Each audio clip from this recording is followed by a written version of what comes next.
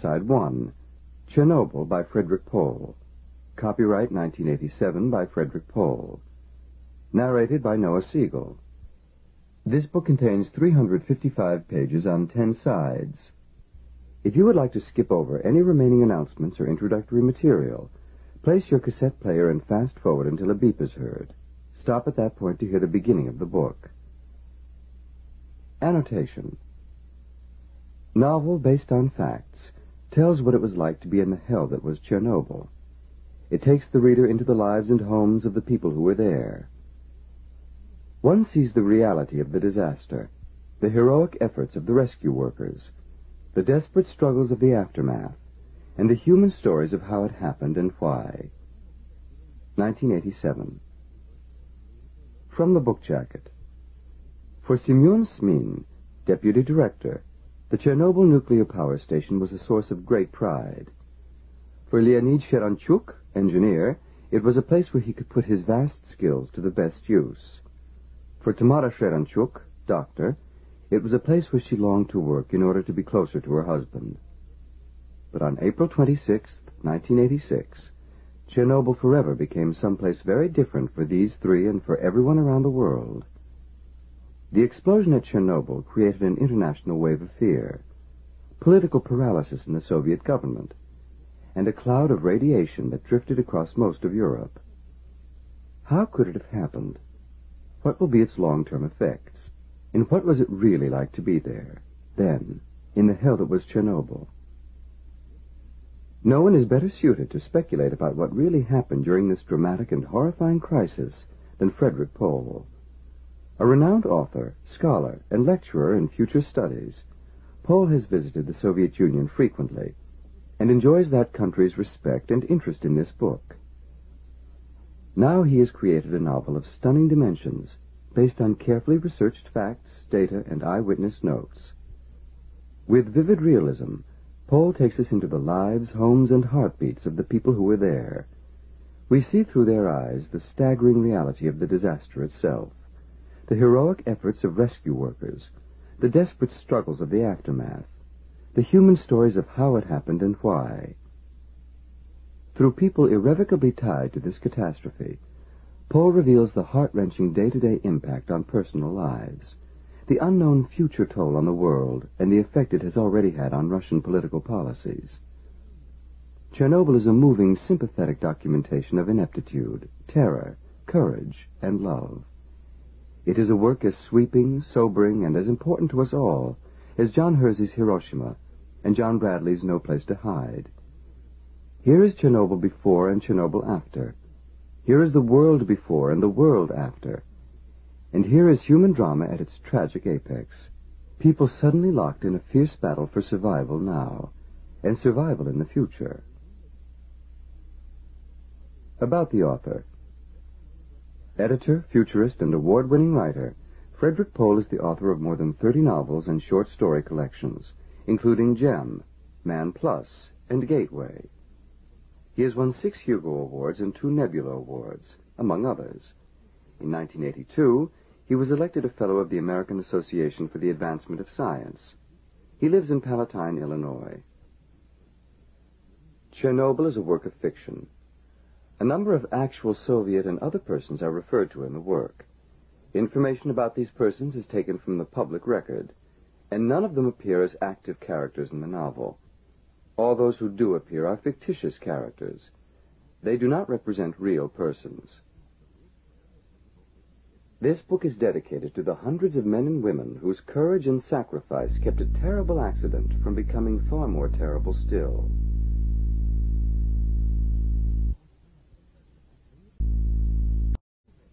From the Revelation of St. John the Divine. And the third angel sounded, and there fell a great star from heaven, burning as it were a lamp. And it fell upon the third part of the rivers, and upon the fountains of the waters. And the name of the star is called Wormwood. And the third part of the waters became wormwood, and many men died of the waters, because they were made bitter. The Ukrainian word for wormwood is Chernobyl. Chapter 1 Friday, April 25th, 1986 At this time, Semyon Smin is an active, affable man of 64 years who looks rather like a former heavyweight wrestler. He is short and quite stocky. He smiles often, with the kind of smile that other people instinctively return. He could not be called handsome, partly because he has a strip of smooth, almost glassy skin that extends across the left side of his face from his upper lip to where the back of his neck disappears inside his clothes. Still, there is a sweetness to his expression which makes his male subordinates feel free to speak frankly to him, and which women find attractive. That is one of the reasons his wife, Selena, married him, although at the time of their wedding he was nearly forty years old and she was only nineteen. Another reason is that he was a wounded and decorated war veteran, with special privileges in going to the head of queues and opportunities to buy things in special stores. It was also obvious even then that he was on his way up. He has succeeded well. He is the deputy director of the Chernobyl nuclear power station, which supplies the eastern Ukraine with nearly one quarter of its electrical energy. A party member of 43 years standing, and one who has the privilege from time to time of travel abroad. Selena has been permitted to accompany him out of the country twice. Once it was only to East Germany, but the other time gave her five wonderful days when he was obliged to visit the International Atomic Energy Authority headquarters in the authentically western city of Vienna. Immediately after lunch that day, Smin received the three visitors from South Yemen in the plant's conference room. It was one of the show places of the plant, with its snowy white bust of V.I. Lenin gazing challengingly down from one wall, and its deep-piled Armenian rug on the floor. His secretary had set up the long birch table with the things appropriate for distinguished foreign guests, who might, the people of Novosibirsk hoped, order an RBMK 1000 nuclear power plant for their own country. Of course, for political reasons, it would be a long time before they ever got one, but still the nuclear power plant authorities wanted very much to have the mask. There were opened bottles of Pepsi-Cola and orange Fanta, as well as ashtrays and packets of American Marlboros and in the little refrigerator under the sideboard were unopened tins of Greek orange juice. There was also a bottle of Stolichnaya vodka in the refrigerator's tiny ice compartment, in case the Yemenis turned out to be more Marxist than Muslim. The Yemenis were escorted in by Smin's secretary, Paraska Kandliba, her lined, lean old face impassive. Their translator trailed behind, deferentially seating himself at the very end of the table only after the men in the white robes were already sitting down. I welcome you to the Chernobyl power station. I apologize for the fact that our director, Comrade Zaglodin, is unavoidably absent. But he joins me in the hope that your visit here can add to the warm and friendly relations between our two countries, said Smin in his pleasing tenor voice, and waited for the translator to put that into the language of his visitors. It was the standard speech of hospitality and pride in the power plant. Two sentences at a time, and then a pause for the translator. He went right on with it as his secretary came in with a tray of coffee in small cups and a plate of sweet biscuits, which she handed around among the guests. They sipped and nibbled impassively as they listened to Smin's recitation of the virtues of the Soviet nuclear power system, the unflagging devotion with which they were carrying out the decisions of the 27th Party Congress, and their unfailing success in achieving their planned goals. The speech was nearly all true in what it said, though it said nothing of, for example, the stratagems and shortcuts that made the plan at least technically attainable. Nor did it say explicitly what the other duties were that kept the director from the honored Yemeni guests, which were primarily that there were other guests the director thought more worth cultivating than a bunch of Arabs who chose to be born in the only country on the Arabian Peninsula that didn't have oil. Smin could have given the speech in his sleep. Sometimes he almost did. Normally, in such conditions, he used the 50% of time devoted to translation to study the visitors, Cubans and East Germans, Angolans and Kampucheans, Vietnamese and Poles, and wonder what they made of this immense monument to Soviet science and technology. Of course, many of them had nuclear power generating plants of their own, or at least every expectation of having them soon. What they had, however, were generally pressurized water reactors. What none of the foreign guests had were the RBMK 1000s that powered Chernobyl. That particular model was not exported to the fraternal socialist countries. The reactors they got were no doubt good enough to produce electrical power, but they were of little use for other purposes. Of course, who would trust Kampucheans or Poles with the capacity to create plutonium? Sometimes Smin tried to guess what the foreign guests would do if they actually ordered and were allowed to receive RBMK series reactors. Sometimes he thought they would tamely return the spent cores for reprocessing inside the USSR without any unexplained shortages. But he didn't think that often. On this day he didn't play that game anyway. He had other things on his mind. When the leader of the Yemenis took his turn to respond to the speech of welcome, Smin, nodding in thoughtful appreciation at each translated fragment, took the opportunity to write on a piece of paper, experiment on schedule, he passed it inconspicuously to the secretary when she came in to offer the tinned orange juice to the guests. No one seemed to notice what he had done.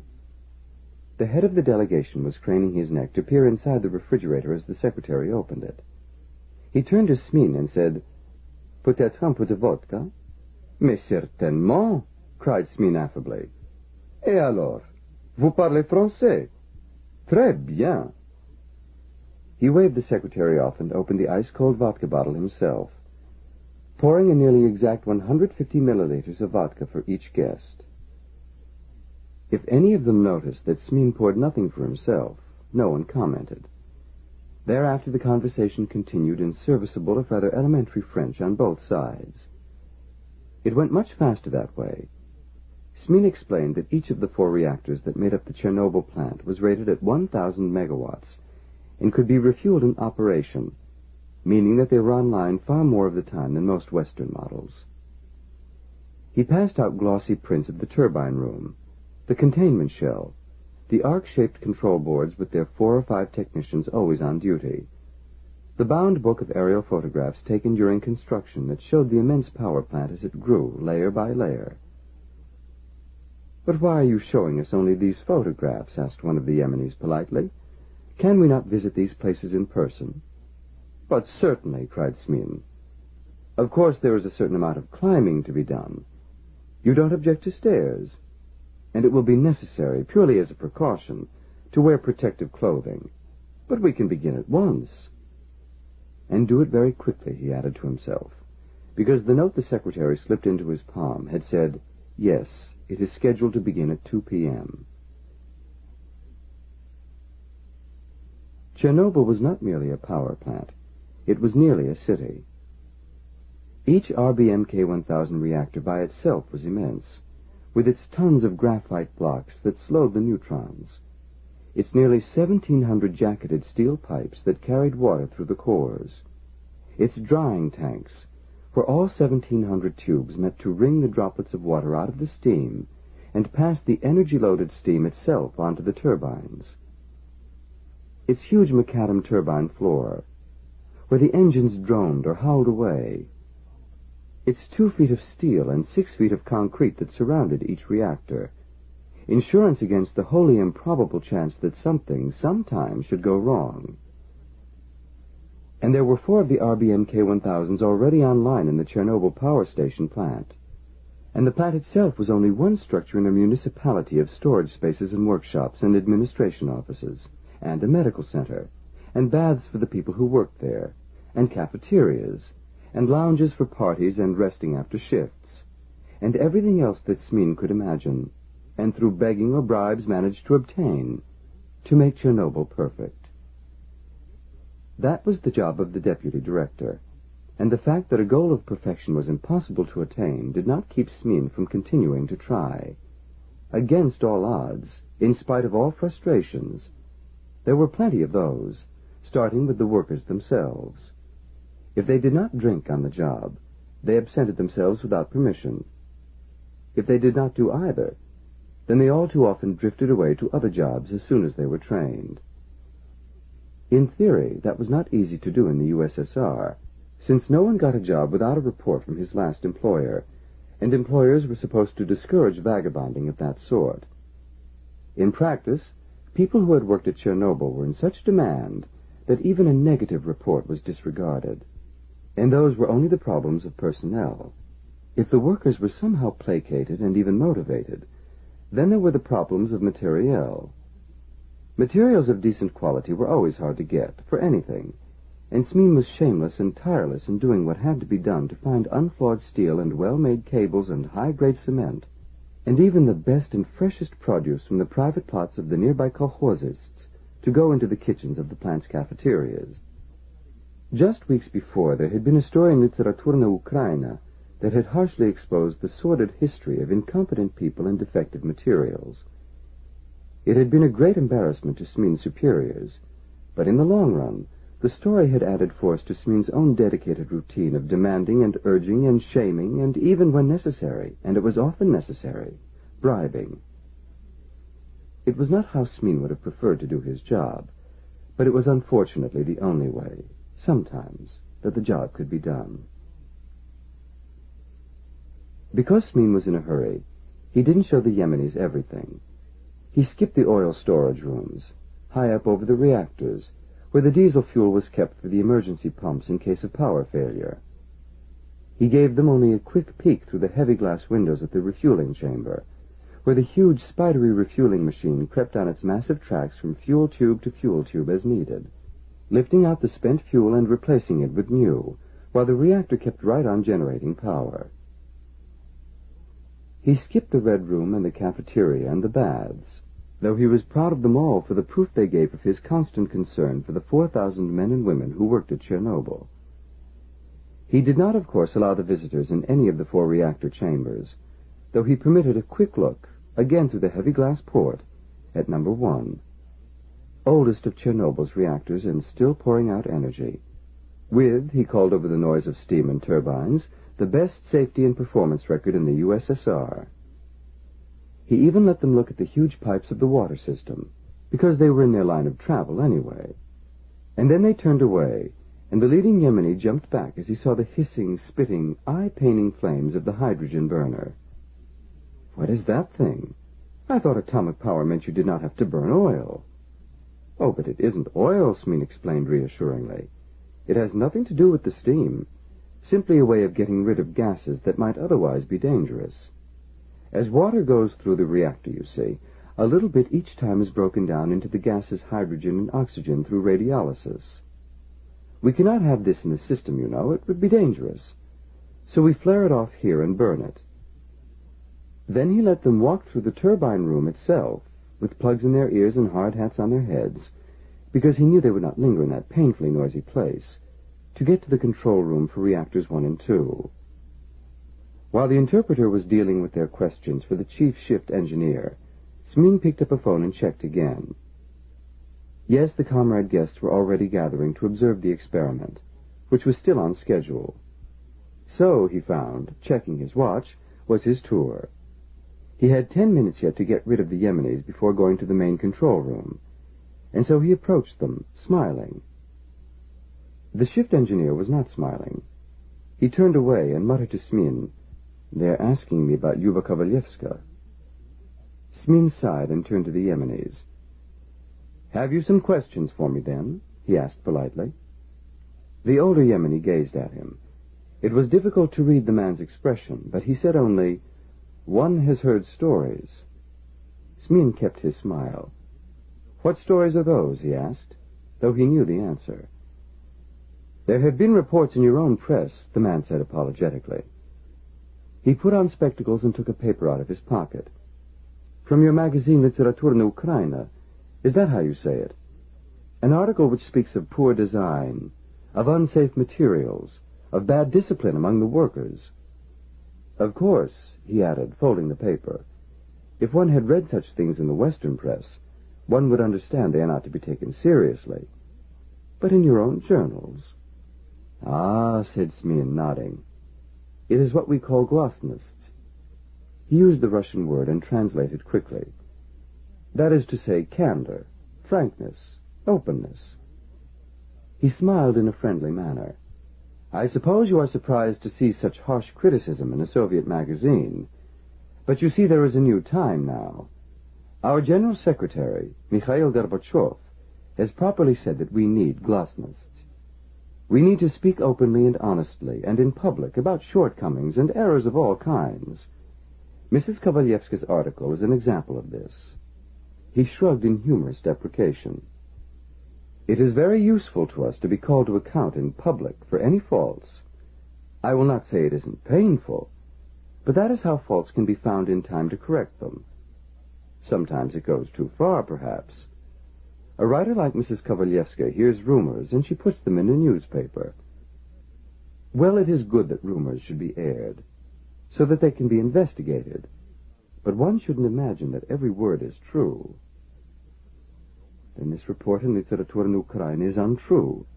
Not entirely untrue, Smin conceded, the shift engineer scowling as he hung on every word, trying to follow the French. Certainly some mistakes have been made, but they are being corrected. And furthermore, please note, my dear friends, that these things Mrs. Kovalevska lists in so much detail refer principally to matters of faulty construction and operation. They do not suggest for one moment that there is anything wrong with the RBMK-1000 reactor itself. Our reactors are totally safe. Anyone can understand that this is true from the fact that never in the history of atomic power has the Soviet Union had a nuclear accident of any kind. Ah, said the Yemeni shrewdly. Is that correct? Then what about the accident in Kishtim in 1958? There was no accident in Kishtim in 1958, said Smin positively, and wondered if he was speaking the truth. By the time Smin had his guests out of doors, it was already 2.20. He had managed to find out from the control room operators that reactor number four was still at full power, so the experiment was not yet ready to begin. That meant he had a little more time. He used it to be a gracious host. See this lake, he said, indicating the lake along whose borders they were walking. It is our cooling pond, six kilometers long, and as you see, a beautiful thing in itself. And it is stocked with fish, our local sportsmen say the fishing is even better here than in the Pripyat River. Why is that?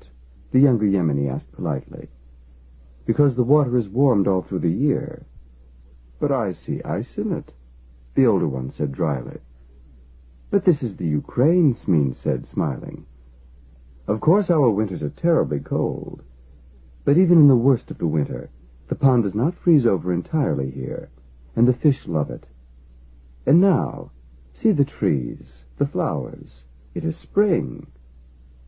He stopped and gazed up at the towering buildings that housed reactors three and four.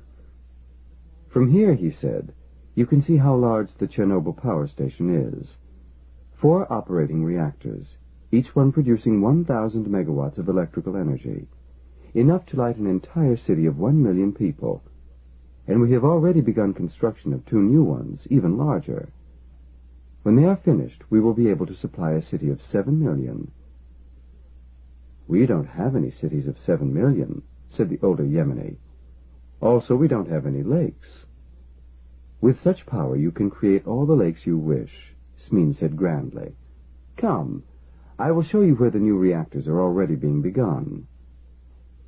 And when they were on the lip of the giant excavation where the core of reactor number five would soon go, busy with excavation equipment and dump trucks carting the soil away. The Yemenis seemed still unsatisfied. These also will be RBMK-1000s? the older one asked. No, no. Each will be even larger, 1,500 megawatts electric rated output. But still graphite reactors, mused the Yemeni. Although some people say that this design is not as good as the pressurized water reactor, like those in the West. Ah, the West, said Smin good-naturedly. His mood improved since he had seen the dark blue Volga car that would take the Yemenis away, creeping cautiously toward them, among the rumbling trucks and bulldozers. You see, in the first place, the Soviet Union also has pressurized water reactors.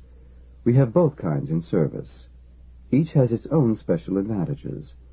The Americans do not have this variety of choice. All of their nuclear energy comes from the submarine power plants. The Yemeni looked puzzled. What do submarines have to do with it? Smin smiled. Do you know why the Americans stay with the pressurized water reactors? it is because they are trapped in their own historical accidents. They are in a rut. The first power reactors ever built in America were designed for their nuclear submarines. Those had to be of the pressurized water type, since nothing else would work inside the confined space of a submarine. Advanced models like our RBMKs simply cannot be used for submarine engines. So when at last the Americans decided to try to generate utility power with atomic energy, they simply built new and larger submarine engines. The RBMK is quite different, and by different I mean better. For one thing, it is extremely responsive. The American generators, like all pressurized water generators, are only good for baseline power. They are very slow to start and very slow to stop. The RBMK is quick to respond. If there is a sudden need for power, an RBMK can be brought online in less than one hour. And, well, I remind you of safety. Three Mile Island was a pressurized water reactor, you know. If all that is so, said the older Yemeni suddenly, then why have you not shown us reactor number four? Smin shook his head compassionately. Unfortunately, reactor number four is about to be taken out of service for maintenance. So no one is permitted in the area because of some slight risk of radiation exposure, you see. It is a precaution very strictly enforced. You see, in spite of Glasnost articles in the newspapers, we really are very cautious. What a pity. But perhaps you could come back tomorrow when things will be tranquil again. Unfortunately, said the Yemeni glumly, tonight we stay in the Dnipro Hotel in Kiev and fly to Moscow in the morning. What a pity, repeated Smin, who had known that all along. And now your car is here. I hope you have had an interesting visit with us, here at the Chernobyl nuclear power station, and I look forward to our meeting again. Smin was still thinking of the Yemenis when he stopped, simply as a precaution, to make sure the experiment was still ready to go before going up to the main control room. But when he heard what the shift operator had to say, he forgot the Yemenis. Cancelled? Why is it cancelled? What are we going to do with all those people? The shift operator sighed. If you figure that out, please tell me. They are still here. All I know is that the power dispatchers in Kiev say we can't go offline now. I didn't speak to them. You'll have to ask the director. What? No, he isn't here. I think he's in the turbine room below. Smin put the phone down, frowning. Now that was a nuisance. There were almost a dozen observers on hand. They had gathered at Chernobyl from as far away as Leningrad. Power plant managers and representatives of turbine builders and electrical engineers for the single purpose of seeing how the experiment in generating extra power from residual heat and momentum after a reactor was shut down would work. The experiment should be beginning right now, which would mean they would all be getting into their cars and bothering somebody else before dark. But now what? The only person who could answer that was the director, so Smin went looking for him. Smin was meticulous about making sure his workers dressed for their work and set them a good example by putting on the dosimeter badge and the white cap and coveralls and cloth slippers before he walked into the turbine hall. He also fitted the plugs in his ears. The turbine rooms, particularly the big one that combined the output of reactors 3 and 4, were the noisiest places in the Chernobyl power station. Perhaps they were the noisiest places in the world, Smin thought, but he welcomed the noise. The scream of the steam in the turbines was good news. It meant that the heat of the dying atoms was spinning the great wheels and magically turning steam into electricity to feed the lights and radios and television sets and elevator motors of a quarter of the Ukrainian Soviet Federated Socialist Republic, with enough left over to export electricity to their socialist neighbors in Poland and even Bulgaria and Romania. What was less pleasing, he thought, remembering, was that the Yemenis had asked unpleasant questions. The worst was the one about Kishtim. Was there any truth to the story about Kishtim? People had asked him the same question at the IAEA in Vienna. They hadn't been put off as easily as the Yemenis, either. They had even handed him a copy of a book by the renegade Zhores Medvedev with a worrying story. It said that in 1958 some nuclear enterprise had gone terribly wrong in Soviet Siberia. Nuclear wastes or something had somehow unbelievably attained critical mass. They had exploded. Lakes were destroyed. Streams were poisoned. Villages were made uninhabitable. And a whole countryside had become a radioactive waste. Could such a thing be true? Smin confessed to himself that he did not know. Yet even if that story were true, Smin thought rebelliously, what he had said, most of what he had said to the Yemeni about such questions, was demonstrably quite true. Soviet nuclear power had never had an accident, at least not one that was related to the nuclear reactors, and certainly not at Chernobyl. Even with the plugs in his ears, the vast roar of the turbines made his head ache. He was glad to see the director, Zaglodin, at the far end of the room. With him were the chief of the personnel section, Khrenov, and the chief engineer, Varazin, talking with a fourth man. Talking was not the right word. The four men seemed to be having a sort of perverted flirtation, there under the towering half-cylinders of the turbine housings. The three high officials had their heads close together, and the fourth man was thrusting his own face in among them, shouting to be heard over the turbine scream. As Smin approached, the fourth man broke away, and scowling, walked past Smin to the door. It was Sheranchuk, the power station's hydrologist engineer, usually a friendly man, but he gave Smin only a short nod as he stalked angrily past. An engineering work team, taking readings on turbine number six with checklists in hand, was more agreeable. They all gave Smin a hand wave of respectful comradeship as he passed, and he returned it, smiling. Khrenov noticed the exchange. Smin was not surprised. As director of the plant's first section, Personnel and Security, which was to say the section that reported to the KGB, it was Khrenov's job to notice everything. The director, on the other hand, was scowling. He gestured Smin to go back, and all four of the senior officers exited to the comparative quiet of the hallway outside. As soon as their earplugs were out, Khrenov observed, You are very popular with the workers, Smin. Popularity is not what matters, the director said testily. Have you heard, Smeen? What do you think the dispatchers in Kiev are telling us now? The grid needs our power. We can't go offline today. I see, said Smin, understanding. The experiment could be performed only when one of the reactors was being shut down. And the observers? The observers, the director said with a glance at the chief engineer, are now Comrade Varazin's pleasure to look after. He has just volunteered to take care of them. God knows how, the chief engineer said gloomily. Perhaps tomorrow I can give them a little tour of the reactor chambers. None of them are nuclear. This is all interesting to them. I'm sure they'll enjoy it, said Smin, pleased to learn that he at least was not expected to give up his weekend. He added with a smile, At least we will now be able to overfill our plan for the month of April. Director Zaglodin looked at him speculatively, then allowed himself to return the smile. At least, he corrected, I can now leave to catch my plane. Is there anything you would like me to bring back for you from Moscow? Not that I will have time, really, for shopping, he added quickly, in case Smin intended to surprise him and actually ask for something. My wife would no doubt have a list, Comrade Director, Smin said good-humoredly, but she isn't here. Have you orders for me for your absence? Of course Zaglodin had orders. He ticked them off on his fingers one by one. The cement plant has already delivered 500 tons for the base for reactor number five. Well, naturally, we are not ready. And also I think the cement is not up to quality. See to it, Smin. Of course, Comrade Director. Smin caught the understanding look from Khrenov. He did not bother to comment. All of them knew that that meant that Smin now had the responsibility of either accepting substandard concrete or perhaps delaying pouring the foundation for the new reactor, which added up to a classical case of a no-win situation.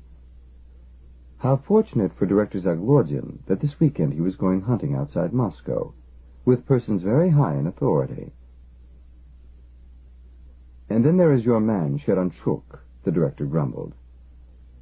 I saw that he was talking to you, Smin said cautiously. What did he want? What does he always want? He is not satisfied with our power station, Smin. He wants to rebore all the valves again. Smin nodded. It was understood between them that Sheranchuk, the hydrologist engineer, was Smin's personal protege, which meant that the director had and exercised the right to blame Smin every time the hydrologist annoyed him. If he thinks they need it, he is probably right. Why not let him? Why not let him tear the whole plant down and build a new one? The director fumed. Then he calmed somewhat. You will be in charge while I'm in Moscow, he said. Do what you like. Of course, said Smin, not pointing out that in matters of running the station he always did. The director was really only nominally Smin's superior. That was another thing of Gorbachev's, to put the man who really did the work in the second position, so that he could get on with it, while the putative chief of the project was free to entertain visiting dignitaries, represent the organization in formal meetings, go to receptions. In short, to be a figurehead. Only in this director's case, he seemed to want Smin even to conduct parties of Yemenis around the plant. There is also a soccer game tomorrow, said Khrenov, watching Smin. The director lifted his head loftily. He was a little sparrow-like man. All he needed was the little pointed beard to look exactly like the statue of V.I. Lenin that stood in the plant's courtyard. It seemed that he knew it, for Zaglodin even stood there exactly the way Lenin stood in all his statues and portraits. Eager, chin thrust forward, hands half reaching for, for whatever it was that Lenin was always trying to grasp. Perhaps the world. Perhaps, Smin thought, that was what the director really wanted too. In which case it was not likely that he would ever attain it from his present position as mere head of one single power station, and one that was not even located in the RSFSR at that. So, smiled Zaglodin, you want your best forward excused from shift duty tonight so he can be fresh for the game? Why not, Khrenov? Still, you'll have to ask Smin here, since I'll be away. And then at last the director remembered the afternoon's visitors. How did it go with the Yemenis? he asked. Smin shrugged. They asked about Lyuba Kovalyevska's story.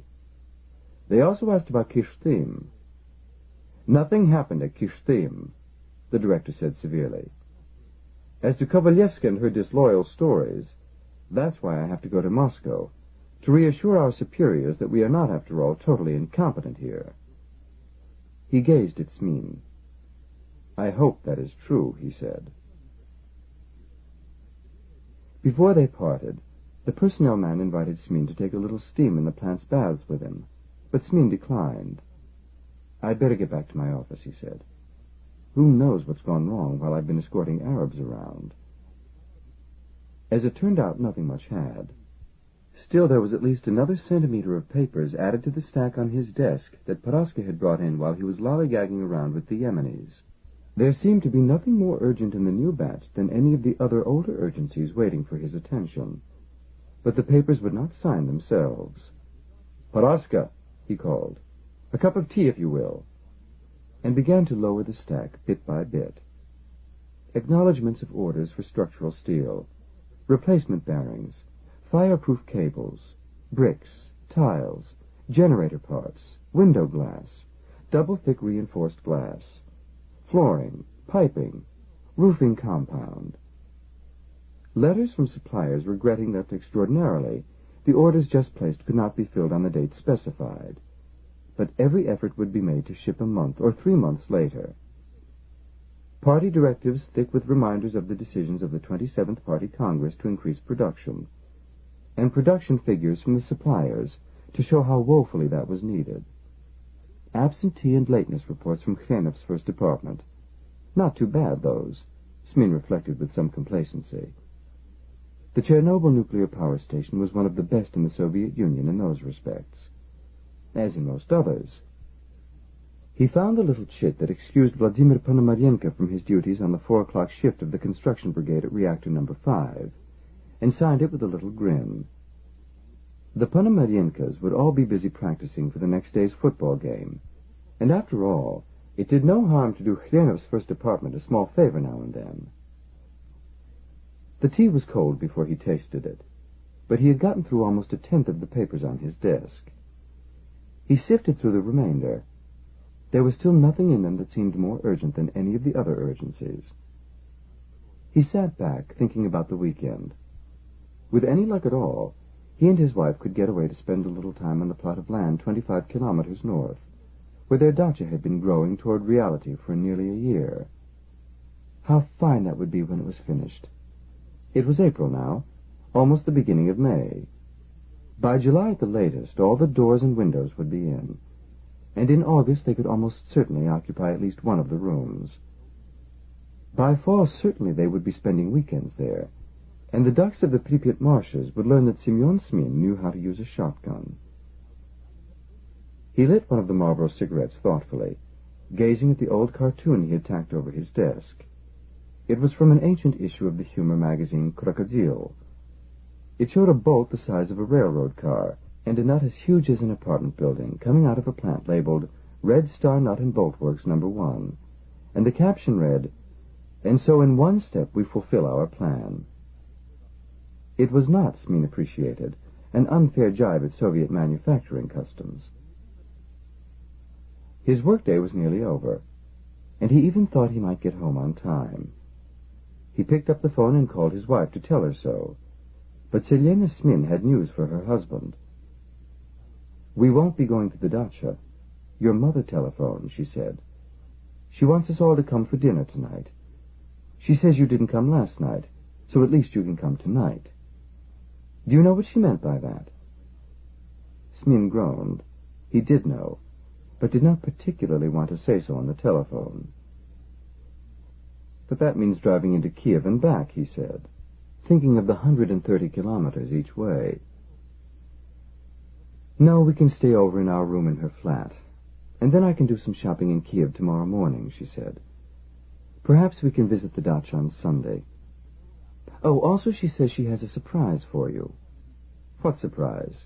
She said you'd say that. She said to tell you that if she told you what the surprise was, it wouldn't be a surprise. But it's a big surprise. Smin surrendered. When he had hung up, he buzzed for his secretary. I want my car tonight, he said, but I'll drive myself. Have Chernavzia bring it around and see that the tank is full. Then he can go home. There was one more thing for Smin to do before he left the plant. In a way, it too was setting an example. It was a visit to the plant's baths. He undressed in the locker room, and taking a sheet and a towel from the attendant, headed for the showers. There had always been showers in Chernobyl because men who worked with radioactive substances needed them. But these baths were not only new, they were Smin's own. The slate slabs for each man to lie on, the shower heads above, the soap dispensers, those were Smin's. He stretched out, turned the water onto a trickle, and soaped himself. He lay back, bare, the glassy scar exposed for anyone to see if anyone had been there. But he was alone in the shower room. He closed his eyes, listening to the squeals and cries from the women's bath on the other side of the wall. Some of the female workers were playing tag, and ducking each other in their pool. He wondered absently if they appreciated the luxurious facilities he had provided for them. But after all, whether they did or not, what was the difference? The extra care showed up in the plant's attendance, and the important thing was the plant. When he had rinsed himself off, he wrapped the sheet around his broad shoulders and headed for the sauna. It was almost time for changing shifts, there were eight or nine men in the steamy sauna. Four husky young men were tossing a knotted towel back and forth. One dropped it and kicked it to another, who rescued it and nodded apologetically to Smin. Don't mind me, Smin said, recognizing them. Just to the job in the game tomorrow. You can count on it, Comrade Deputy Director, said the big forward, Vladimir Ponomarenko, the autumn of the four related players they called the Four Seasons. There were two sets of brothers, and their fathers had been brothers as well. They all had the same surname of Ponomarenko.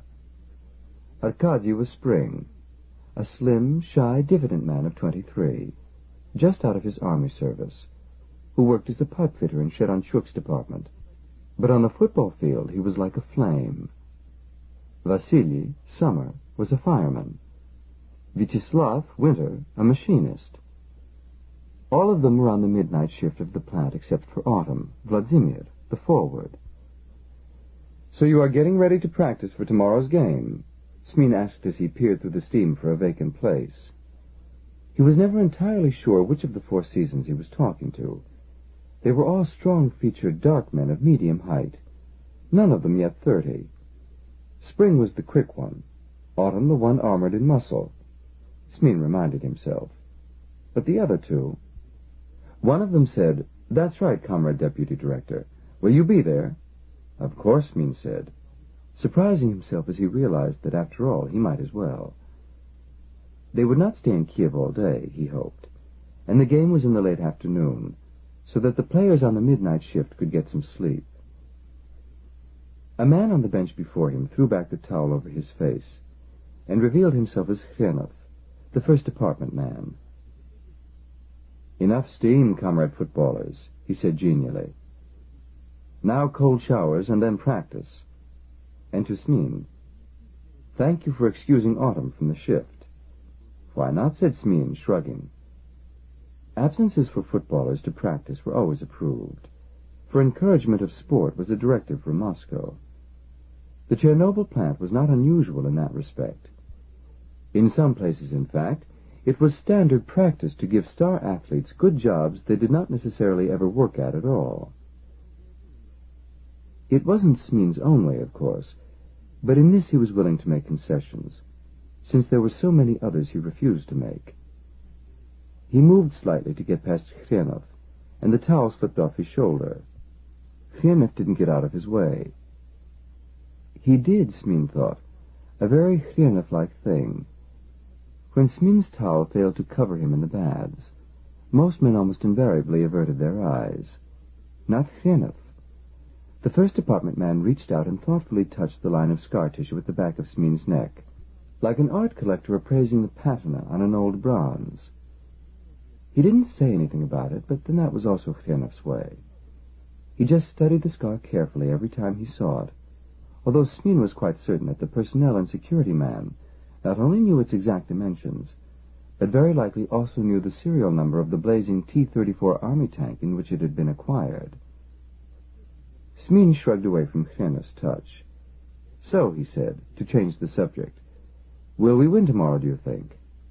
Of course we will win, Khrenov said with pleasure, and began to explain the ways in which the Four Seasons would triumph on the football field.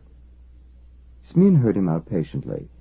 It was a matter of policy with him to be as cordial as possible with the security man, so that the times when confrontations were necessary would be eased. As Gebez went, Garadot Khrenov wasn't so bad. The men who were the organs of state security came in two main varieties. The ones who wanted you to know who they were, like Khrenov, and the ones who did not. The undercover ones were a nuisance sometimes, but as you could never be entirely sure who they were or what they were looking for, the way to deal with them was simply to guard your tongue and watch your actions all the time. The Khrenov variety was something else. They made themselves conspicuous. They were like the militiaman on the corner, whose principal job was not so much to catch violators of the law, but simply by his presence to remind everyone that the law was watching. It amused Smin to wonder sometimes if KGB training included, for people like Khrenov, lessons in how to look all-wise and sinister. Yet Khrenov interfered less than other organs did in other plants, and his interest in sports, if officially directed, seemed also sincere. The personnel man looked as though he, too, could have been a wrestler at some time. He was shorter even than Smin, and not nearly as solidly built.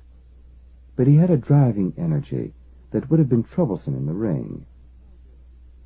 So, Smin said, to cut off the lecture on football strategy, it should be a good game if the Four Seasons are in form. Why not let the ones on the midnight shift off an hour or two early, so they can get a little more sleep before the game? Khrenov smiled with pleasure. He said, Thank you. I'll tell them, and left to find them at their practice. Smin sat down and closed his eyes, inhaling the steam cautiously through his open mouth. He sat with his mind peacefully empty until he heard someone speak his name. When he opened his eyes, he saw that it was his hydrologist engineer. Good evening, Comrade Plumber Sheranchuk, said Smin. And how are your sticky pump valves? Is it true that you intend to rebore every fitting in the plant? Only a few at present, Comrade Deputy Director Smin. Sheranchuk said gravely. Yes, of course. You've done all the others already. Smin chaffed him. Sheranchuk was the newest addition among Chernobyl's senior employees. A stubby, red-headed Ukrainian, rescued from an old peat-fueled steam plant that was about to be decommissioned, and now gratefully lumbered with all of Chernobyl's water circulation problems. There had been plenty. Every valve had come from the factory with only a rough approximation of the right dimensions, and Sheranchuk had been busy regrinding them. Sheranchuk hesitated, then glanced toward the door through which Khrenov had just left. I suppose, he said, you were aware that Director Zaglodin ordered the automatic pump system turned off this afternoon. Smin frowned. He had not known. But he said, yes, of course, to prepare for our freewheeling experiment. Since that was postponed, the shift chief will certainly turn them back on. I suppose so. Then, I am sorry about this afternoon, Smin. Why? Our director sometimes makes me sulky, too. The important thing is that you get your job done. I will come in tomorrow and check them once again, Sheranchuk promised. Smin nodded. So we will be in good shape for May Day, he said, and added judgmatically, I would say that in general you have done well. He felt the hot air almost searing his lips as he spoke. One of the men had been pouring water on the hot ceramics again, and the steam had made the sauna oppressive. Smin settled the thick, rough sheet around his shoulders and looked for a cheerful word to sweeten his engineer's mood. A joke? Yes, of course. The one he had heard that morning from one of the turbine men. He said, Tell me, Sheranchuk, do you like Radio Armenia jokes? Here's one. Someone calls into Radio Armenia and asks, What was the first people's democracy? And what was the answer? asked Sheranchuk, already smiling. It was when God created Adam and Eve, and then said to Adam, Now select a wife for yourself.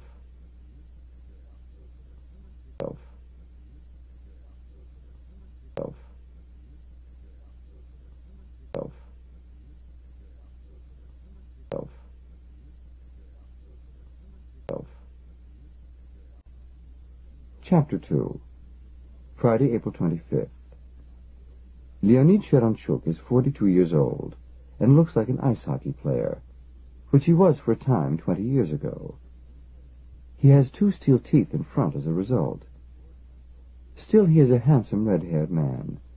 Women are attracted to him.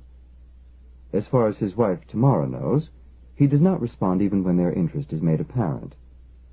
But all the same, she wishes they could take their vacations together. She is a doctor on the staff of the hospital in the town of Pripyat itself. The town almost touches the grounds of the power plant, but its facilities are separate. This means that her vacations are at the summer resort of the hospital, 400 kilometers south on a pleasant lake. His are taken at the resort of the power plant on the Black Sea. She would like to be transferred to the medical staff of the power station, so they could be together. But the pay is better there, too, and the summer accommodations much nicer. And the competition for such posts is acute. Still, she knows that they are lucky. They have been in Pripyat for only a few months, since Smin recruited her husband into this much better post. She is aware that they have a good life. With Sheranchuk's 300 rubles a month and her 180, they are well to do. Their 16-year-old son is a dancer, an honor student, and a komsomol. Sheranchuk himself has a shelf of medals from his ice hockey days, as well as all the diplomas and certificates of merit that made him qualified as a hydrologist engineer in the Chernobyl power station. For he is, after all, not a plumber, nor would he smile at anyone who called him that, or at least not at anyone but Deputy Director Smin. Sheranchuk left Smin in the baths. Feeling thoroughly refreshed, the hydrologist engineer decided there was no need to wait until morning to get at some of his paperwork. The evening was young, and his wife would not mind that he was working overtime. No one forced Sheranchuk to do that, least of all Deputy Director Smin. Sheranchuk imposed it on himself. As a senior engineer, he was scheduled to work management hours, 9 to 5.30 on five days of the week. But he knew he had Smin's trust. He wanted to keep it, and spending an evening at home was less important than making certain that the trust was deserved. So, long after 5.30, Sheranchuk was back at his desk. In the office he shared with two assistants and the plant sports director, writing notes to himself about what he wanted to do when reactor number four was at last down for maintenance. The experiment in getting extra power from the turbines, then, did not affect him. What he particularly wanted was to get a look at the inside of the great pump that forced the condensed water back out of the heat exchanger and into the plenum under the core of the reactor. According to the records he had inherited, that pump had been long since dismantled and checked by his predecessor, but Sheranchuk wanted to see for himself. Going over the files on each component, Sheranchuk paid particular attention to the delivery dates of the parts. A valve fitting that had arrived at Chernobyl in the first week of any month, for example, had probably been turned out by its factory in the last week of the month previous. That was a warning signal. The last few days of any month were the frenzied corner-cutting days of storming the plan. The days when all shifts went on overtime in a last-ditch effort to meet the month's production goals that determined whether or not the workers would get a monthly bonus. Half of any month's production in a factory might easily come in the last few days of the month. Those were the days when machinists rushed their work and inspectors looked the other way, and the brand new parts that arrived at their destinations might have to go right into the scrap pile because they could not be made to fit. Worse, they might be installed anyway. Of course, the previous head hydrologist engineer at Chernobyl had known that as well as Sheranchuk. Every part had been calipered for tolerances before it was fitted into place. All the equipment had been taken apart, and when necessary reground or rebored, or simply replaced with new parts. Sheranchuk knew this. All the same, he wanted to see for himself. With a list of fittings to be checked in his hand, he went to see if Deputy Director Smin had perhaps returned to his office. He was not there. The office was dark, as were most of the other offices he passed though not that of the first department. That didn't surprise Sheranchuk. Khrenov's personnel and security people were always somewhere about. He thought about going home, where his wife might by now be wondering what had happened to him, but went up to the main control room for reactors 3 and 4 instead. Smin wasn't there either, but Khrenov was, smoking a cigarette and chatting with the shift chief about how the football practice had gone. Behind them was the long arced wall of instruments that displayed the condition of every part of the power station's systems. Most of the display, flashing lights, and oscilloscope traces had to do with things that did not much interest Sheranchuk, but automatically he checked the readings on the water and steam pressure systems. The steam system was normal. The recirculation pumps were operating at normal pressure. All satisfactory enough, except that the pumps were under direct operator's control. The automatic systems were still switched off. Sheranchuk scowled and looked around. Standing by the door, looking dissatisfied, was an operator Sheranchuk recognized, the half-Lithuanian one named Kolichenko. When Sheranchuk asked Kolichenko civilly enough if the automatic systems should not be switched back on, the operator said crossly, How should I know? I'm not on this shift. I'm simply wasting my time standing here. Khrenov looked up sharply, then came to join them. Ah, Kolichenko, he said, ignoring the hydrologist. Are you still here? Where else would I be? This is really too bad. I'm on the midnight shift, and here I've been ordered in early for this experiment that isn't going to take place. When am I supposed to sleep? You could sleep, said Khrenov silkily, humorously. In your own bed for a change instead of spending half the night in some other bed. Sheranchuk saw that the tall, pale man flushed, as though Khrenov had touched a sensitive point. But it was none of his business. Excuse me, Sheranchuk said. I was pointing out that the automatic pumping system is still switched off. Yes, yes, said Khrenov. I'm sure the chief engineer is well aware of that. The directives say it should be left on at all times, except for special circumstances. You are very diligent in your work, Khrenov said, his tone admiring. But these are special circumstances, you see. Chief Engineer Varazin is in charge. He has decided that at least that part of the experiment, which is to observe how the pumps can be kept in order manually, can be proceeded with at least. Do you understand that? If you have criticisms to make of his procedures, I suggest you make them to him. Sheranchuk gritted his steel teeth. It was not Khrenov's business to lecture the hydrologist engineer on technical matters. It was only a way of reminding Sheranchuk, as well as anyone else around, that the personnel man was well informed on every aspect of the work of the power plant, even if he had nothing to do with running it. Sheranchuk shrugged and kept silent. Khrenov gazed at him affably for a moment, then turned to the shift operator. Now, Kolichenko, he said, since you're not on duty here at the moment, I suggest you get some rest. Alone for a change, if you don't mind, so that you will be ready for your regular shift. Sheranchuk did not linger to see how Kolichenko would reply. He turned and left the room. He thought that probably Kolichenko wouldn't respond at all, in spite of the fact that his pale face was turning crimson, and his scowl was ferocious. Sheranchuk sympathized with the operator. It was, after all, no business of the personnel man's if Kolichenko was anticipating the privileges of marriage before the actual ceremony with one of the town girls. The question was not so much where Kolichenko slept as whether Khrenov slept at all. Sheranchuk knew the man had been there at six that morning, he seemed always to be in the plant somewhere. Did he have a home? Did he sleep there?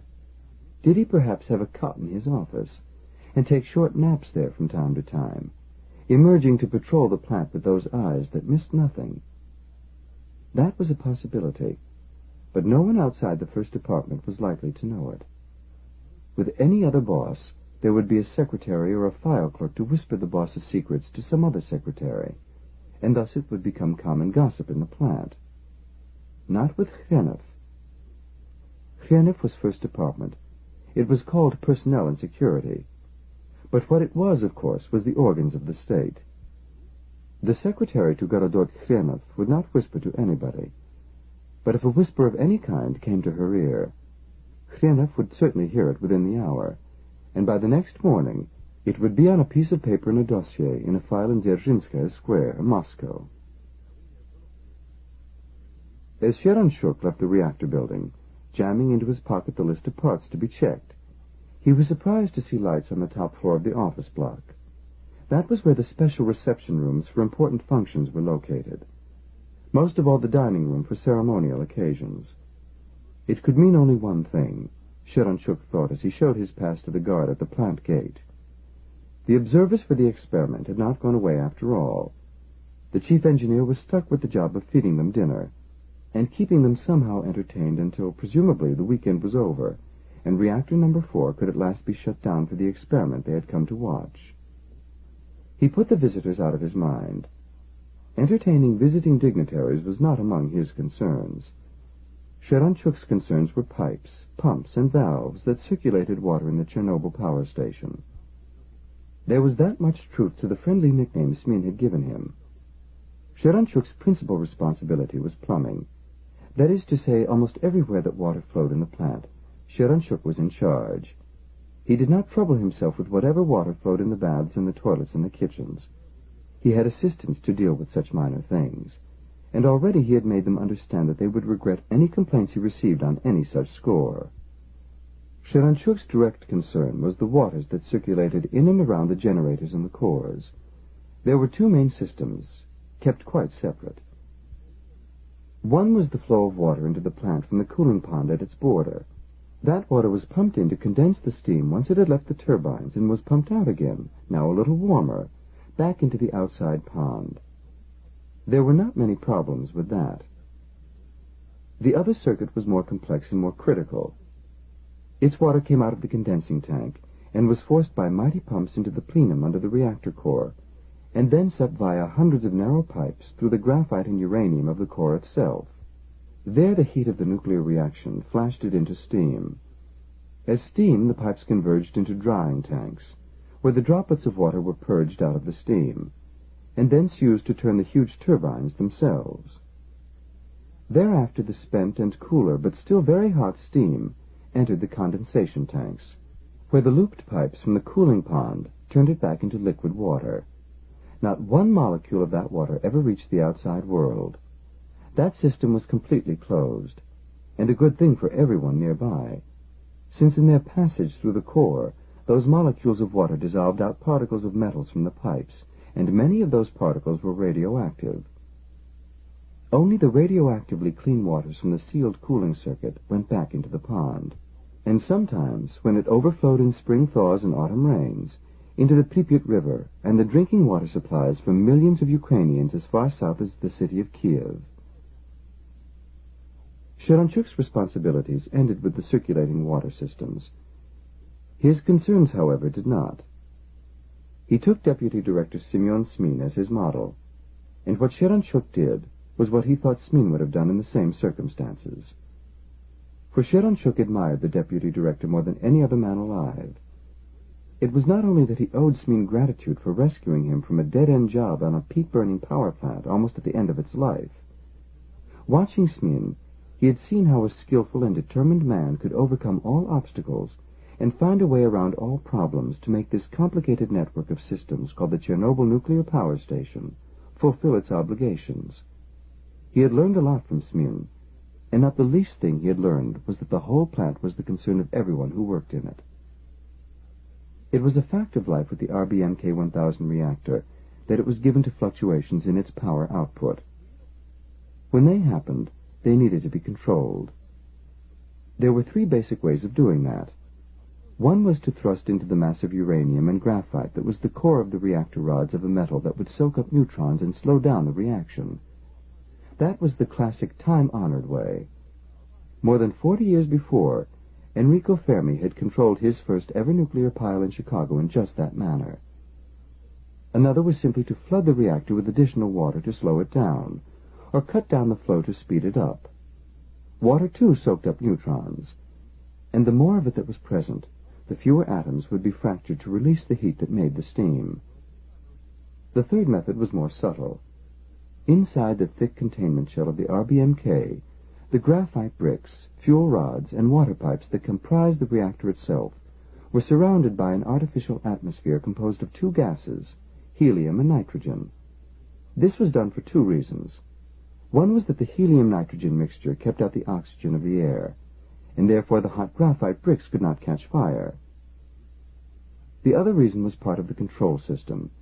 The gases did not conduct heat in the same degree, so that by adding one or the other, the heat transfer capacity of that atmosphere could be changed, up or down as desired. The reactor would obediently run a little hotter or a little colder, and so the small glitches in performance could be smoothed out. Usually. Of course, no human being could watch the instrument readings carefully enough and calculate the necessary measures fast enough to take the right action every time. It is the same with modern high-performance aircraft. If the pilot takes his hands off the controls of a conventional light plane, the thing will continue to fly itself reasonably well, for a while at least. If he takes his hands off the controls of a modern fighter, it will crash. Even if he stays on the controls, he can't fly the plane by himself. That is simply not possible. Too many things must be done too rapidly, and the human brain doesn't work fast enough to do the job. A computer flies the plane. The pilot only tells the computer what he wants it to do. It was the same with the RBMK. The human operators only told the cybernetic system what they wanted. The built-in computers dealt with the moment-by-moment fluctuations. The operators could read the instruments, and they were wonderfully sensitive devices, most of them imported at vast expense from Western suppliers. But in any emergency, the instant responses would have to come from the computers, which meant really that they were the ones upon whom the performance of the entire immense complex depended. Many others could help to make it succeed, but it was only they and the handful of operators in the control room itself who could, at any moment, make it catastrophically fail. Catastrophically fail. Catastrophically fail. Chapter 3 Friday, April 25th. Smin's mother, who has been a widow almost as long as Smin has been alive, lives in a four-room flat in an apartment building on the outskirts of Kiev. This causes a lot of talk among her neighbors. The official allowance for housing in the Soviet Union is nine square meters per person. And here this old woman, who does not even have a job, occupies nearly forty. It is true that old Aftasia Smin is a party member from the earliest days.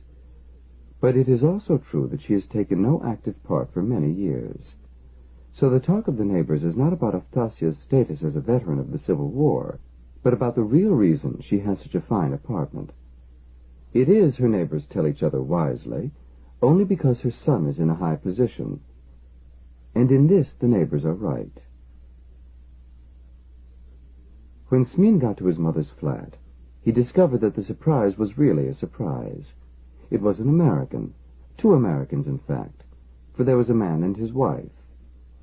Young Vasily Smin, who had been complaining for two hours about the prospect of sleeping another night on Babushka's folding army cot, stopped complaining when he saw the American and the American's tall young blonde wife in the tailored canary yellow slacks, and the American's digital watch that told the time not only in Kiev, but in Los Angeles as well. Smin saw that his son had fallen in love. He only hoped that Vasily would somehow manage to refrain from offering to buy the watch from the American, who, it turned out, was Smin's second cousin. You remember, Smin's mother crowed, I told you about my cousin Yerim, who went to America in 1923. This is his grandson, and this is his wife. He makes for television films about a black man. The second cousin's name was nothing like Yerim Skaschenko. It was Dean Garfield, but he was still family. Family enough to have brought gifts for everyone, although he couldn't have been sure when he left Los Angeles that he would find any particular family members to give gifts to. So they were sort of all-purpose gifts. There was a silver tie clip with a Statue of Liberty on it for Smin, a cashmere sweater for his wife. It was too bad that it was so very tight on her, but apparently it had been cut for an American figure. A pocket calculator for Vasily, a box of liqueur chocolates for everybody, even a wonderfully thick, rich silk scarf which went to Aftasia.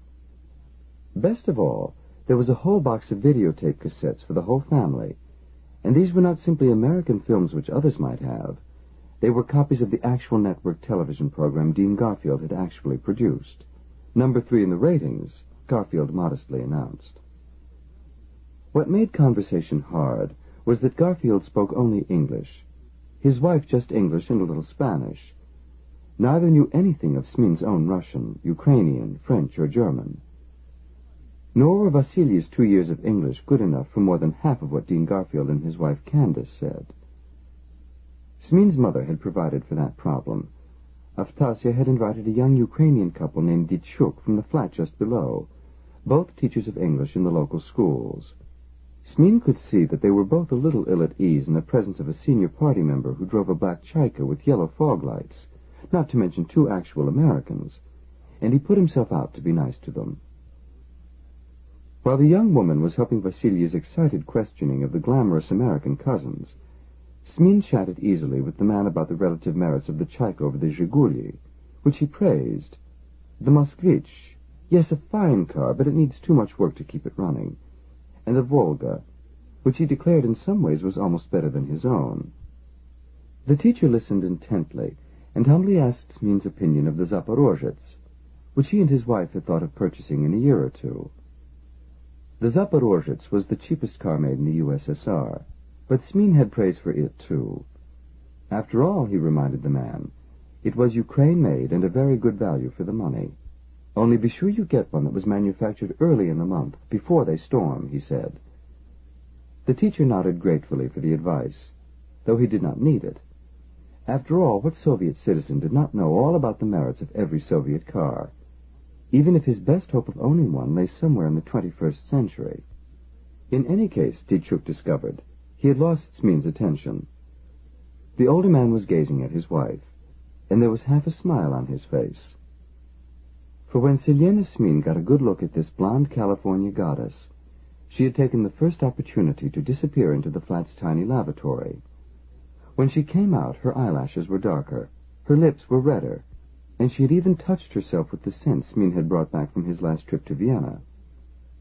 With affection, Smin realized his wife had decided once and for all to show these Americans that Soviet women did not necessarily have steel teeth and hairy armpits. It pleased Smin to observe that although Dean Garfield did not seem to notice any difference, his beautiful wife immediately did. What Garfield was doing was listening to Vasily's stammering attempts to deal with the pitfalls of the English language. As Smin caught a few words of what his son was saying, he frowned. Excuse me, he said to the teacher, and then to his son, Vasily, I do not know English, but I recognize such words as neutron and uranium. What are you telling our American friends? The boy flushed. I was only explaining to them what you do, Father. Yes, that I'm involved in the management of a nuclear power plant, of course. But what else are you saying? Oh, our cousin Garfield did not understand how it was possible to control a nuclear reaction.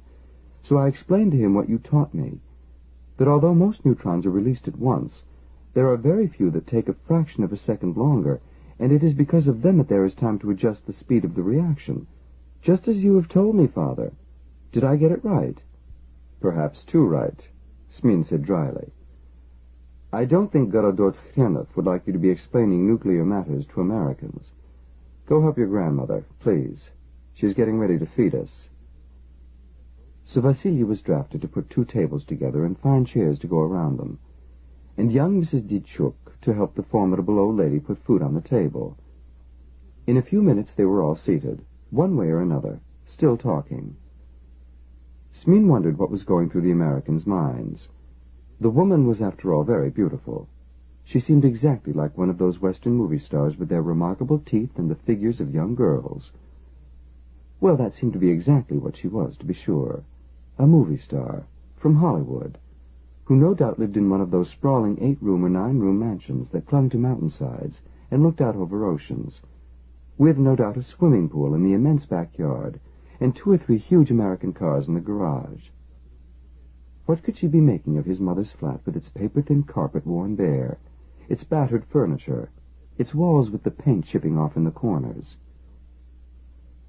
He realized with resignation that before long there would be more said on this subject. From his wife, who had been after him all along about his mother's Khrushchev flat, thrown up at great speed thirty years ago, and decaying rapidly ever since, without even a telephone.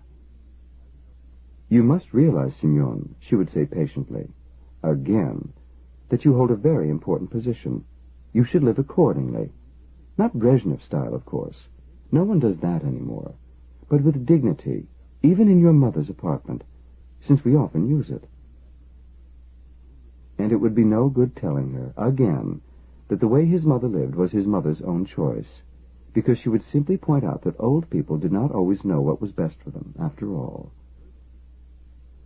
Smin debated whether it was worthwhile to try to forestall some of his wife's remarks by explaining to the Americans just what kind of a woman his mother was. It seemed a daunting job, especially with old Aftasia sitting there and listening to every word.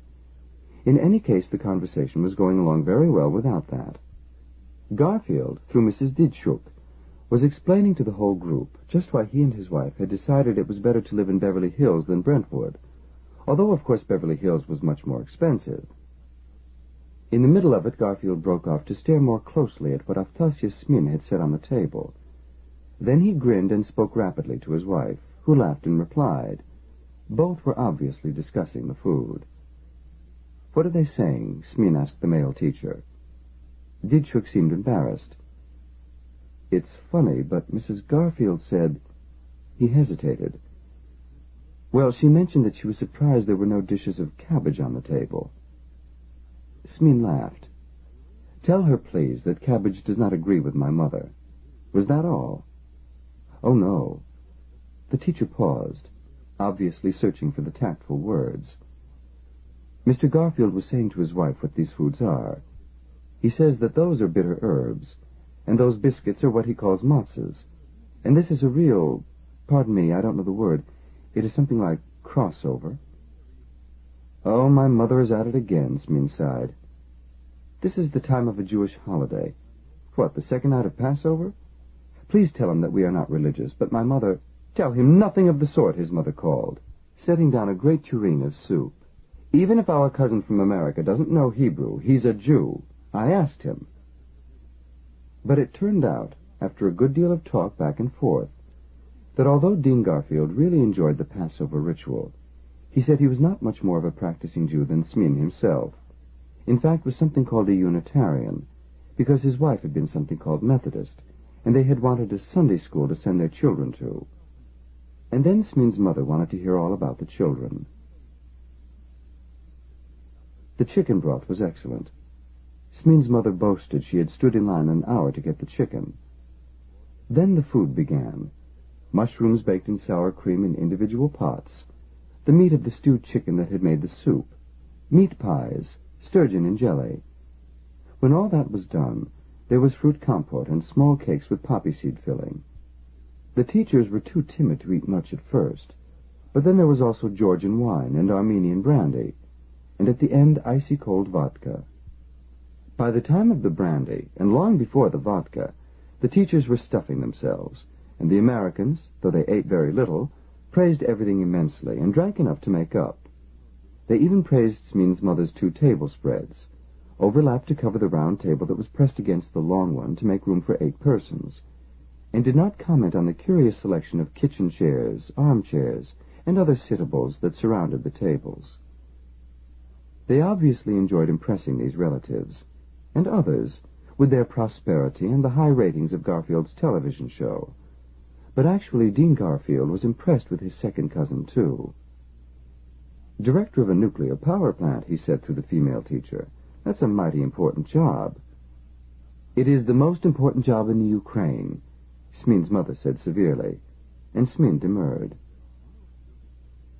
There are a lot of people who would be surprised to hear that, he told her. And then, for the Americans, told them what Chernobyl was like.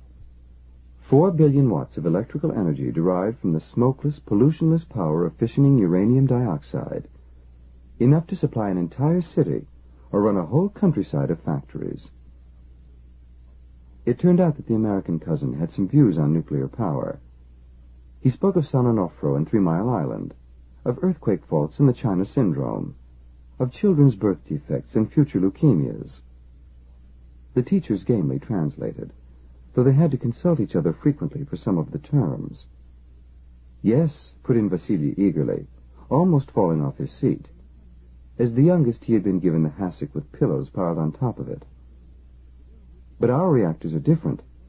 There was a report in a scientific journal years ago, I read it in school, which said that in the Soviet Union the problem of nuclear safety has been solved. No, no, said Smin gently, not solved. It is never solved. It is true that we know the solutions and embody them in our daily practice, but the solution has to be applied again every day, every minute. Forgive me. I don't want to say anything against American practices. He waited politely for translation. Go ahead, smiled his American cousin in his turn and added something that made Ditchuk stammer as he translated. I hate the bastards myself. Smin was slightly startled, but he went on with his remembered facts. In America, he said, it is the human factor that causes nuclear accidents. I mention your Idaho Falls in 1961, where control rods were removed by mistake and three people were killed. In our reactor, the control rods are automatically inserted if anything begins to go wrong. In your Browns Ferry in Alabama in 1975, a man looked for leaks in the shielding. To find them, he used a lighted candle. He set fire to the insulation, and most of the safety systems failed because they lost power. Almost that was a total catastrophe. In your Sequoyah plant in Tennessee in 1981, more than a quarter of a million liters of radioactive liquid were allowed to leak out. Just a few months ago at Gore, Oklahoma, someone heated a container of nuclear fuel and caused it to explode, killing a worker and injuring a hundred others. And Three Mile Island, well, everyone knows that at Three Mile Island it was nearly a complete meltdown. It was stopped with only minutes to spare. Yes, exactly, nodded Garfield. It is frightening. But all of these are human errors, Cousin Dean. We do not allow human errors to occur. Our workers are not only very highly trained. Smin swallowed, thinking of the Literaturna Ukraina report. But Dean Garfield would hardly have seen that. They are also taught to maintain vigilance at all times. Nor are they allowed to work if they are not fit. It is true, Cousin Dean, that in America sometimes the reactor workers use drugs on the job. I've heard that, yes, Garfield conceded.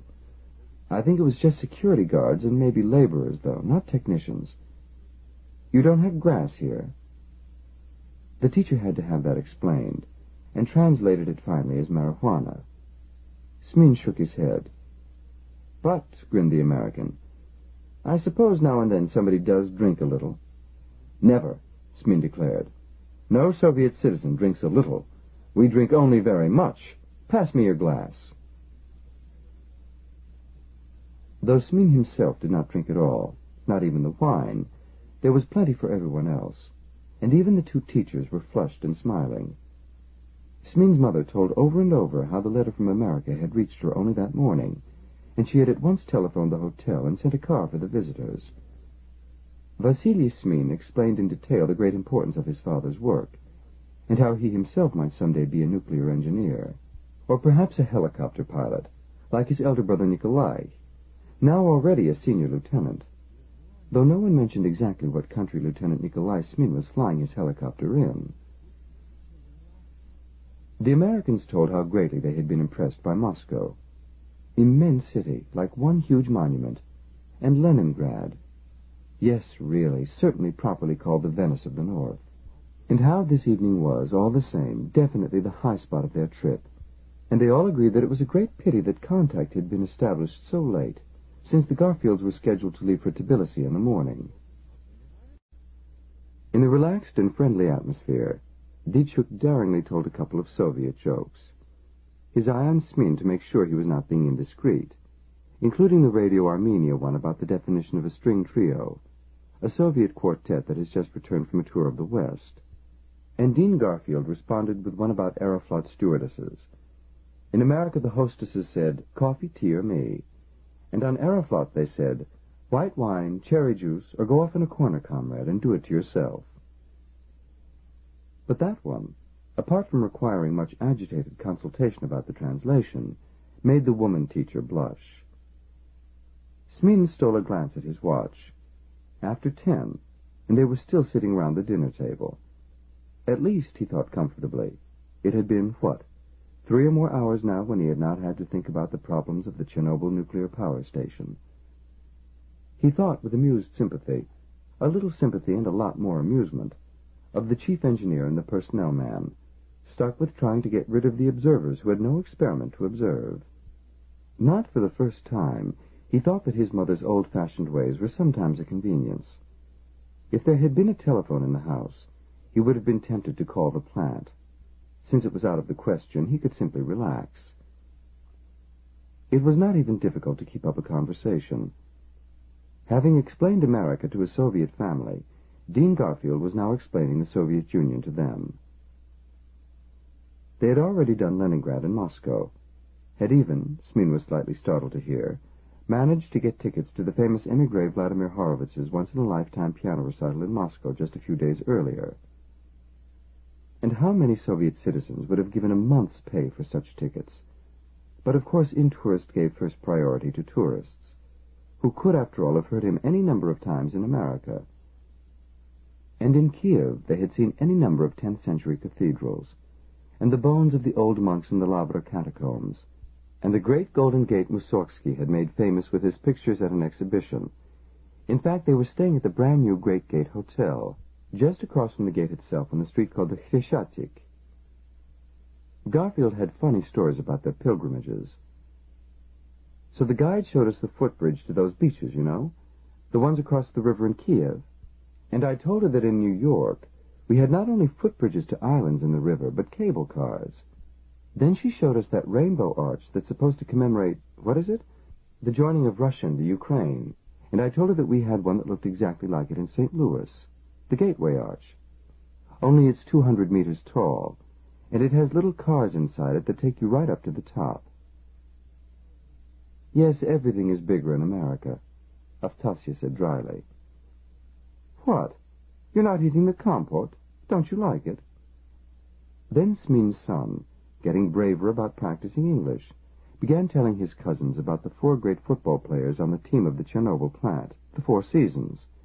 And Dean Garfield responded with stories about his own team, something called the Los Angeles Goats, said Ditchuk, although Smin could not quite believe that was the right name. Smin yawned as his son went on explaining other things to the guests, until he saw the way the Americans were studying the glassy scars on his face and neck. From the expressions on their faces, distress and sympathy, he knew just what his son was saying. Smin placed a gentle hand on his son's shoulder and addressed Ditchuk.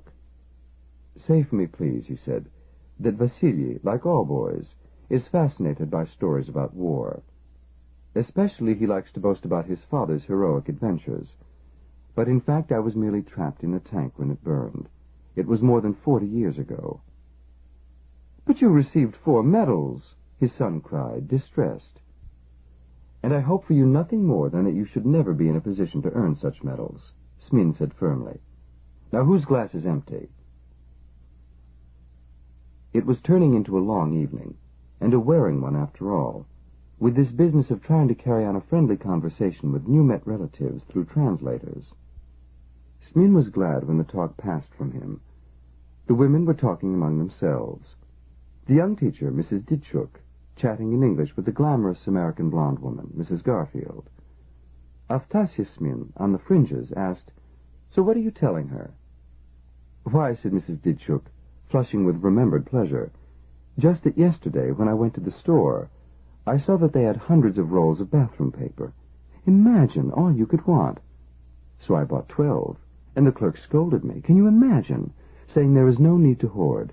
From now on there will always be plenty. Do you think that is true? I think, said old Aftasia Smin, that that is not a proper subject to discuss with our guests at the table. Then, her eyes suddenly gleaming, I have something else that is interesting. Will you ask my cousin's wife if she will come with us into my bedroom? There is something I would like to show her. She is at it again, said Smin's wife. Frowning after her mother-in-law, she led the female guests away. I suppose she is, said Smin. And when the women came back, he was confirmed in his opinion by the new way the American blonde looked at Aftasia Smin. Aftasia had been showing off her war wounds again. Well, she had a right. Not every old woman in Kiev had fought bravely in the Civil War, as well as owning a party membership twenty years senior to Smin's own. Surreptitiously Smin glanced again at his watch. Past midnight, and he had been up since six. Of course, the next day, he thought idly, would not be very strenuous. The experiment with trying to get power from a turned-off reactor would probably not take place on a Saturday. Perhaps they could even defer it until the director came back. It was his baby, after all, but it was just like the director to conceive the idea and then find important business somewhere else, so that Smin was stuck with the responsibility of carrying it out. Important business. Shooting ducks outside of Moscow when really, if Director Zaglodin desired to kill a few ducks, there were millions of them in the Pripyat marshes, just north of the plant. But of course it was not the ducks Zaglodin wanted. It was the company. He was hunting powerful connections more than waterfowl. Smin yawned and eyed the vodka bottle, but it was not yet time for the one drink he allowed himself each day. Can I at least have some tea? he asked his mother just as the male teacher, Ditchuk, said eagerly, can you imagine? Mr. and Mrs. Garfield say that their home is only a few kilometers from Disneyland. So it was a happy enough evening, and an interesting one for all concerned. It took Smin's mind off, or nearly off, the problems of Chernobyl, and he forgave his mother for her surprises, even for her stubborn decision, at her time in life, to decide to observe Jewish holidays again. By the time Vasily was yawning and the old grandmother had dozed off in her seat, it was too late to try to get a taxi.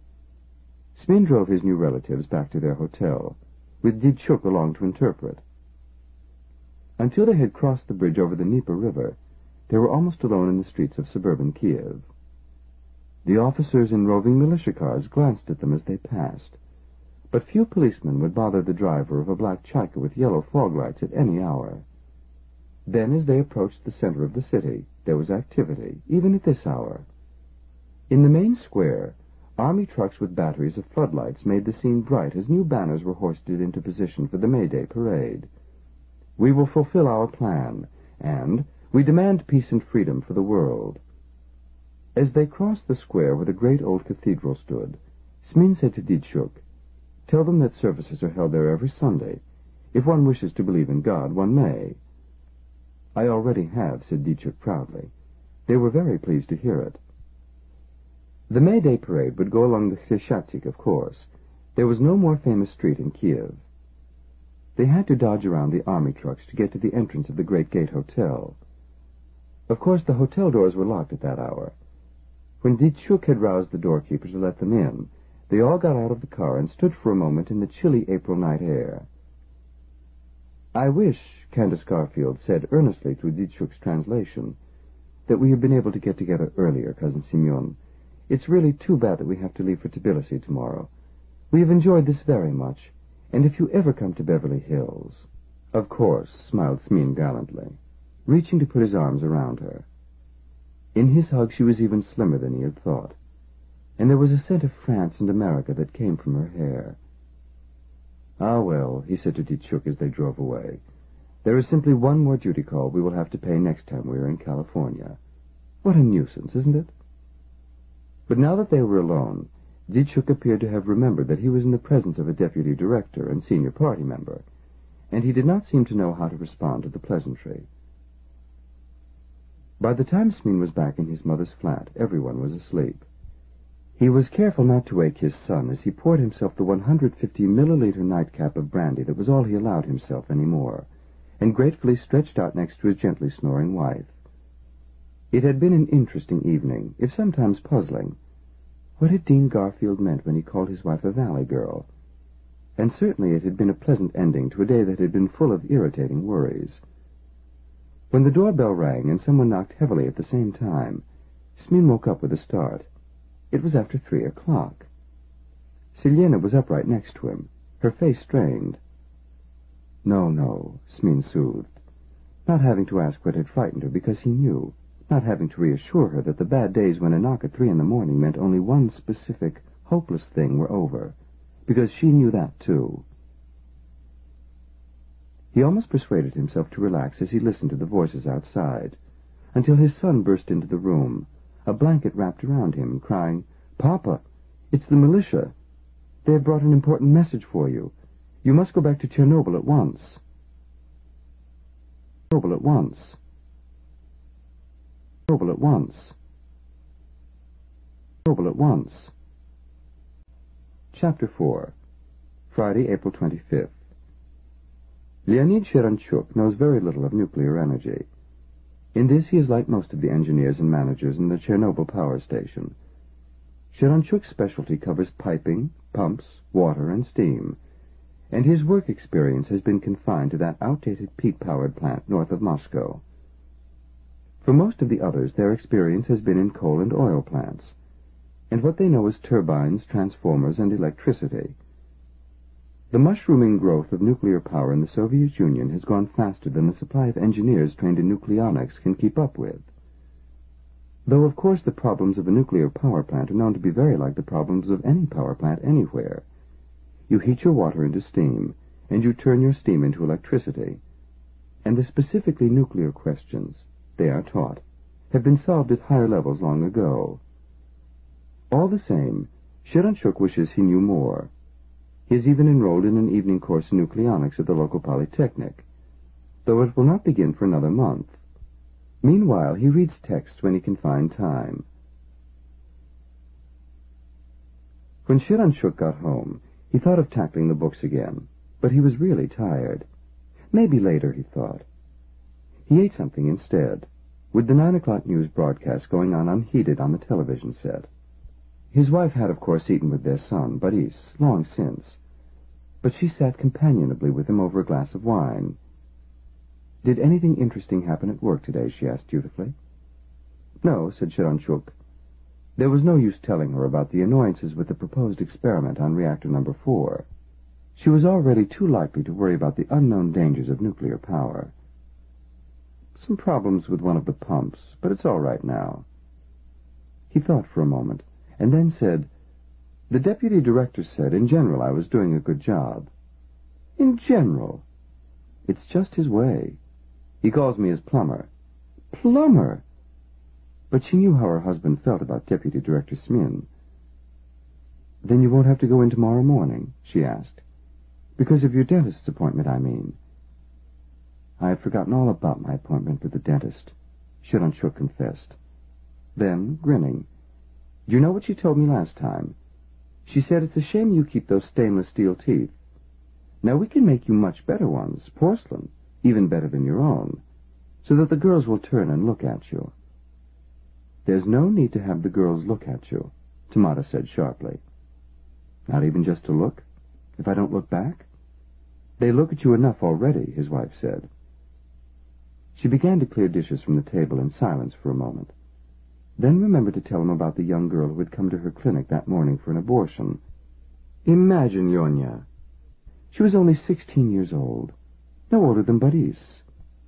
At least our son can't get pregnant. Sheranchuk smiled. It is not a joke. She is destroying a life inside her, and so young. Sheranchuk said reasonably, But Tamara, what else would you have her do? At sixteen she is certainly too young to marry, especially to have the care of a baby when she is only a child herself. I could never do such a thing, Tamara insisted. You have never had to, Sheranchuk said mildly. There was no reason she should.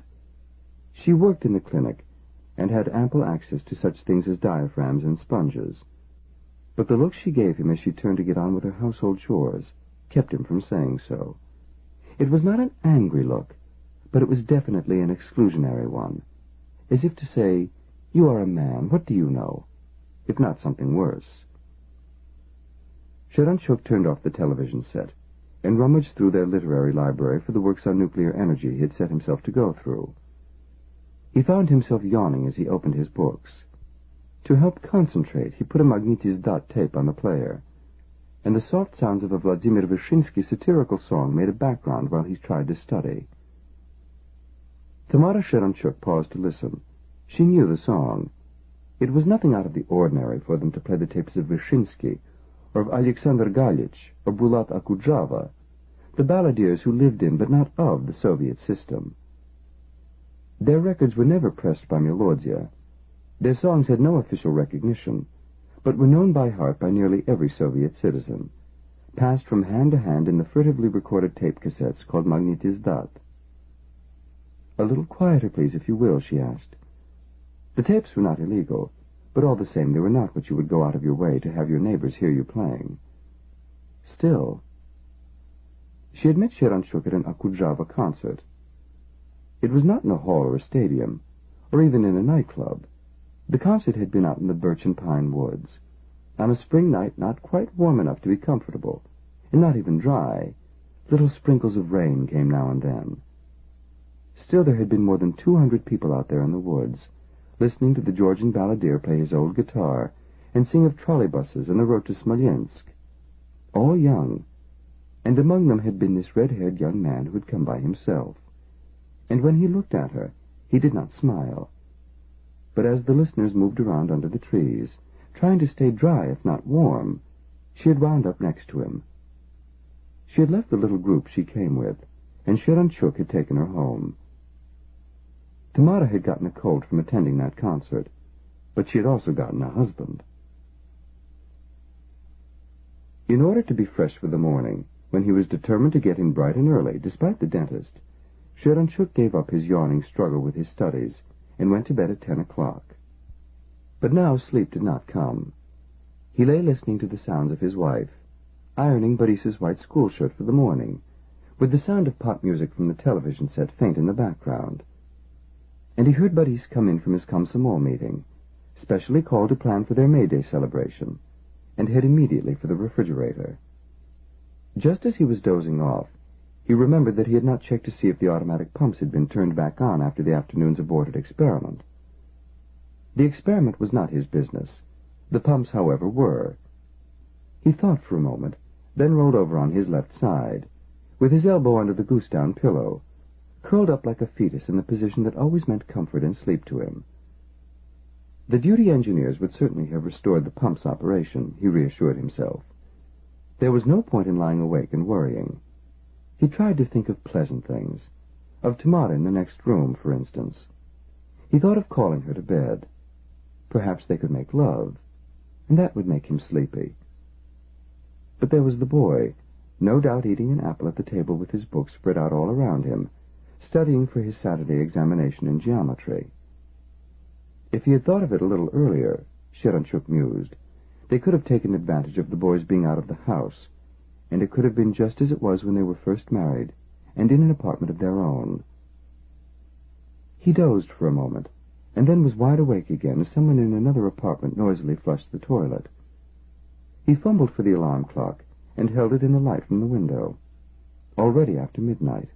A new day, and the pumps were still on his mind. Sheranchuk groaned and sat up, his feet on the floor, rubbing his chin. After a moment he sighed, reached for his robe, and went into the living room to call the plant. Tamara passed him in the hall, on her way to the bathroom. What, still awake? she chided. He patted her on the rump affectionately as they passed, but did not stop. Boris was already asleep on the couch, and Sheranchuk kept his voice down as he talked to Kolichenko, one of the shift operators. The pumps, he began, and listened in surprise as Kolichenko told him that the freewheeling experiment was, after all, already in progress. Without the director present. But then surely Smin. But no, Smin wasn't there either, and was not missed, Kolichenko said because apart from small power surges, the experiment was going well. Sheranchuk frowned. What kind of small surges? From six to eleven percent. But that's not small. He listened for a while and then hung up. He opened the refrigerator and poured himself a glass of apple juice. He gazed thoughtfully at his sleeping son as he sipped the juice. It occurred to him that Boris was not likely to wake, and Tamara would probably not yet be asleep in their warm bed. Sheranchuk told himself that it was wrong for him to lose sleep over matters that were someone else's responsibility. He went back to bed. Tamara was already asleep on her side of the bed, and Sheranchuk put his arm around her experimentally. She made a faint, agreeable noise, but then turned away. Ah, well. He turned over and tried to sleep. Half an hour later he sighed, got up, and began to dress. At one o'clock he was down on the cold street, for there was no point in being awake at home, worrying about the plant, when he could just as well be awake and worrying about it on the scene. He was almost alone at this hour, the trolley buses long since stopped for the night, only an occasional lighted window in the apartment buildings. There was a scent of lilacs in the spring night air. In a way, Sheranchuk was pleased to be a part of the work at the power plant at such odd hours. It reminded him of the special importance of what they did. All over the country, factories had long since shut down. People were turning off their lights and TV sets. Electrical demand was dropping minute by minute. Oil-powered turbine plants would be ceasing operations for the night. Coal and peat steam plants would be banking their fires. The hydroelectric generators would be slowing as the sluices were closed to preserve the heads of water behind the huge dams. But Chernobyl went on. Nuclear power was baseline power. You kept it going. It was a warm night, with a few clouds among the stars overhead as he walked through the silent streets of Pripyat. He wondered why Smin was not on hand this night. True, the deputy director made a policy of leaving day-to-day operations to the people in charge of them. It was nevertheless also true that Smin had a habit of turning up when and where he was needed. He was a good man, Sheranchuk thought of the conversation in the sauna. When Smin had readjusted the sheet around himself, Sheranchuk could see the wide, pale, almost glistening burn scars that went from the left side of his face clear down his back. They were from the Great Patriotic War, Sheranchuk knew, but just how Smin had received them he never said. Sheranchuk wondered what it was like to be in a war. He was an infant in the Great Patriotic War. His own army service had been in peacetime. A general sort of peace at least, not counting a few skirmishes along the Amur with the Chinese. But Sheranchuk had been 3,000 kilometers away from any fighting. Sheranchuk's little flat was three kilometers from the plant. but this night luck was with him. An ambulance moved slowly past, and at his hail it stopped and gave him a lift. Sheranchuk half recognized the doctor as a colleague of Tamara's, and the man knew who Sheranchuk was as soon as he gave his name. He had just had a call to attend a little girl who had swallowed something she shouldn't have, he explained. Yes, yes, the child was quite all right, only a little sick from having her stomach pumped out. And he was now on his way back to the clinic. But there was no real hurry, and he was glad to go a couple of minutes out of his way for Tamara Sheranchuk's husband. The ambulance circled around a man on a bicycle to take the engineer to the plant fence. He thanked the doctor and got out, fumbling for his papers as he watched the ambulance slowly start away. Although on the other side of the fence, the Chernobyl nuclear power station was almost as brightly lighted as in daytime. On this side it was a peaceful middle-of-the-night scene. The only things moving were the ambulance, the bicyclist, and some early-rising health faddist, it seemed, walking with great arm-swinging strides along the road, and not even glancing at Sheranchuk or the gate guard. The funny thing was, Sheranchuk discovered, that now that he was actually at the plant, he was beginning to feel quite drowsy at last. He could turn around and go back to bed easily enough. He smiled to himself, his mind made up. No, he was this far, he would go in and see for himself just what they were doing with reactor number four. He was actually displaying his paprushka to the gate guard when the world changed around him. There was a sudden orange-white flare of light, a flower of flame overhead, the shattering, hurtful sound of a vast explosion. In God's name, Sheranchuk cried clutching at the guard's arm as the two of them stared up in horror. The noise did not stop. A siren screamed inside one of the buildings. There was a distant sound of men shouting. But this is quite impossible, the guard bawled accusingly in Sheranchuk's ear. Sheranchuk's mouth was open as he stared up. The great ball of bright flame was floating away and diminishing. But behind it was a sullen, growing red glow. To the other noises was added the patter of a shower, no, a downpour. But it was not rain that was falling. It was bits of stone and brick and metal, pelting down all around them. Yes, Sheranchuk said dazedly. It is quite impossible. But it had happened. But it had happened. But it had happened. Chapter 5 Saturday, April 26th. The Chernobyl power station contains four units, each of them an RBMK-1000 pressure tube reactor.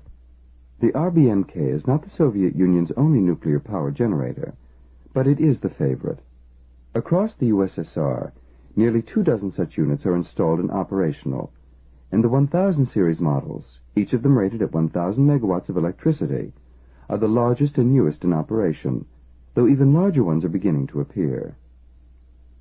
The fuel is uranium dioxide, which is encased in steel and zirconium tubes and inserted into a huge mass of graphite blocks.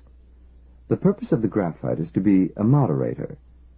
Nothing is needed to make uranium atoms fission, that is to say, break apart, and when they do that, they produce atomic energy in the form of heat. They do it naturally all the time. That is why uranium is called radioactive. As each atom fissions, it releases neutrons which strike the cores of other atoms and cause them to fission too. However, the naturally released neutrons whisk through so fast that they only rarely cause fission in another atom. They need to be slowed down to make a reaction go at the right speed to be of use to human beings. Graphite, along with a few other materials, has the capacity to moderate or slow down these escaping neutrons, and so in a reactor the speed of the reaction can be controlled. Along with the fuel tubes, the slab of graphite is pierced by nearly 1,700 pipes containing water. As the uranium fissions, it gives off heat. The water carries away this heat, thus preventing a runaway meltdown of the uranium, and also providing the steam that turns the turbines that generate the electricity. Like every other nuclear reactor in the world, the RBMK-1000 is designed to be totally safe. And it is, as long as nothing goes wrong. At ten o'clock that Friday night, Bogdan Kolichenko was also trying to get to sleep, under circumstances less favorable than Leonid Sheranchuk's. He was in a bunk in the fire department of the Chernobyl nuclear power station. Kolichenko had borrowed the bunk from a fireman friend. Well, definitely a fireman, and at least a sort of a friend, named Visgerdis, who was a member of the plant's fire brigade number two. The bunk had been constructed for someone a lot shorter than a man with Lithuanian blood like Kolichenko, or like Visgerdis himself for that matter. Kolichenko had difficulty in composing himself comfortably in it. It wasn't merely the bunk. It was his job, his boss, his boss's bosses like Khrenov, his girl, his approaching wedding. It was also the fact that before being allowed to get to sleep, he had been wheedled into two hours of cards with the rest of the firemen.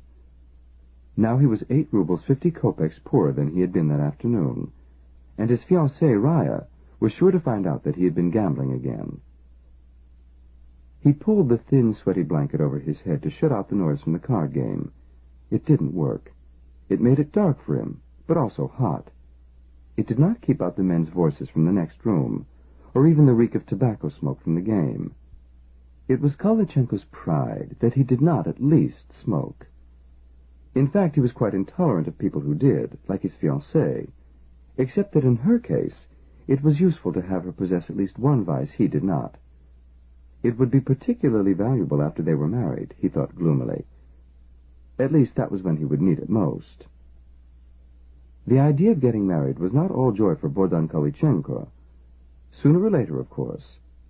It was what one did. But he was not ready for that sort of surrender especially since he considered that it was entirely Raya's fault that she had become pregnant. Of course, he reminded himself, when they were married and had a room to themselves in the family's hostel, it would be quite nice to share a bed together every night, at least until the baby came, when one room would no longer seem quite enough for the three of them. And even in Pripyat, there was a three-year waiting list for flats. To be sure, first there would be the honeymoon, but even that, Kolichenko told himself sourly, would not be without its drawbacks.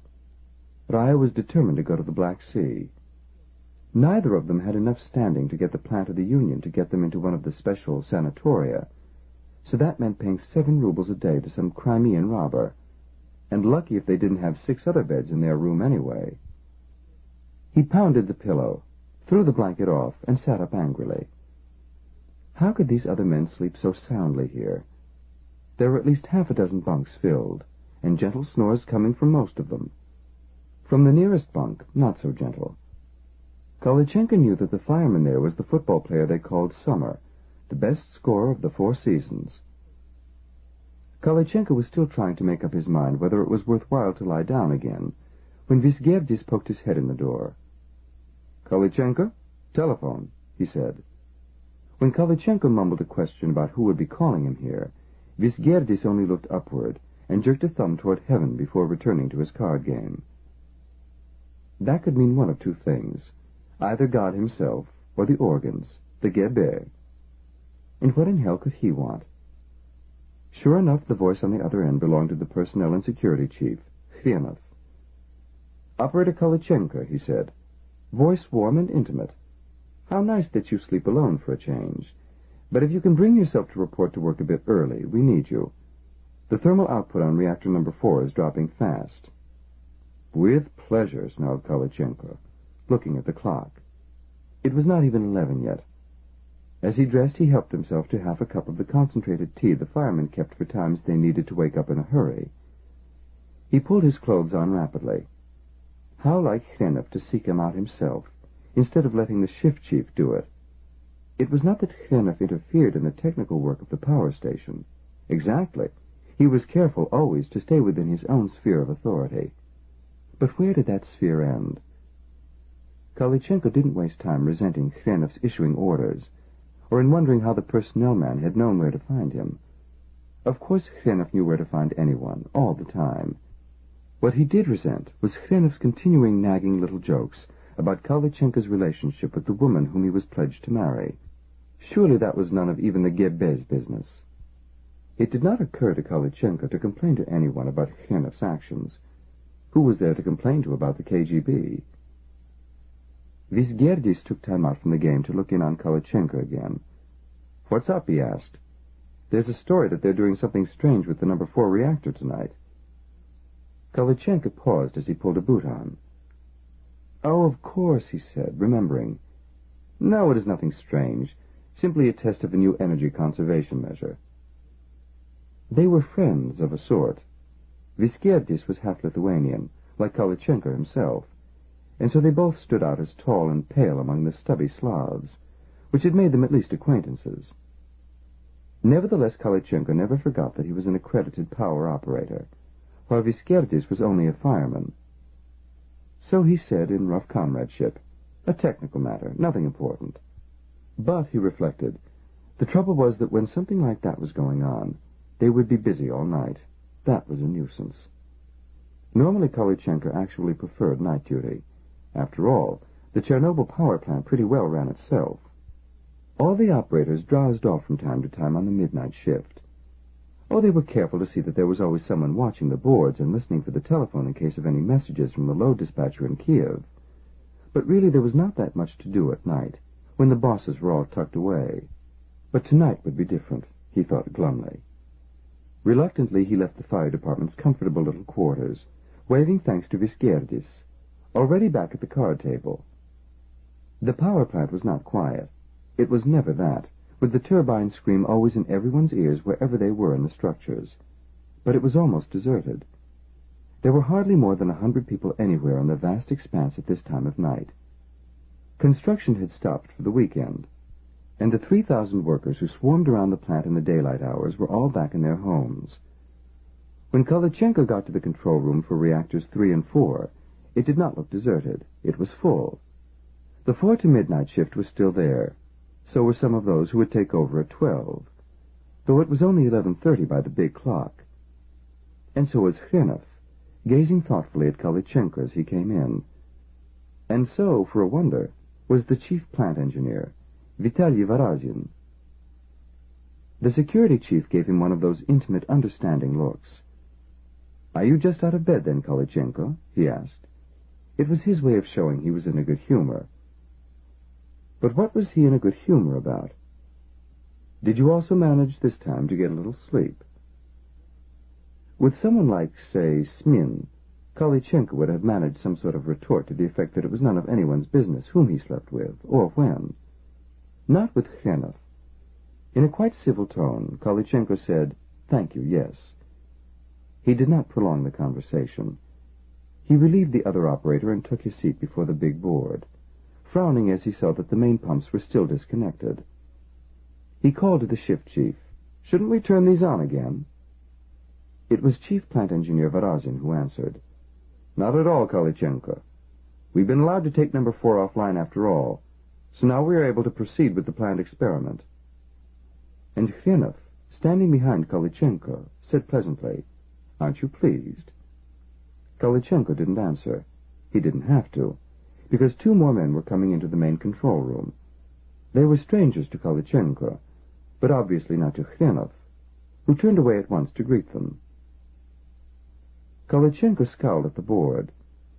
The best things about his job were that there was so little really to do, and that little could be done in comfort, without people standing around to watch you. This night was all different. Another stranger had just come hurrying in, looking as rumpled and sleepy-eyed as the first two. The shift chief whispered to Kolichenko that they were observers, from the turbine factory, from other power stations. But whoever they were, they were not welcome to Kolichenko. Nor was Khrenov, who certainly had no business being present at this purely technical matter. As for Chief Plant Engineer Varazin, well, certainly the man had every right to be anywhere on the plant he chose, at any time. Still, Kolichenko had never before seen him in the control room after midnight before. With all these people present, there would be no good chance to disappear for half an hour or so for a little rest from his duties. Both Khrenov and the chief engineer looked freshly washed and shaved and humorously apologetic to their guests for getting them out of bed at this uncultured hour. Still, now you can see how hard we work here at Chernobyl, Varazin said affably. In any case, you're just in time. We've already begun to produce power on reactor number four. Excellent, said one of the visitors politely, glancing around. And the director and deputy director? The director has left the entire matter in the hands of Chief Plant Engineer Varazin. Khrenov smiled. As to Smin, I tried to call him, but he is off on some private errand. So when they come into work on Monday, we will be able to give them both a pleasant surprise. Exactly, Varazin agreed, rubbing his hands together. Now, as designated test leader, I must give a briefing. He stepped toward the board and raised his voice. May I have your attention, please? As provided by the regulations, it is my duty to brief you all on the experiment we are conducting. But don't stop what you are doing. Continue to reduce the power. We don't want to be here all night. Kolichenko listened with half an ear. Most of his attention was on the tricky business of lowering the temperature of reactor number four, though what the chief engineer was saying was certainly interesting. Kolichenko almost forgot to be sleepy as he heard the plan. The basic intention of this experiment, Varazin announced, was to see if useful power could be generated from the heat usually wasted while a nuclear reactor was down for maintenance. The reactor never stopped being hot, of course. It never would until at last the plant was finally decommissioned, somewhere in the next century, and probably not for some time even then. But it was not the practice to try to use that heat while the reactor was being serviced. Now perhaps Chernobyl could lead the way to new practices. By the time he got to the new practices, more of the observers were drifting in, looking sleepy. Varazin nodded affably to them, and added, This is how we will lead the way for our colleagues all over the Soviet Union. Also, he went on, looking serious, these measures could be of great importance under catastrophic conditions. They could ensure a steady supply of power to keep our operations stable until, for example, the auxiliary diesels could be started. Are there any questions? The shift chief raised his hand. I do not quite understand what catastrophic conditions we are preparing for, Vitaly Alexandrovich, he called. Who can say, smiled the chief engineer. A very bad storm? An earthquake? Or, he frowned meaningfully at them, a sudden nuclear attack from our enemies, perhaps. Ah, said the shift chief, enlightened. Of course. But there is still a question in my mind. Why don't we simply shut down the reactor instead of trying to lower the output? Because, said the chief engineer severely, we must be quite sure. We will do this test a number of times, keeping careful record of the results each time. It is a matter of safety, after all, and we can't be too careful in a matter of the safety of the Chernobyl power plant. Kolichenko groaned silently. A number of times. They would be at this all night, and likely enough well into the Saturday morning shift, too, the way things were going. With resignation, he bent to his work. The normal night shift in the control room was only half a dozen men, just a skeleton crew to keep things going. There was not much need for electrical power in the late-night hours in the Soviet Union. Good Soviet citizens went to bed at night so they could rise, bright-eyed and refreshed, for the next morning's work. Tonight was different. Besides Kolichenko's own crew, there were four men left over from the late evening shift, looking oppressed at being kept on overtime, for which they were not likely to be paid, plus the observers, the chief engineer, and the personnel man, Khrenov. To lower the power on a reactor like the RBMK is not like turning down the gain on a radio set. To shut it off entirely is much easier. You simply thrust home all the boron rods, 211 of them, piercing the graphite core from top and bottom and in all its parts. The element boron is poisonous to nuclear reactions. Boron soaks up neutrons. They cannot go on to make another atom fission, and so the reaction stops. That is the easy way. To slow the nuclear reactor down is another matter entirely. There are three separate ways to do it. First, for a rough approximation, you shove a few additional rods into the core. Not too many. You don't want the reaction to die. Once the reactor stops, waste products begin to accumulate.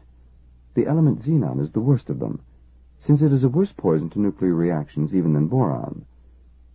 Then it is impossible to start again until weeks have passed and the xenon has decayed away. Then there is a certain measure of fine control that can be attained by varying the mixture of gases in the sealed space surrounding the core. Some of the gases soak up neutrons in the same way that boron does, though not as strongly. To slow the reaction a bit, you simply add more of those gases to the mix. Finally, there is water. The water that flows up through the core to turn to the steam that drives the turbines also has the neutron-absorbing characteristic. as long as it is water. Once it is turned into steam, which is less dense, it soaks up fewer neutrons, and thus the nuclear reaction picks up speed.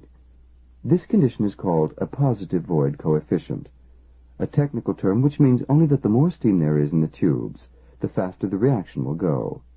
This also means that the faster the reaction goes, the more steam will be generated, consequently adding to the voids, consequently adding to the speed of the reaction, consequently adding to the steam.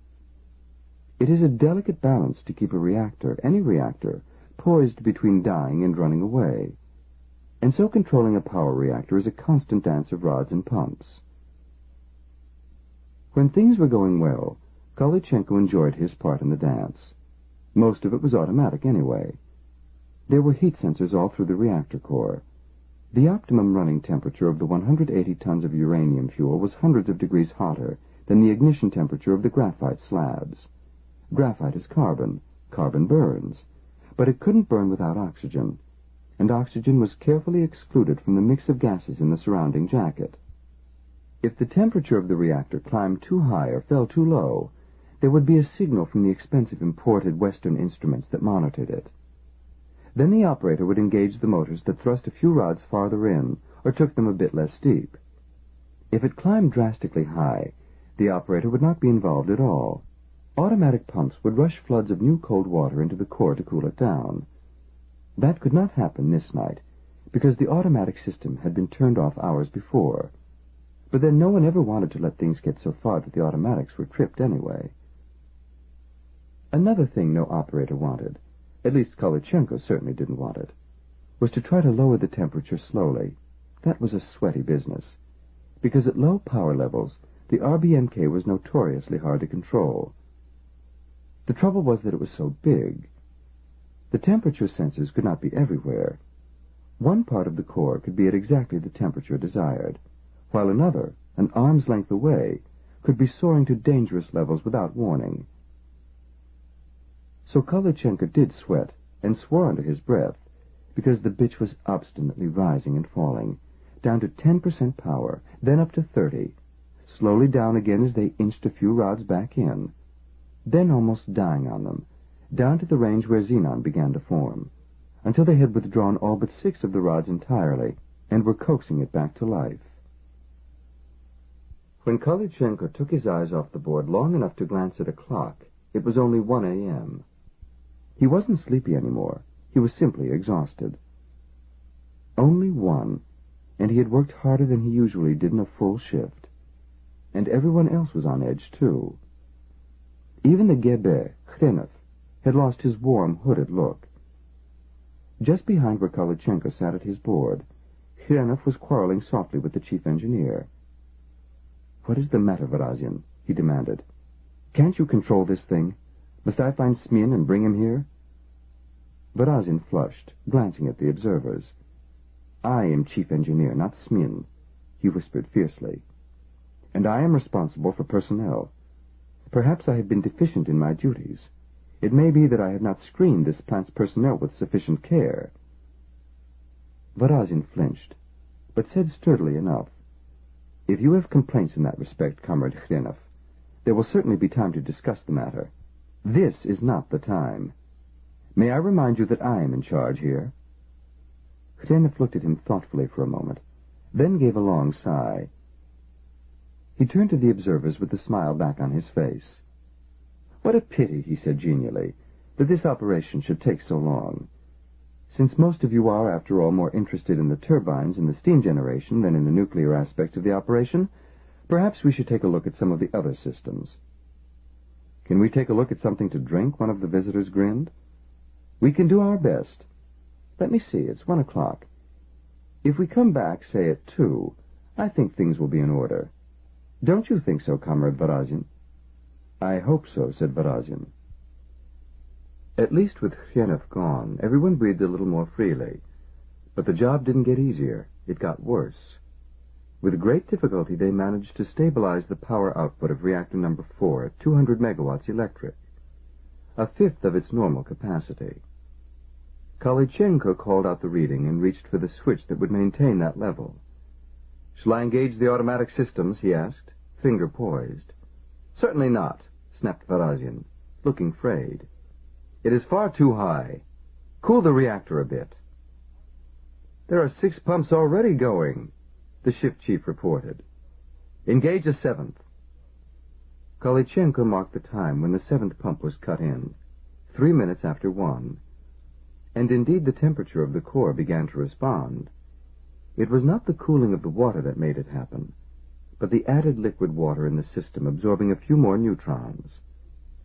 The atmosphere in the control room was excited now, with the engineers and operators calling the numbers back and forth to each other, like spectators at a football game.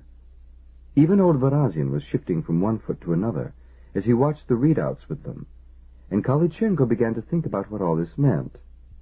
If this experiment succeeded, it could well be a model for every nuclear power plant in the Soviet Union.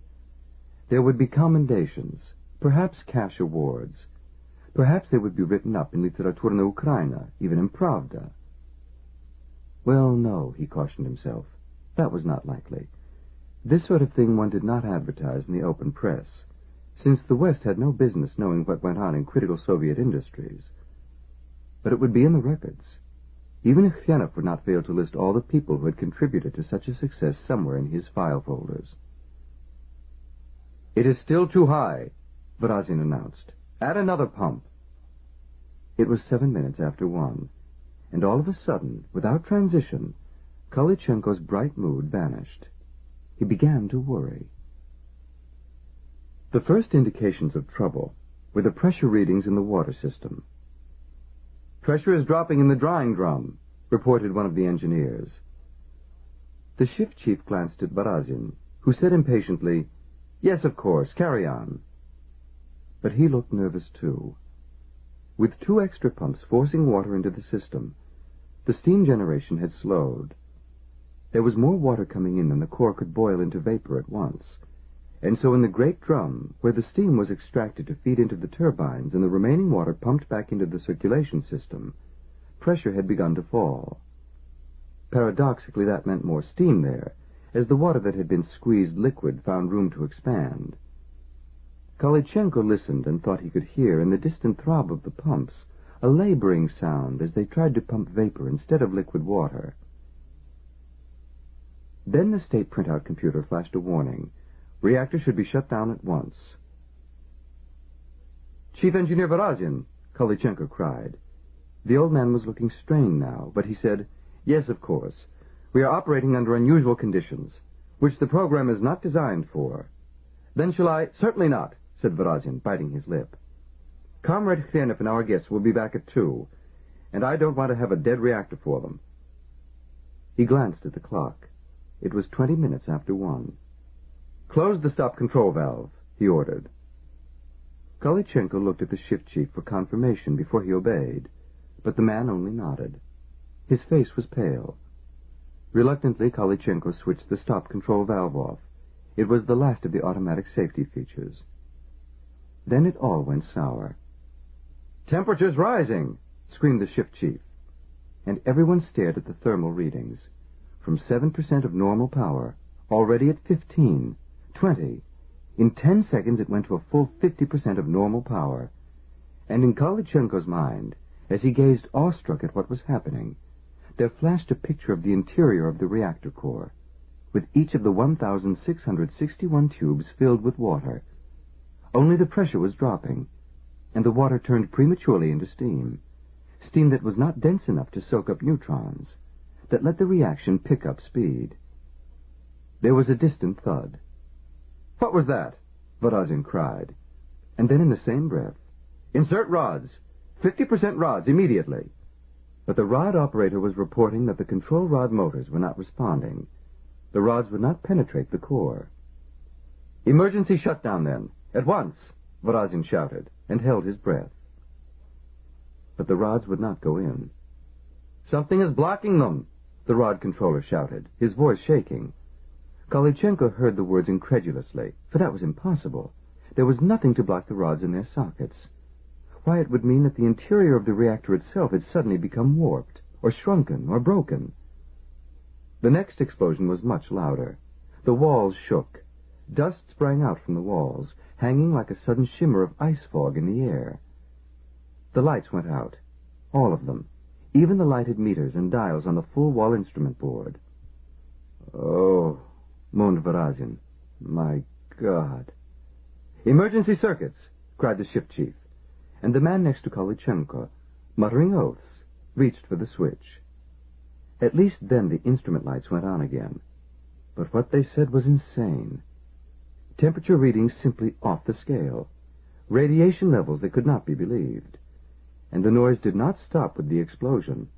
There was a rumbling thunder of walls going down, a patter of something hard falling on the roof, a crackle that could only be flame. Go and see what has happened to the reactor, ordered Varazin. It was at least an instruction to follow. Most of the men in the main control room jumped up to comply. Even Kolichenko rose from his useless board. But as he started through the door, he caromed off one of the other hurrying men, who swore and thrust him out of the way. Kolichenko fell heavily. By the time he got up, most of the men had rushed out to peer down at the reactor chamber. Kolichenko's arm hurt where he had fallen on it. He hesitated, rubbing the arm, then turned and went the other way. It was unquestionably a cowardly act. It also saved his life. His life. His life. His life.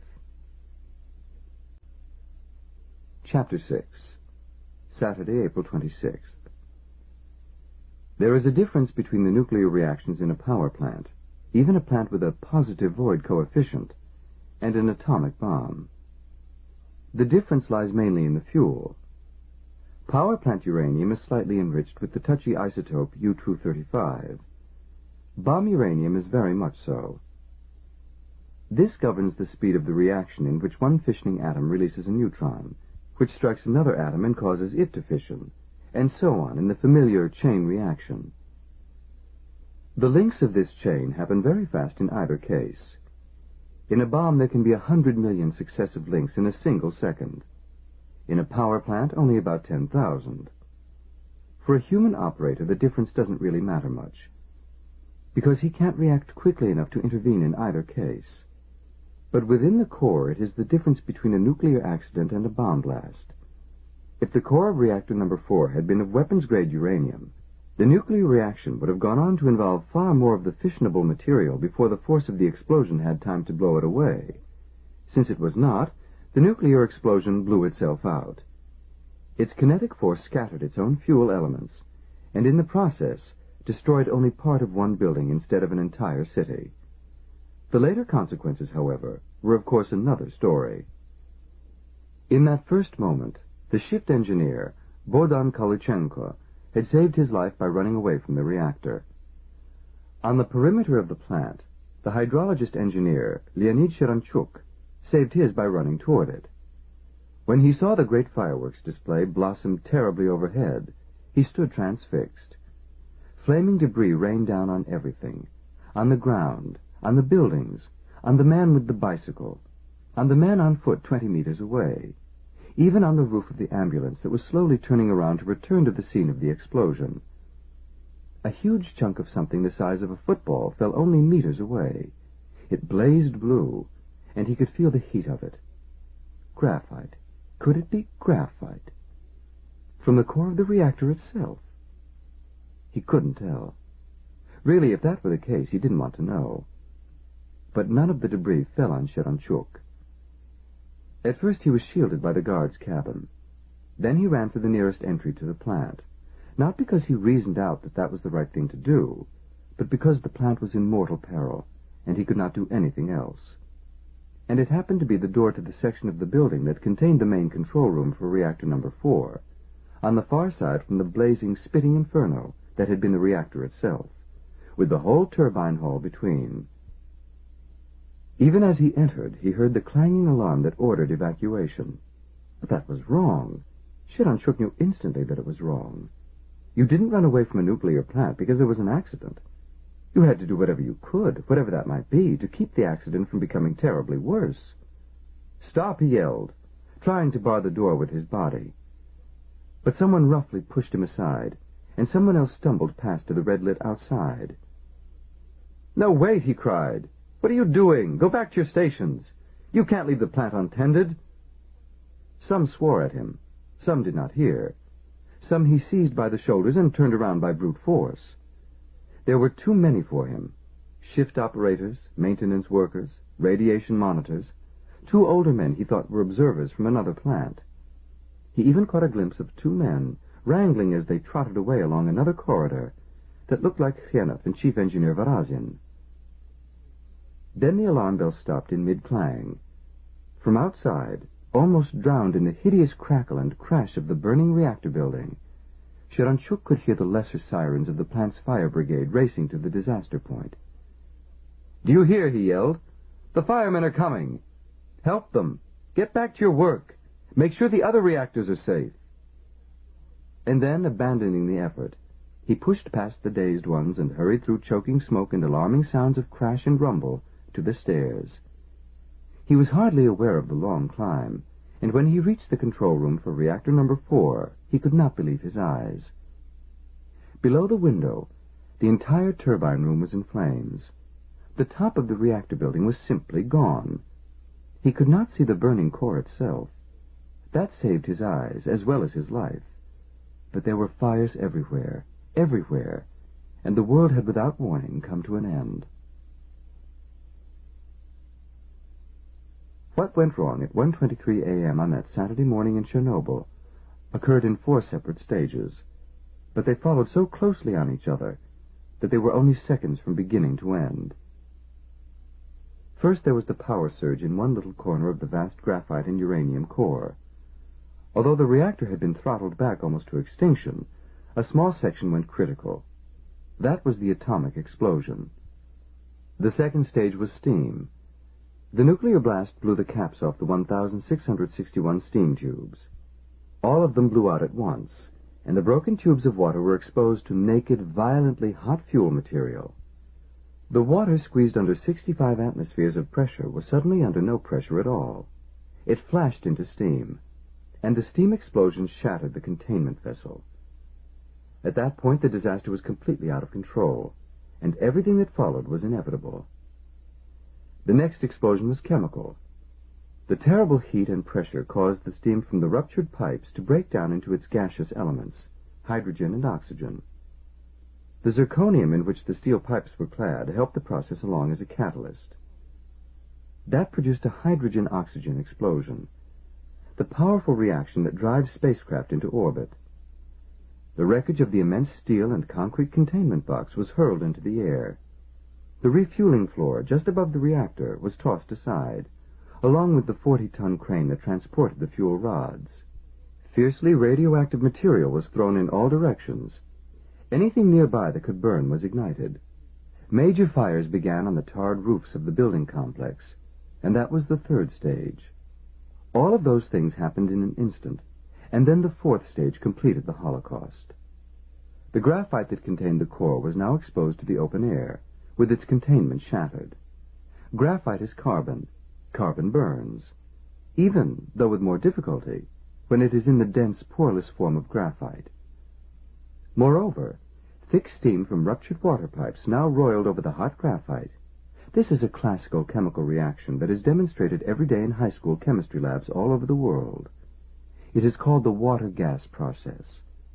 Chemistry teachers write the equation C plus H2O equals CO plus H2 on the blackboard for their students, meaning that the carbon and the water combine to produce carbon monoxide and free hydrogen. The carbon monoxide is quite combustible when exposed to air. The hydrogen is explosively so. At that point, the basic event was complete. The edge of the graphite blocks had begun to burn. All the fires together produced a vertical hurricane of hot gases that carried along with it a soup of fragmentary particles and even ions of everything nearby, including the radionuclides of the core. Lanthanum 140, ruthenium 103, cesium 137, iodine 131, tellurium 132, strontium 89, yttrium-91. They laced the soot of the smoke, mingled with the plutonium and uranium of the fuel elements, spread out in a cloud that ultimately would cover half a continent. The first three explosions wrecked reactor number four of the Chernobyl power station, but it was the fire that carried the calamity over a million square miles. There was no longer anything that anyone could do in the main control room for reactor number four. There was nothing left of reactor number four to control. The wall of meters showed readings that were reassuringly staid or wildly impossible, but they were no longer registering any reality. The only person left in the room was the shift chief, who said, There's nothing to do here. Everybody else is gone, you might as well get out too. But then why are you still here? Sheranchuk asked. The man did not look well at all. He was sweating and rubbing at his mouth. Because I haven't been relieved yet, he said. Halfway down the stairs again, it occurred to Sheranchuk that he could simply have said the words, I relieve you then, and the man might have accepted the release. But after all, he was as safe there as anywhere else, Sheranchuk reasoned. In any case, he would not go back. At the ground level, he could not resist another look outside. There were plenty of firemen present now, from the town of Pripyat as well as the plant's own brigade, and yellow militia cars were arriving with their green lights flashing. Searchlights paled the flames from burning debris and picked out the shapes of firemen on the roofs of some of the buildings. Beyond the milling firemen on the ground was the dark hulk of the plant's office block, looking curiously deserted. Because, Sheranchuk saw, all of its windows had been blown out in the force of the explosion. Somebody was shouting at him, a militiaman, face black with smoke and sweat. Hi, you there. Are you all right? Give a hand with these people. Sheranchuk did not stop to think about whether that was what he should be doing. He simply obeyed. He was glad for the order, because an order to follow was better than helplessly trying to decide what to do. For what that was, he simply could not guess.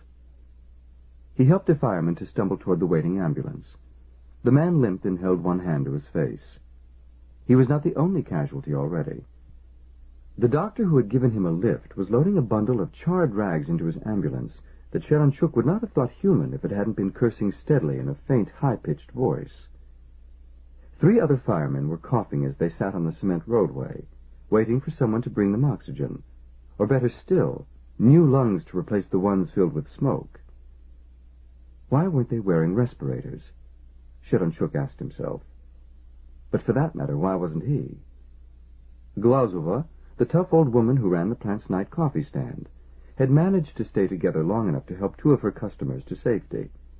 But when Sheranchuk saw her, she was collapsed under the plaque of Lenin at the plant entrance, sobbing helplessly, not responding to anyone's attempts to talk to her.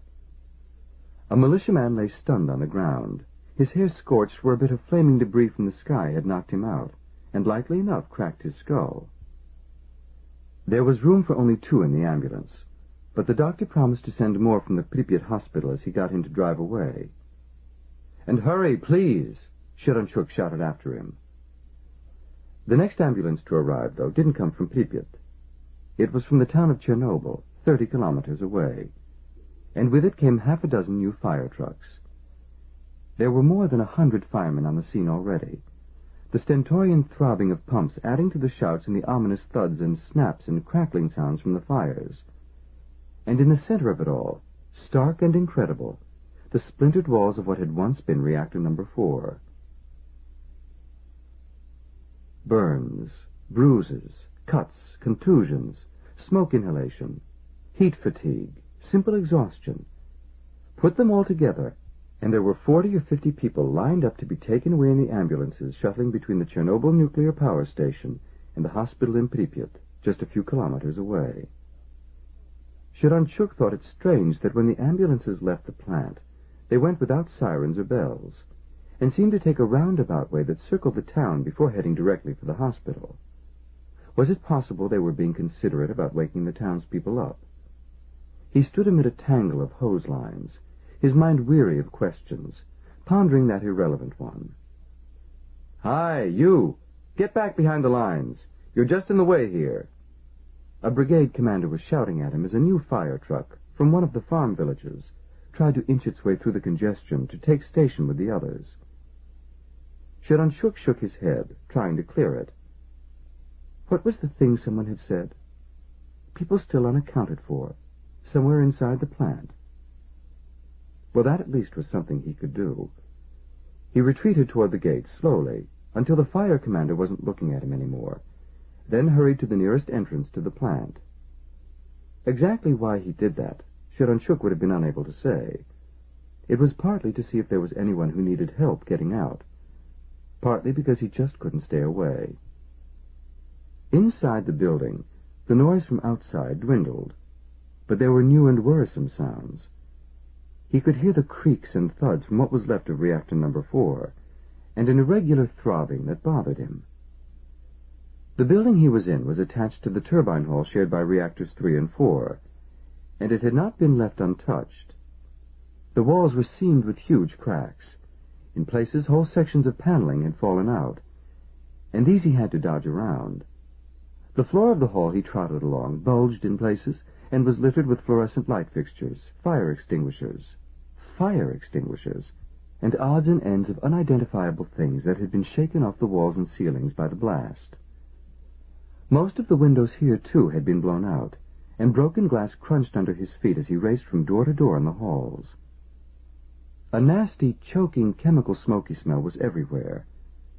It made him cough as he trotted along, stumbling in the gloom because only a few emergency lights were still going. Most of the doors were tidily locked for the weekend. When he flung others open, he shouted inside to see if anyone were there, but there were no answers. He was on the fifth floor of the building when he began to think he was accomplishing nothing productive with his time. He stopped and considered. It did not occur to him that he was being courageous, only that he might be doing something that had no purpose. The irregular throbbing was still there. He listened, frowning, one hand against the vibrating beige wall of the corridor. It took a moment to recognize that what he heard was the sound of turbines still running in the hall that served both reactors three and four.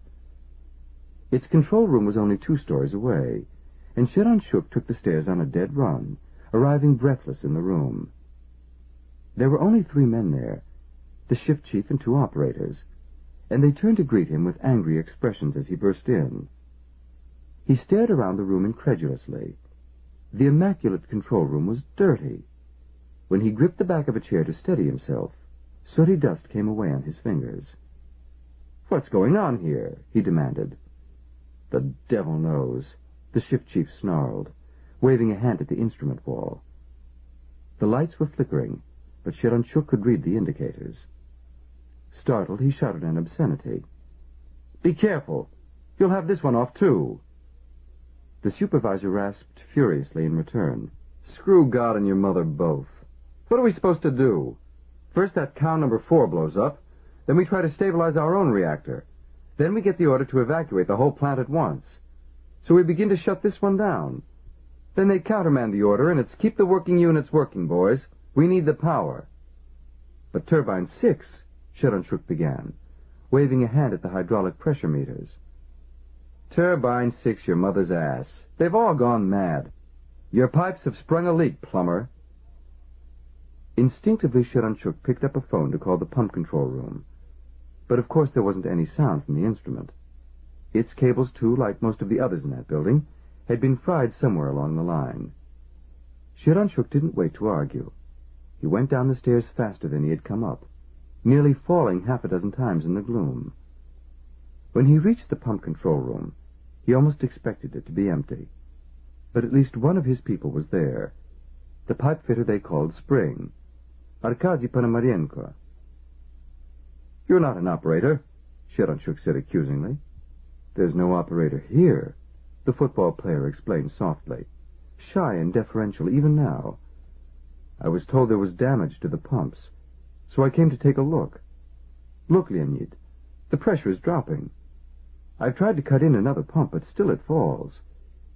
We have to have pressure, Sheranchuk snapped. Here, let me see. He shouldered the pipe fitter roughly out of his way, glaring at the intractable pressure gauges before him. But Spring had been right. Of the main pumps, all were already engaged, though three of them did not seem to be operating at all, and the pressure in the system was slowly creeping downward. Sheranchuk rubbed a fist across his eyes. Outside he heard someone shouting, but he paid no attention. We'd better have a look, he said. There's probably no power down below. Is there a light here? I've already got it out, said Spring eagerly, holding out a hand torch. Come on, then. But just outside the door, a fire brigade commander was hurrying toward them, shouting. Is this the place where the plumbers are? Look, you two. We've got some kind of flame going that we can't put out. Somebody said it's yours. Flame? Sheranchuk repeated. Then, understanding. Oh, the hydrogen flare. Yes, of course, it only needs to be turned off. Then come along and do it, yelled the fireman. I'll do it, the pipe fitter volunteered. It's only a matter of turning a valve, after all, and then I'll come back to help you. He didn't wait for permission. He simply pressed the torch into Sheranchuk's hand and loped away with the brigade commander. Sheranchuk put the matter out of his mind. It was the hydraulic system that was his business, not a simple flame that only needed to be shut off like the stove in his wife's kitchen.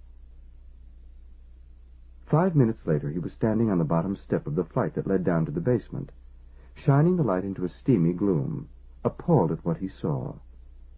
The hydraulic shock of the explosion had gone completely through the return water system. Every pipe on the floor had been neatly severed at the joints. The flanges that linked the units together opened like flowers. The water that should have flowed through them back into the systems of reactors 3 and 4 was pulsing slowly out of the open joints to add to the steaming centimeters-deep pond on the floor of the underground pipe hall. Sheranchuk's first rational thought was that reactor number 3 had to be shut down. If the return water system was breached, at some time not very far in the future, the pumps would have nothing to send through the core of number three but air, and then number three would join number four in blowing up. His second thought was that the person with the authority to order the shutdown was Chief Engineer Varazian, wherever Varazian might be. He reached those conclusions slowly and painstakingly. But his body acted without waiting for a formal decision. Long before he had concluded that he must find Varazian, he was already out of the building, running along in the dark night away from the hullabaloo at the fire heading toward the door of reactor number two. The door was more than a hundred meters away, and even running, Sheranchuk had time to notice that there were bright stars in the sky, and a scent of something green and flowery, lilacs again, in the air. At this end of the great joined structures, the smoky smell was gone, sucked away by the strong wind. There was nothing, Sheranchuk thought detachedly, to keep him from going on running straight ahead, over the fence if he had to, and away. Of course, he did nothing of the kind. When he came to the door, he grabbed for the knob. The door was locked. Sheranchuk shouted angrily, but once again his body acted without waiting for instructions from his rational mind. The door at the end of the block would be open, though with a guard to keep intruders away. The door was indeed open, and with no guard in sight. Sheranchuk pounded up the stairs pausing only at the fifth level to cross quickly over to the number one turbine room. No, no one there, though the turbines were howling peacefully away. And to peer into the refueling chamber over the number one reactor. It was empty, too, and quite normal in every way to the eye, with the great crane squatting silently in one corner. No one was in the crane's control room either, but Sheranchuk had not really expected to find Varazian there. He was breathing quite hard by the time he got back across the building and up to the main control room for a number one reactor. Varazian wasn't there either. The six people in the room were the normal nighttime crew. They looked pretty strained, not to say scared, but they were carrying out their duties in the business-as-usual way.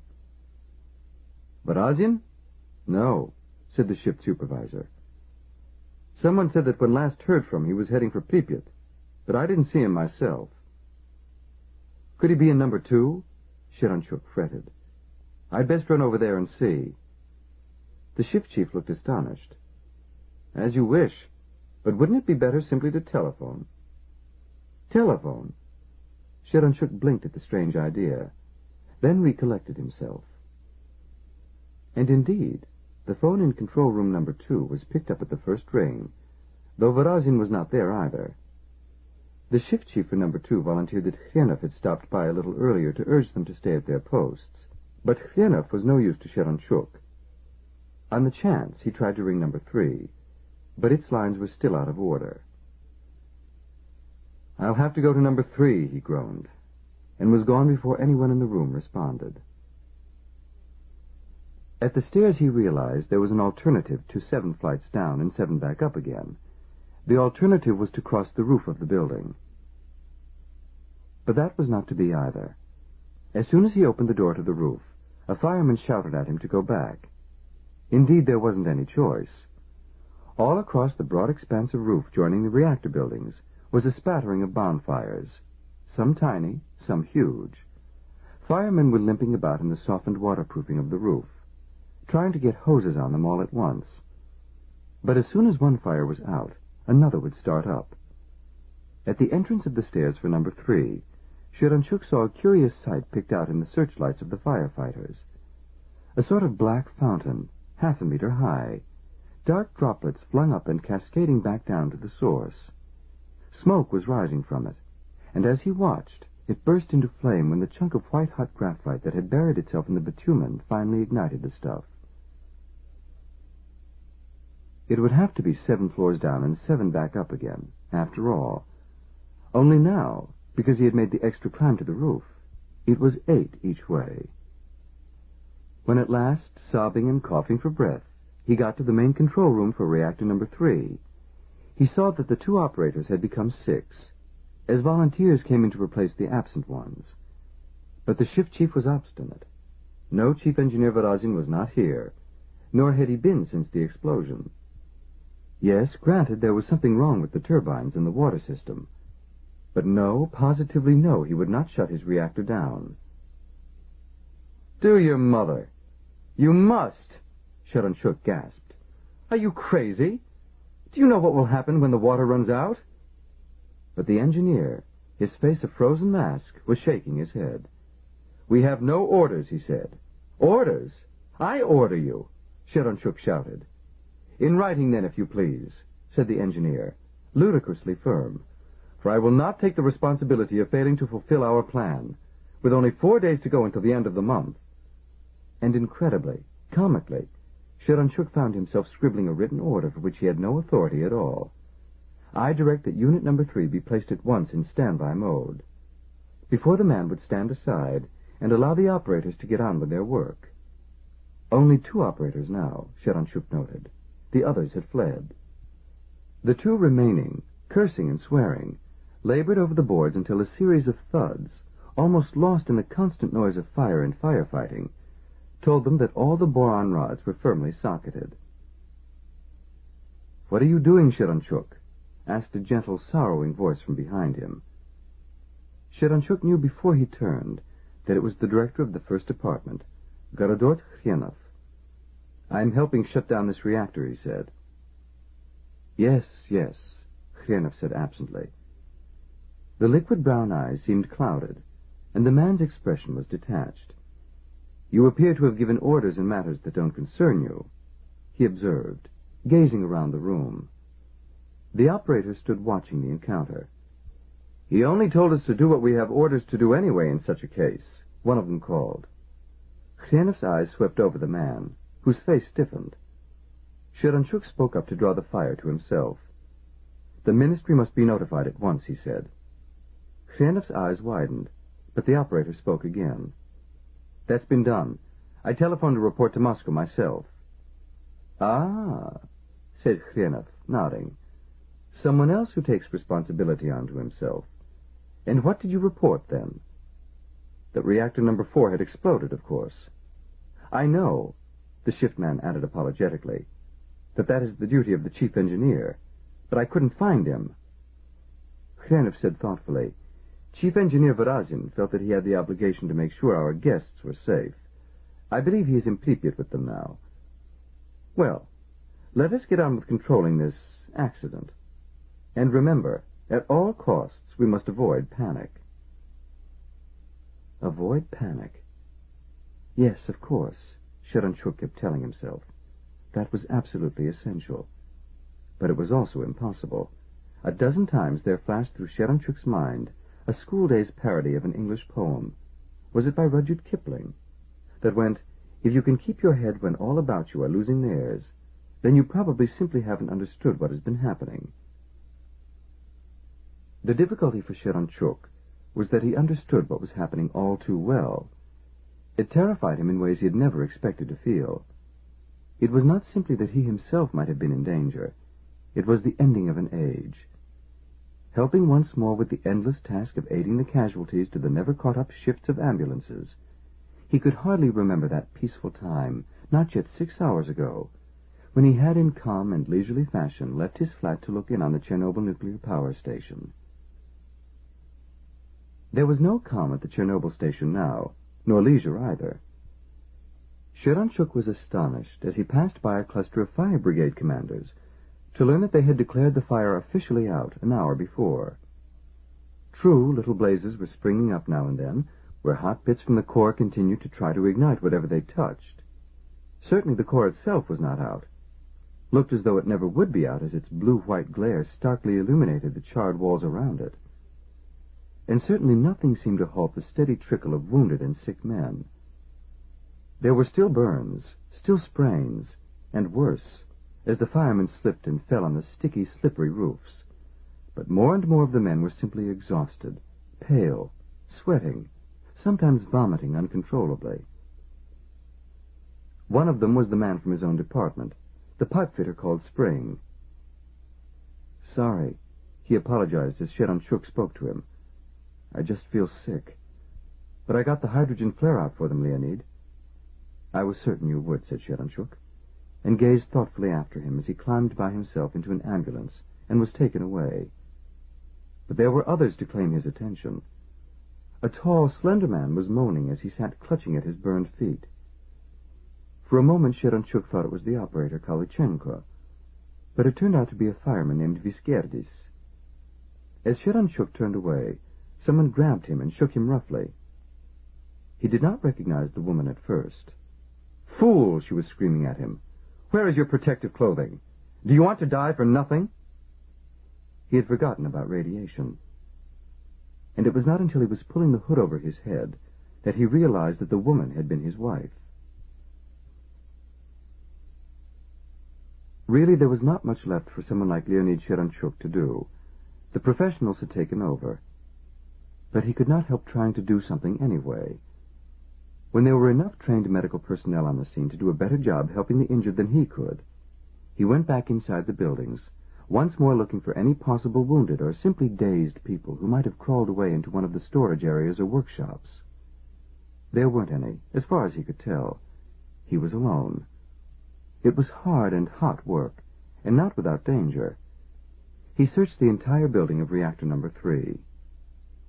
Inside it was dark, and even with the flashlight he had managed to cling to all this time, he was constantly stumbling over debris. Only a wall was between him and the fulminating ruin of number four, and number four sounded at every moment as though it were trying to come to him right through the wall. Even the cracked walls radiated heat, soaked up on one side from the 4,000 degree graphite, and sent on to him from the other. He peered out at the roof, where there were no visible fires any more, but still plenty of firemen, almost ankle-deep in the syrupy bitumen, still playing hoses on the smoldering embers. Sighing, he made his way back down to ground level. He wondered if anyone had told those firemen that it was not only heat and smoke and burns they faced, but the invisible lethal storm of radiation that billowed up at them with the smoke. In the four months Sheranchuk had been at Chernobyl, he had diligently studied all the literature on nuclear power plants. He had understood the special dangers of a core meltdown and the particular risk of a graphite fire in an RBMK. After all, there had been experience of it abroad. The British had had one of their own, at a place called Windscale, decades before. But nothing in his reading or imagination had prepared him for this. It occurred to him almost to wish that Smin had never telephoned him with the unexpected job offer. Certainly nothing in the burning of Pete could have produced this particular nightmare. But he had no time for such thoughts. No one had time for anything in this endless night in which every second was filled with a new alarm or a new task. Yet Sheranchuk never forgot that he was Simeon Smin's comrade plumber. He kept an eye on his own special charges whenever he could spare a thought from the urgencies of his rescue work. His pumps and pipes and valves were still doing as much as possible of their job. Cooling water still flowed out of the pond. In the two working reactors, the circuits were still pumping through the cores.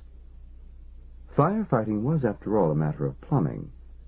When he saw the huge hoses that were sucking water from the pond for the firemen, swearing men holding the intake ends of the hoses under water, he almost wondered if they would pump the pond dry. But that was only a fantasy fear. The locks to the river were wide open, and they would not pump the Pripyat empty in a thousand years. There were firemen there now from, it seemed, scores of communities. Even Kiev was not the farthest. There were militiamen to reinforce the plant security forces from as many. Ambulances from he could not guess where were screaming in with doctors and medical assistants, and roaring away again with the injured. Tank trucks of gasoline were refueling the firemen's pumpers as they worked, and the noise was endless and indescribable. At some point, someone thrust two tin cups into Sheranchuk's hands. One cup was of hot, concentrated tea, the other pure vodka. Sheranchuk slumped to the ground for a moment as he swallowed them both. Turn and turn, gazing upward. He had not paused to see what the pyre looked like before. What it looked like was terrifying. A red-bellied smoke cloud was shooting straight up from the burning reactor, only bending away toward the north and east when it was so high that it was almost out of sight. The stars were gone. The smoke obscured them. But Sheranchuk had no time to gaze.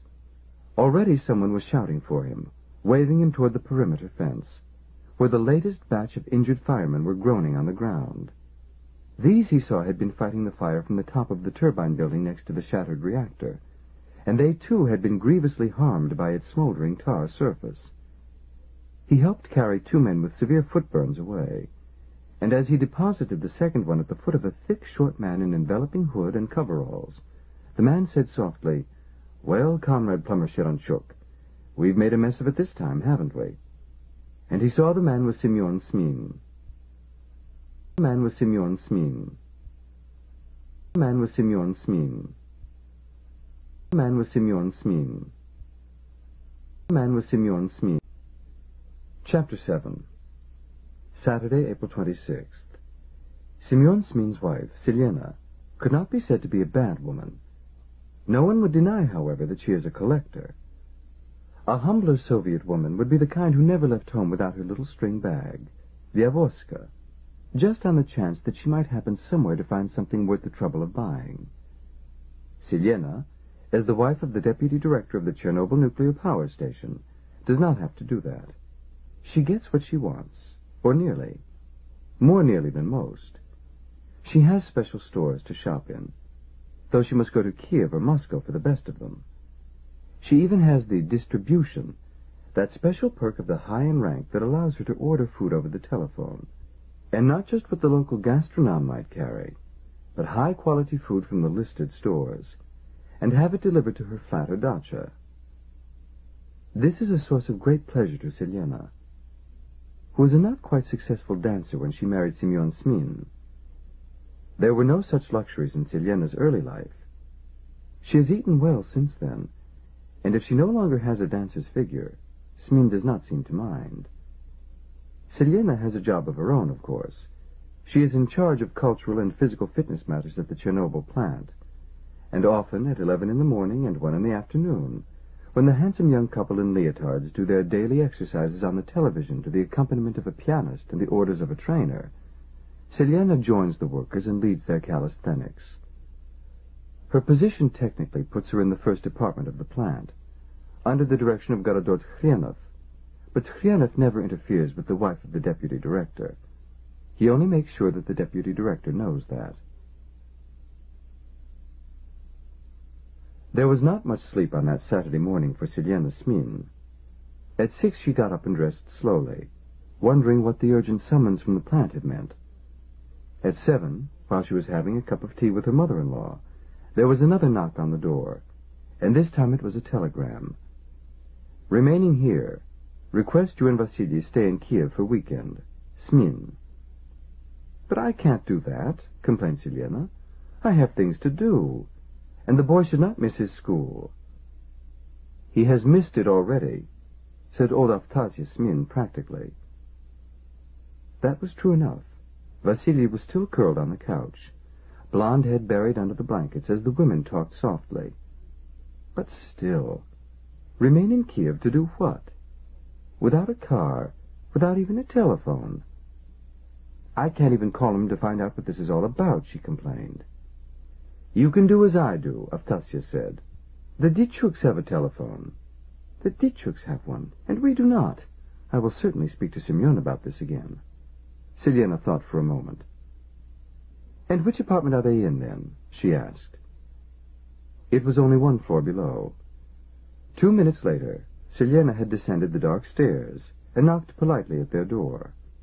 The Ditchuks were at home, all of them, for it seemed that there was a child and a couple of grandparents in the flat as well as the teachers themselves. They were all awake. They were not fully dressed. The woman had her hair in curlers. The man was wearing a robe over his trousers. But they were, of course, quite polite, even welcoming, and certainly she could use their telephone. But then it seemed she could not really, because all of the lines to the plant were engaged. They remained engaged, were engaged on the first time she tried them and on the fifth. The Ditchuks politely went about their morning business, stepping around her when they had to come into the little living room with its small TV set and worn brocaded couch and window that had thin, bright drapes. The old father greeted her in a mannerly way on his way to the bathroom. The old mother came out of the kitchen and offered her breakfast, which she declined graciously, but accepted a cup of tea, brought to her by the ten-year-old daughter of the teachers. Even the telephone in her own flat in the town of Pripyat did not answer. It was not engaged, but it rang uselessly until she put it down. So Smin, wherever he was, was at least not at home. Well, what a nuisance, she declared, smiling at the young woman. But what pretty drapes! You have done so much with this room. The woman said modestly, It is difficult when we both work. For me, too, Selena agreed, and chatted amiably with the young woman and her tiny blonde mother-in-law, while in her mind she tried fretfully to decide what to do with this day. A day in Kiev with the car, yes, that was always quite useful. In fact, it was a treat. There were places to go and stores to visit. And then one could count on finding a friend or two at the club for lunch. But without the car... The thought of the club gave her an idea. One more call, if you don't mind, she begged prettily, and dialed the Great Gate Hotel but the operator could not find any Mr. and Mrs. Dean Garfield from America on the roster. You must have a room number, the operator explained. One cannot complete a call without a room number, of course. Selena exploded. What nonsense! I am Selena Smin, and I am making this call for S.M. Smin, the director of the Chernobyl nuclear power station. The operator retreated. For quite a while, leaving Selena to hold the whispering, hissing phone while she thought wistfully how nice it would have been if she could have invited the Americans not merely to lunch at the club, pleasant though the club was, but to their own home in Pripyat, to see how a decent Soviet family lived in a decent home, not this Khrushchev tenement. But of course that was only a fantasy, since one did not invite foreigners to Pripyat. And then when the operator returned, she said only, with some satisfaction, the Americans you speak of are no longer in the hotel. But of course they are in the hotel. I saw them only last night. They have departed, the operator said triumphantly. Perhaps if you were to consult Intourist, they could inform you of their itinerary. Ah, well, sighed Selena to the young couple, who were beginning to glance surreptitiously at their watches. They would have to leave for their Saturday morning classes. Simply one more call, if I may, just to call for a taxi. But where was she to go in the taxi? To the club. And do what there, especially with Vasily, who should in any case be on his way to school by now? And as she looked out the window, she heard distant thunder and saw that it was beginning to rain. Saw that it was... Chapter 8 Saturday, April 26th. A Saturday in the Soviet Union is not quite like a Saturday in London or New York. The Soviets do not work a five-day week. Schools are in session. The working force works. But a Saturday is still, after all, part of a weekend, even in the Soviet Union. And those who are in a position to get away for some relaxation generally do. In Moscow this Saturday, for instance, the telephone rang from Chernobyl. The duty officer at the Ministry of Nuclear Energy heard the voice say, this is Vitaly Varazin, chief engineer at the Chernobyl power station, and the officer exploded. At last! What has been going on? We had a call that there had been a serious accident. Nothing more. And no one answers your telephones. Yes, said Varazin. Quite a nuisance that was. Communications have been interrupted because of a fire in a generating unit. But emergency crews responded at once. What the duty officer responded was not quite audible. It was definitely obscene, for he had spent a nasty hour in the middle of the night trying to track down his superior. Unfortunately, his superior had left the night before for his dacha at Peredelkino, and so the duty officer had been forced to act on his own. He groaned as he thought of what those actions had been. The situation is under control, then? he demanded. Quite under control, yes. Then tell me something. The duty officer snarled. What are you going to do with the plane load of experts in the special commission that is even now on its way to Kiev? There was a pause on the line. A special commission? Varazin asked. Twenty-four people, the duty officer said grimly. All woken up in the middle of the night on the basis of the first report from Chernobyl. Their plane left Moscow at six. I see, Varazin said faintly. The duty officer waited him out, drumming his fingers on the desktop. Well, Varazin said at last, it was quite a serious fire, to be sure. Certainly we can use guidance from the ministry. Certainly you are going to get it, snapped the duty officer because the first echelons will be helicoptered to your plant in the next hour or so. Thank you, said Varazin softly, and hung up. His voice sounded unhappy to the duty officer, which gave the officer some satisfaction. Actually, he was feeling much better. His worst fears were allayed. Responsibility for the 24-man commission was off his back. And now he lifted the phone again and called off the search for his chief. It would be time enough to disturb the highest authorities, he decided, when the full report was in. And with any luck, he'd be off by then anyway. In Novosibirsk, at the headquarters of the All-Union Ministry of Power Plant Structures, they took the call more seriously. Until they found that the Yemeni visitors had left before it happened. At least, they reassured one another, there had not been the embarrassment of seeing one of their plants wreck itself in the presence of three potential foreign customers. In Kiev, it was another matter. The load dispatcher was shocked. Yes, all right. Two of your units are damaged. Naturally, they can't generate power. But really, why must you shut the other two down as well? A precaution? Precautions are very good. But do you have any idea what sort of trouble that makes for me? And when he hung up, he was swearing. Chernobyl was the plant he could always count on. And where on a Saturday morning was he going to find three or four thousand megawatts of electrical power to replace it? When the phone rang in the headquarters of the International Atomic Energy Authority in Vienna, it might have caused more action, except that this particular call was not to give information, but to ask for some. The engineer on duty put down his cup of tea to answer the telephone. His caller had an accent, quickly explained when he said he was calling from the Soviet Ukraine. Do you have information on controlling graphite fires in reactors? he asked politely. The duty engineer that morning happened to be an Englishman. He had no difficulty in understanding the question. Do you mean the Windscale sort of thing? Yes, I think so. That was a Wigner effect event. He paused to see if he would be required to explain the Wigner effect. The Wigner effect is a change that takes place in the molecular structure of graphite after long exposure to ionizing radiation. The molecular structure stores energy from the radiation. This has potential dangers, and so once a year graphite moderators of that sort must be annealed, which is to say heated up sufficiently that the molecular bonds slacken and relax when cooled. In England's Windscale in 1957, that heating got away from its operators causing the graphite to burn and destroy the reactor. One moment, the Ukrainian said. There was a sound of muffled voices, and then the man came back on the line. No, not in regard to the Wigner effect, he said. I ask of control measures, of ways for dealing with such an event if it should occur. You mean to ask how they put it out? The Englishman said. They simply kept drenching the thing with water. Diverted most of a river onto it, if I remember aright. Wait just a moment. I think we do have some documents in the file. Shall I mail you a set? The voice on the phone disappeared again. When it returned, it said politely, No, thank you. We do not think that will be necessary.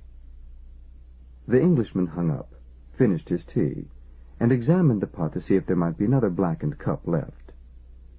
That, he thought, had been a curious call. He looked through his files to see what he could find about graphite-moderated reactors in the USSR. There were plenty of them, but nothing that seemed relevant to the call. Still, he wanted to tell someone about it, and so after a moment's consideration, he picked up the telephone again and dialed a colleague in the United Kingdom. What do you reckon they're up to? he asked, after recounting the call. The colleague yawned. He had been sleeping in on a rainy English weekend morning. Ruskies, he said, explaining everything. You know what they like those graphite reactors for. The things are useful to make a little plutonium on the side. They don't want to know about controlling anything, in my opinion. They're simply hoping to find some better ways of increasing the yield. It could be that, I suppose, said the man in Vienna. They've got a mass of those RBMKs going. I found a note from one of our masters warning that the beasts were not entirely safe. That would be Marshall, I expect, said the one in London. That was Lord Walter Marshall, head of the United Kingdom's General Electricity Generating Board. That was donkeys years ago, wasn't it? The engineer in Vienna said doubtfully, You don't think I should report it to someone? Report it to whom? And what is there to report? No, said the voice from England. I'd forget it if I were you. It's what I'm going to do myself.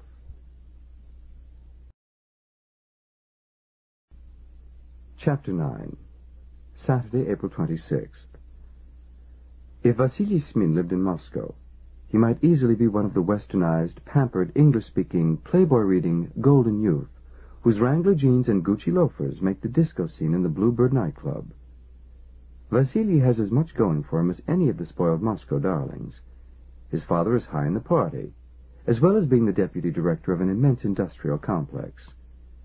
Vasily himself had been a leader in the Kids Patriotism Communism Scouting Organization, the Pioneers, had moved up to join the Komsomol as soon as he reached the tenth grade in school.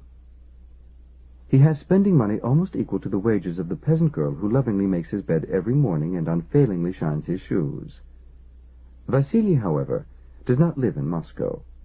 He lives in a small town a hundred and thirty kilometers from Kiev, and even in the city of Kiev, the most pampered youth are less spoiled than in the capital. The other thing that makes Vasily unlike Moscow's golden youth is that he has a lot of his father in him. He certainly wishes to succeed, but he knows that the way to do that is first to make sure of getting into a first-rate college, and second to join the party as soon as he can. The party meetings will surely be boring, but there is no other way to a high position and although his father has the influence to get him into almost any college in the USSR, he is far from powerful enough to plant his boy in a leadership post for life. Vasily knows that what happens after college will depend on his grades. It would also, Vasily knew, be helped along a good deal by commendations from his Komsomol leaders. But that was not the only reason why, that Saturday morning, he left his grandmother's apartment and took a bus to the outskirts of Kiev. Then he stood on the edge of the Pripyat road, holding a five-ruble note in the air for passing vehicle drivers to see. He was not merely reluctant to miss a day's school, or the Saturday afternoon meeting of the League for Young Communists, the Komsomol, which would put the finishing touches on their May Day plans. He was also worried.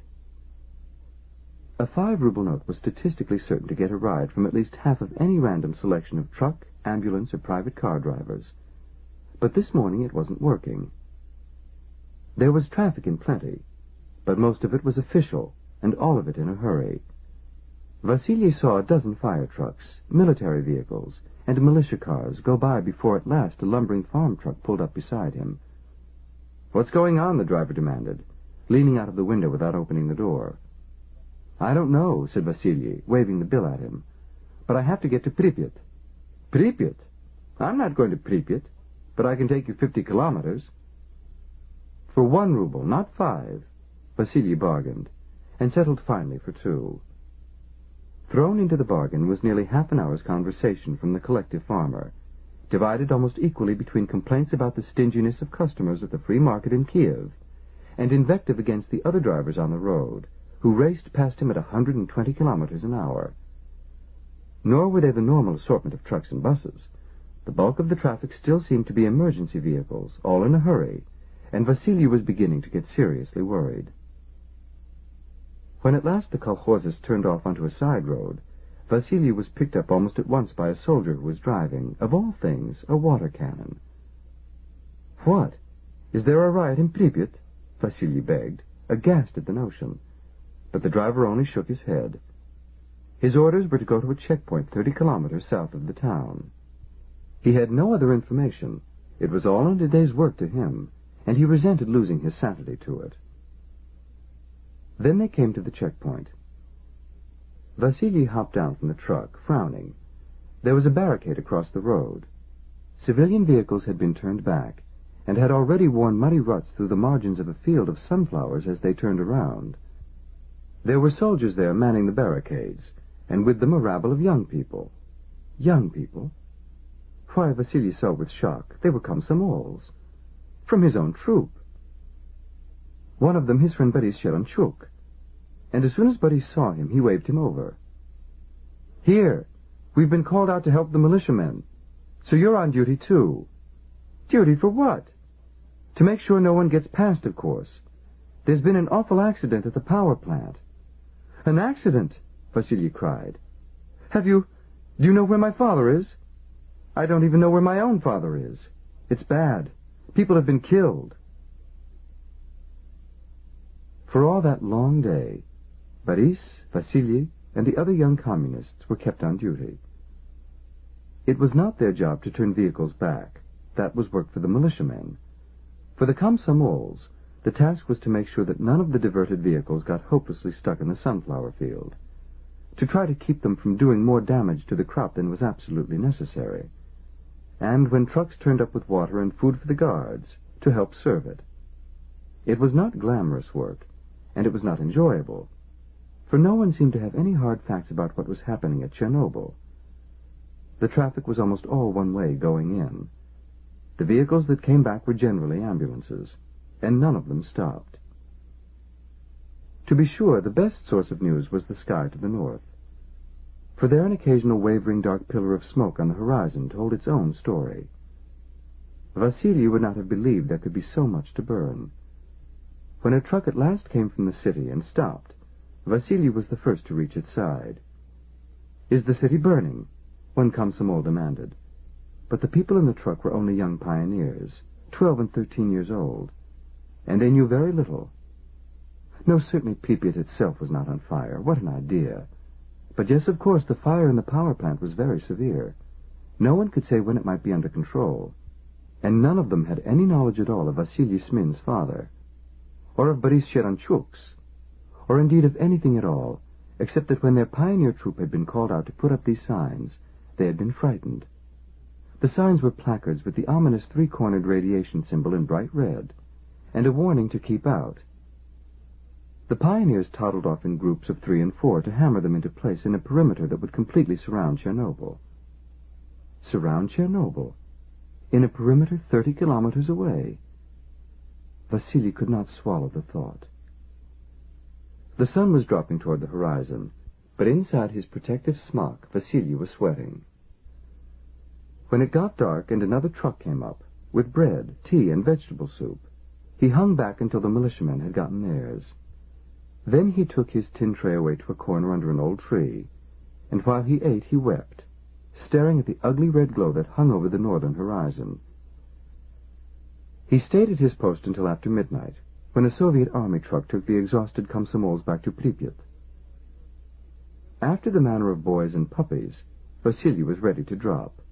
But even so, he had enough energy to be astonished at how peaceful the town was. Could it be possible that they didn't know? Of course, at midnight one did not expect much activity in the streets of Pripyat. But nothing? When he got out of the elevator and entered the 16th floor apartment he shared with his parents, he thought of eating and dismissed it, thought of bathing and put that aside too, but stood for a moment at the window that looked out toward the plant. He could not see the smoke in the darkness, but there were still lights there. He threw himself onto his bed, thoroughly shaken. His father's power station could not have blown up. It was the very latest triumph of Soviet technology, with all the safety features his father had been proud to display to him as they toured the giant plant. It was too big and too magnificent to explode. And besides, it was his father's.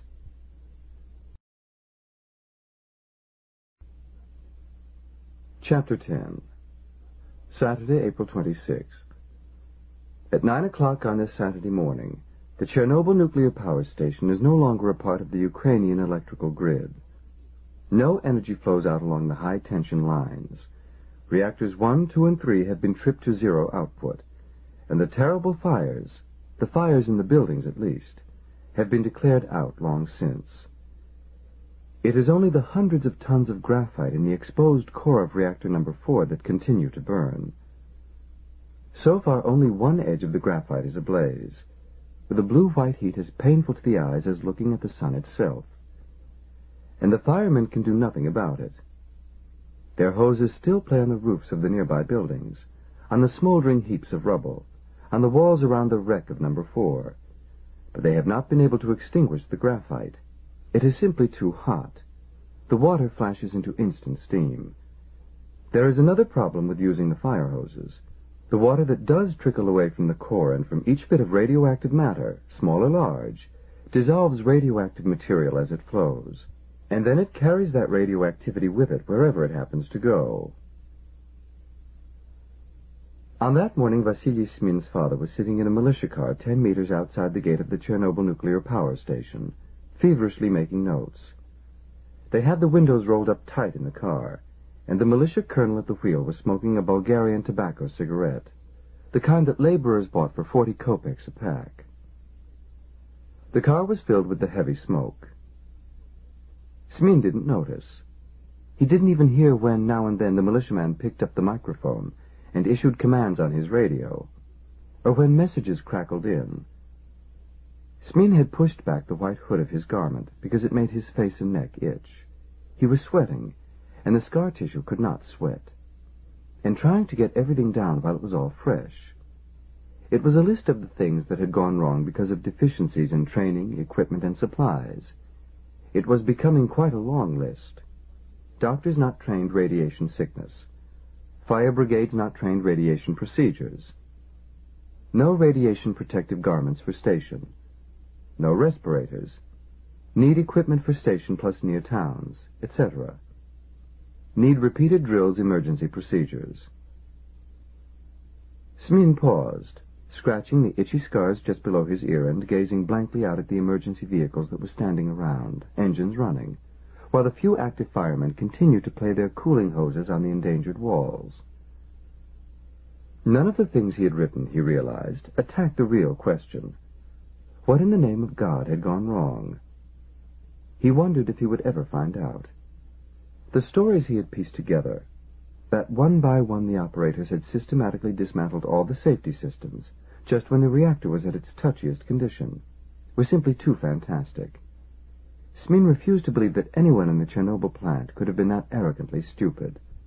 It was almost easier to accept the possibility of that word that had not been much heard in the Soviet Union in recent decades, sabotage. But that, too, was impossible to believe. Yes, certainly, the CIA or the Chinks, they were quite capable of blowing up a power plant simply to inconvenience the Soviets.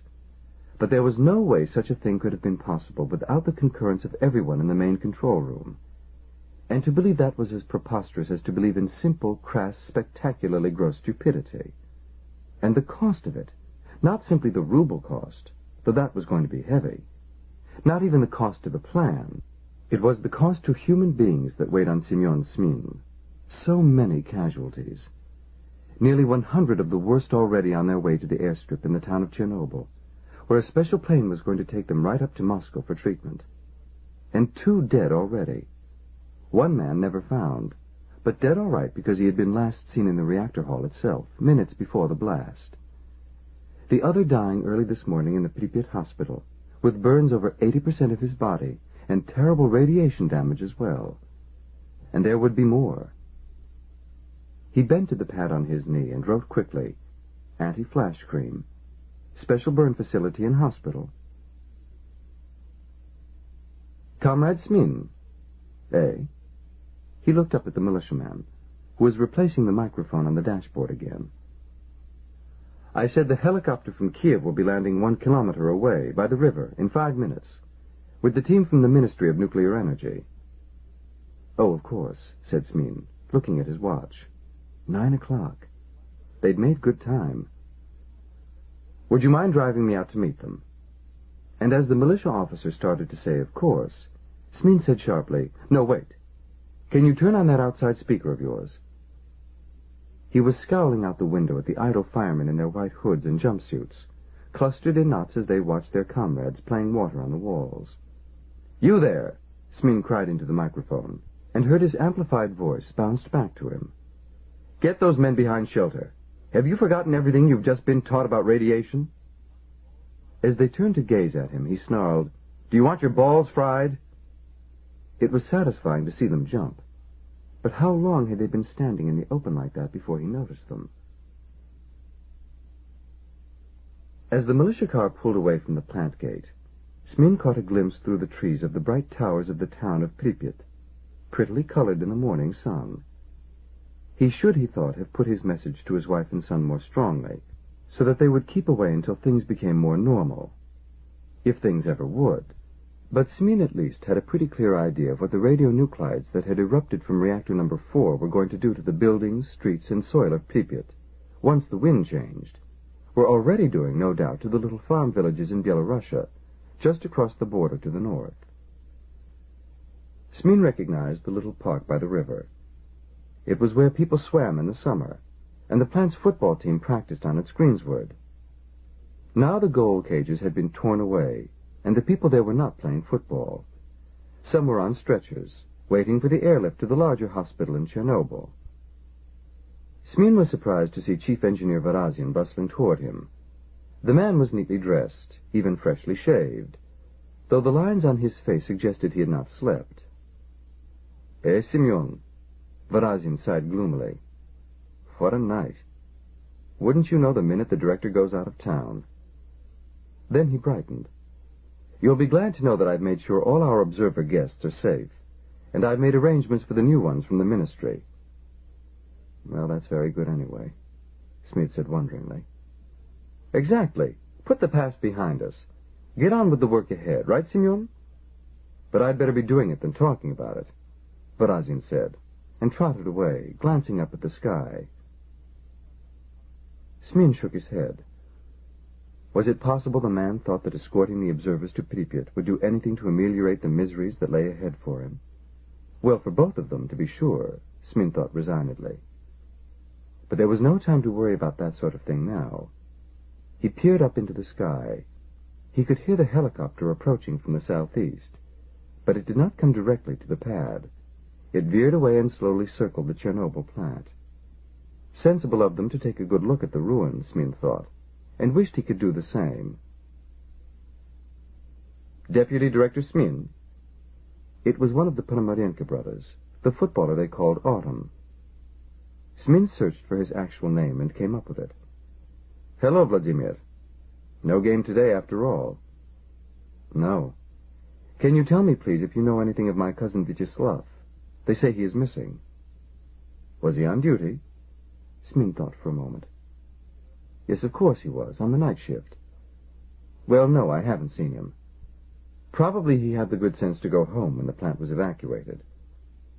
He isn't at home, Deputy Director Smin. Thank you. I'll go on looking. Ponomarenko hesitated. My brother is in the hospital over there, he said, waving toward the distant towers of Pripyat. He got some radio thing. He'll have the best of care, Smin promised trying to sound more certain than he was. We can't spare the Four Seasons after all. He glanced up. The helicopter from Kiev had completed its leisurely tour and was fluttering down toward them. Well, here come the experts from the Ministry of Nuclear Energy. So we'll have everything straightened out quickly now. It was a way of trying to reassure the football player. But it was not, Smin admitted to himself, a realistic statement. Even the experts from the ministry had had no experience of anything like this, since nothing like it had ever happened before.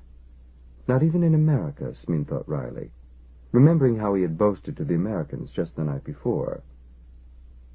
It was a definite first in nuclear technology, and once again the Soviet Union had led the way. There were four of the experts from the Ministry of Nuclear Energy jumping out of the helicopter, and Chief Engineer Varazin was ducking under the blades even before they had stopped revolving to greet them. Smin recognized a couple of the men, but Varazin introduced them all around anyway. Comrades Istvili, Rasputin, Destilyan, he said, and waited for them to introduce the fourth man. They didn't. Rasputin, the one Smin had not met before, shook Smin's hand heartily. No, I am not the mad monk, he said, smiling. I'm simply from the section on biological effects of radiation. I'm not related to the writer either. A pity, Varazin said chattily.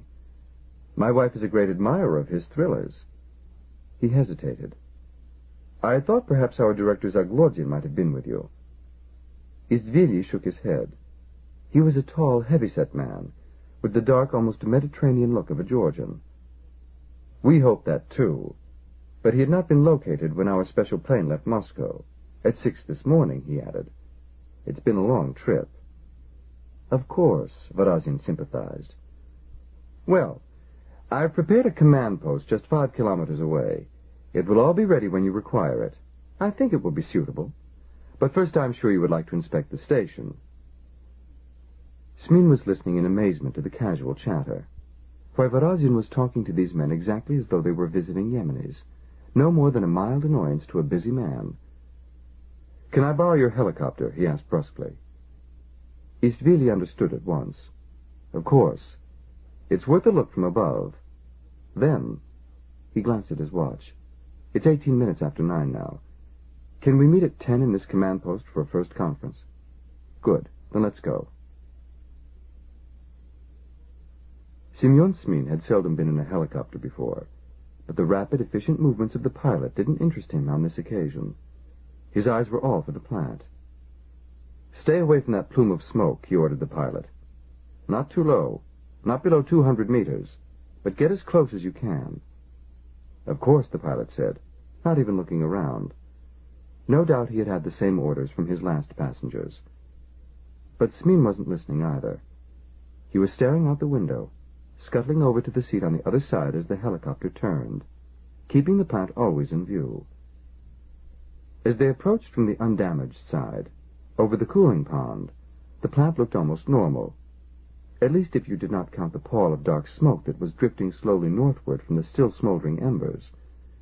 Firemen were methodically removing their suction hoses from the pond.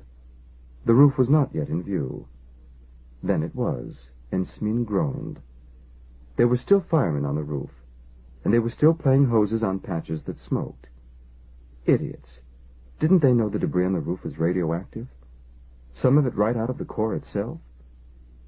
Then as the helicopter lurched upward, the ruin of reactor number four came into view, and Smin forgot about the endangered firemen. From the ground he had not seen quite how terrible the destruction was. There was actually nothing at all left of the reactor building. No refueling hall, no roof. He saw twisted metal that might once have been the refueling crane. Most of all, he saw the naked core itself. He squinted between his fingers, instinctively protected his eyes, suddenly aware that even 200 meters was not too far to be from that radioactive ember. An arc of brilliant blue-white light from one edge showed the burning graphite. Not more than 10% of the exposed surface burning now, Smin thought, and wondered if that was less than an hour ago, or more. The helicopter veered away from the smoke plume. The pilot called, Shall I duck under the smoke? Or would you like to go back around again? Smin sank back in his seat. I've seen enough, he said. Varazin's command center turned out to be nothing more or less than Varazin's own comfortable dacha, set a hundred meters off the road in the fir forest. Its large main room was twice the size of anything in Smin's flat. but it was crowded by the time the meeting began. Smin, Varazin, the four men from the ministry, the general of fire brigades, the head doctor from the Pripyat hospital, Khrenov, looking worn but confident, two men from the Council of Ministers of the Ukrainian Republic. When had they arrived? Half a dozen from the Pripyat Party Committee, an army general. Smin looked at the crowd in dismay. This was an emergency meeting, not a party rally. It was his firm conviction that the effectiveness of any conference was in inverse ratio to the number of people sitting around the table. And over five, you might as well sleep through the proceedings. But Istvili, the Georgian from the Ministry of Nuclear Energy, took firm charge. For a man who'd been wakened at four in the morning and had been traveling ever since, he was surprisingly clear-eyed and collected. We won't wait for the people coming from Kiev by car, he announced. Our first order of business is a situation report. I understand the Chernobyl plant is now completely shut down. I gave the order for reactors 1 and 2 myself, nodded Varazin. As a precaution. Of course I consulted the load dispatchers in Kiev first. So that situation is stable, said Istvili. Now we come to damage control. The fire was extinguished at eight minutes after three this morning, said the general of fire brigades. Smin cut in. Yes, but excuse me. Your firemen are still on the roof, and the hoses are still going. The general looked down his nose at him. They are cooling the scene down and extinguishing small outbreaks. I don't think I'm making myself clear. All that water from the hoses is contaminated with radioactivity. It must go somewhere, and wherever it goes, it's dangerous. Radiation, said the general thoughtfully. That's not our concern. Our business is fighting fires, and we put this one out in an hour and a half. Radiation is your business. It's the business of your firemen, too. They're in great danger out there without protective gear. Istvili raised a hand. Please. Two issues have been raised now. Contamination of water from the runoff from the fire, and proper gear for the workers controlling the damage. When we have finished... What is it, Varazin? The chief engineer only wanted to announce, There is some tea and mineral water coming in now. My wife is bringing it. And his wife, with a young girl beside her, was hovering in the doorway, trays in their hands. Thank you, Comrade Varazin, Istvili said dryly. As I was about to say, when we have finished this preliminary conference, we will establish working groups to deal with each of these. First, we have to deal with immediate problems. The graphite in the core is still burning. Everyone turned to look at the fire commander. He looked annoyed. That is a different question from the fire in the structure, he explained. However, we are continuing to hose it. We have more pumpers coming, even a couple of water cannon. They should drown it, just as the British did at Windscale. No, no, cried Smin. But the other man from the ministry, Vestilyan, spoke ahead of him. That is unacceptable for the reasons Smin has given. Also, it probably will just fracture the graphite and expose more combustible surfaces to the air. We'll have to cover the core. What with? the fireman demanded. Foam's out of the question. Things much denser than foam. Sand, clay, even lead. Probably boron, too, because that swallows neutrons. And how are you going to get it on the core? The fire commander asked sarcastically. Do you want my men to carry it up there in hods like bricklayers? Lestilyan said crisply, Of course we will need heavy earth-moving machinery. That, too, I think, should be referred to a working group. Exactly, Istvili said promptly. In fifteen minutes, I will adjourn this meeting and we will start the work of the groups. Comrade Rasputin, do you want to say anything about the casualties and risks? All of the injured are being evacuated. The Pripyat hospital can't handle them all, so most of them are being sent elsewhere. The head of the hospital raised his hand. The hospital itself should be evacuated, I think, and probably also the town itself. Of course, Min put in. As soon as possible. One of the men from the Council of Ministers in Kiev stirred himself. Why, of course. The wind is blowing the smoke the other way, isn't it? It could change at any moment. That's true, added Rasputin. And rain would be a serious added problem. Rain brings fallout. It was raining in Kiev earlier this morning. It isn't raining here. Evacuation would cause mass panic, the man from Kiev stated. Then at least the people should be informed, Smin said doggedly. The man frowned. That decision is not ours to take, Comrade Smin. But if we wait for Moscow to approve, it could be ours. At least let us have an announcement on the Pripyat radio station, Smin urged. Istvili took over command of the meeting. We simply do not have enough information yet for public announcements to be made. When we have full facts to give them, yes, then it will be authorized. For now that discussion is closed. Now let us turn to the cause of the accident. There was one thing you could say for these high-powered people from the Ministry of Nuclear Energy, Smin thought to himself. At least they got things done.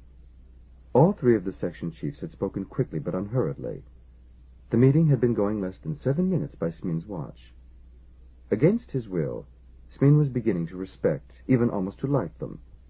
It was hard for him to remember that these men were the they who had bombarded him every week with stern orders to hurry up, increase the proportion of working time, fulfill the plan. Even the fourth man, the one no one had bothered to introduce, was appearing to be getting down to business. For the first part of the meeting, he had been sitting quietly, smoking a cigarette and sipping his cup of tea as he gave each speaker polite but detached attention.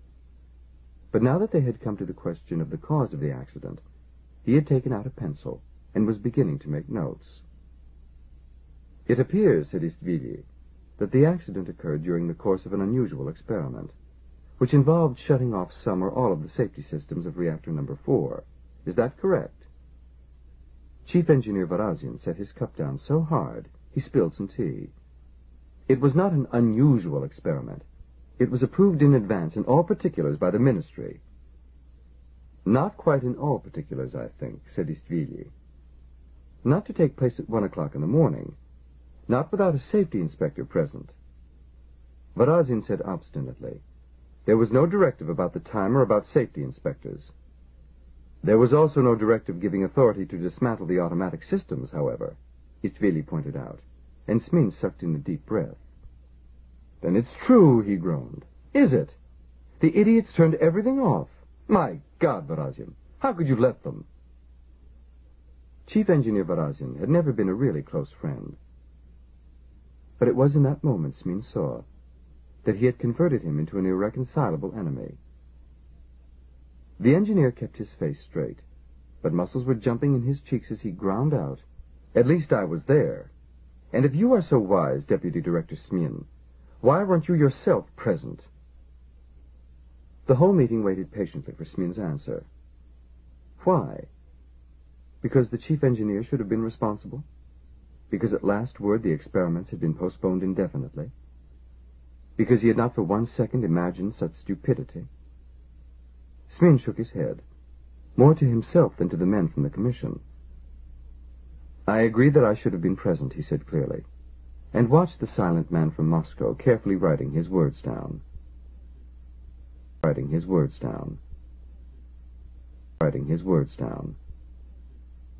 Writing his words Chapter 11 Saturday, April 26th. Dean Garfield is 34 years old, and he really is a highly successful television producer in America. The reason for that, perhaps, is that his father's money from the jewelry findings business had paid for four years and a subsequent master's degree from the University of Southern California at just the right time, in the early 1970s. Just then, a lot of bright young college boys were getting ready to be the film and TV geniuses of the later 1970s and they remembered their classmates when they got big. A consequence of that, perhaps, is his wife. Candace Garfield, her professional name is Candace Merlin, was the star of Garfield's first sitcom. Unfortunately, the show failed to get past the eight-week cutoff, and Candace had been looking for another series ever since. She is very happy about Garfield's present success with his all-black series, which has just been picked up for a third year except that there are no ongoing parts in it for tall, beautiful blondes. She is confident, however, that she could play a tall, beautiful blonde Soviet nuclear engineer, or Soviet almost anything, in a new series, and she has been developing this idea for Garfield since breakfast. Actually, it started out as Dean Garfield's own idea. It came to him as he was peering out the window, slightly hungover and too restless to sleep, at the misty Ukrainian sunrise over the city of Kiev. When he saw that his wife's eyes were opened and watching him from the bed, he grinned. I guess I'm all charged up. How many Americans get to see the inside of a real Russian home? Ukrainian, anyway, he amended. You know what? There ought to be a story here. All this local color. Let's go out and take a look at the city. We already saw the city, Candace yawned. I haven't got the strength for one more museum of teeny tiny paintings on human hairs. I don't mean the tourist stuff. I mean the way the people live. Ride in the subway. Walk around a tenement district. See a, I don't know, or whatever they have to eat in it's like a McDonald's. That Intourist guide is really not going to like that, his wife said absent-mindedly, because actually she had begun to take an interest when he used the word story. So screw the Intourist guide, Garfield said happily. We'll just tell the hall lady, hey, no speak Russian. Then we take off. What can they do? His wife was looking doubtful, but persuadable. Dean, are we talking about a new television series? I don't know what I'm talking about. Yet. All I'm saying is, what could it hurt to hang around and take a look? And so they had, even though the hall lady had done a lot of head shaking, even though it had begun to rain. During the morning they had found their way into a grocery store and a dairy store, even a department store. Candace Garfield aghast at the people waiting in one line simply to see what was available to buy, then a second line to pay the cashier, then a third line at last to get whatever it was. They never did find anything like a McDonald's, but they decided to treat themselves to the best meal they could find in Kiev. By the time they were ready for lunch, Dean Garfield was just about convinced that not only was there a possible show, but his wife might well be the star of it. Maybe you shouldn't be an engineer, he said thoughtfully as they waited for a table at the Dynamo restaurant. How about if you were an Intourist guide? You get into all sorts of funny situations with the tourists. You know? Every week there's a new batch of tourists. American, Japanese, everything. So we have guest stars doing vignettes. Like Love Boat. She was frowning as the head waiter led them up the stairs to a table on the balcony. But it was a frown of concentration, not anger. Garfield well knew the difference. He sat down with a groan of satisfaction. It's nice to get off my feet, he observed, glancing around. They had been walking around Kiev for four hours, and Candace had been talking the whole time. The hangover was gone, and he was getting really hungry. When the waitress arrived with the menu, he didn't even look at it. Ten days of travel in the USSR had taught him that of the hundred dishes printed in any given menu, only the dozen or so with prices attached were ever available, and not necessarily all of those. Do you speak English? he asked. When she shook her head, he got up and looked around at the other tables. When he saw something that looked edible, he pointed to it, then to himself and held up two fingers. Not steak, I hope, Candace said absently. She had her glasses on, and was already writing things in her notebook. I think it's kind of a veal stew, said Garfield. Smelled good, anyway. And I ordered a bottle of that white wine over there. He lit a cigarette and gazed down at the floor below. There seemed to be at least two wedding parties. One bride in traditional white, though without a veil or a train. The other in a pale green business suit. A four-piece orchestra was playing what Garfield recognized as Raindrops Keep Falling on My Head, and two couples were on the tiny dance floor. Even if we don't get a show out of it, I'm glad we decided to stay, he told his wife. Candace looked up from her notes. You do get some really neat ideas sometimes, hon she acknowledged. You know, I was a little worried that some KGB guy might grab us for running around without an escort or something. Garfield accepted the complimentary tone with a modest shrug. I was pretty sure they wouldn't bother us, he said. Although, in fact, for the first hour or two, he had felt an uneasy itch every time any Russian looked twice at them. You know what I'd like to do? I'd like to see my relatives again. Only how are we going to get in touch with them? Candace had already returned to her scribbling. Call them up, she said absently. Call up who, where? Simeon doesn't live in Kiev, and I don't know Aunt Tasia's address. The old lady had phoned them at the hotel, and then sent a car for them the day before. And it had not occurred to Garfield to ask for addresses or phone numbers. There has to be a telephone book, said Candace. In Russian? Besides, the old gal doesn't have a phone. So we wait until Monday and call up the power plant. Listen, I'm an tourist guide, like you said. Maybe sometimes I'm a stew on Aeroflot. Each week we get a different bunch of tourists, and we go to different locations. Moscow, Leningrad, Kiev, I don't know, maybe Tashkent, Yalta. There's a million places in Russia. Like Love Boat, you know? We get in a lot of scenery, right? How are we going to do all of those locations? She put the ballpoint pen down to look at him over the top of her glasses. You don't think the Russians will cooperate with filming? I'm thinking about production costs, he said. Not to mention trying to get along with Russian film labs and technicians. I'm thinking about a title role for me, said Candace decisively. How about calling it Comrade Tanya? You can figure out the location stuff. Send a crew to go all over for background shots. Hell, Dean, there's probably plenty of stock footage around.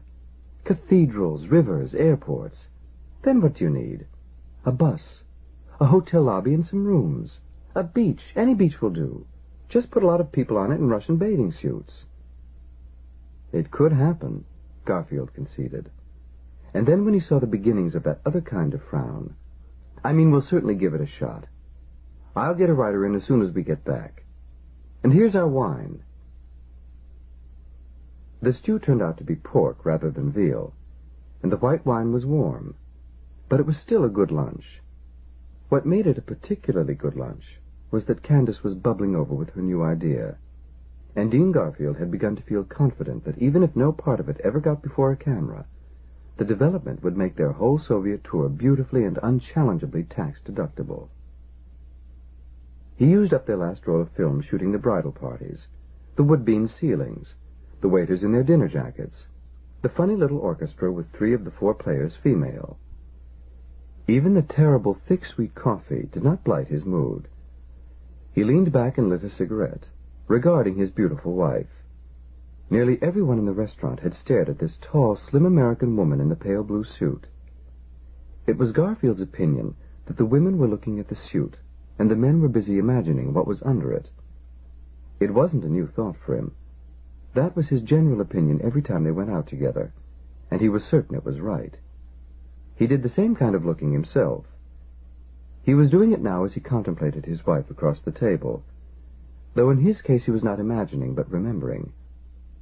Though not, unfortunately, from recent experience.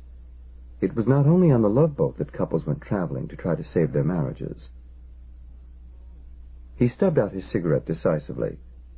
Since Candace had filled the ashtray with the carefully amputated fat from her pork stew, he had to use a saucer. I think, he said, we could use a little nap about now, don't you? So let's go back to the hotel.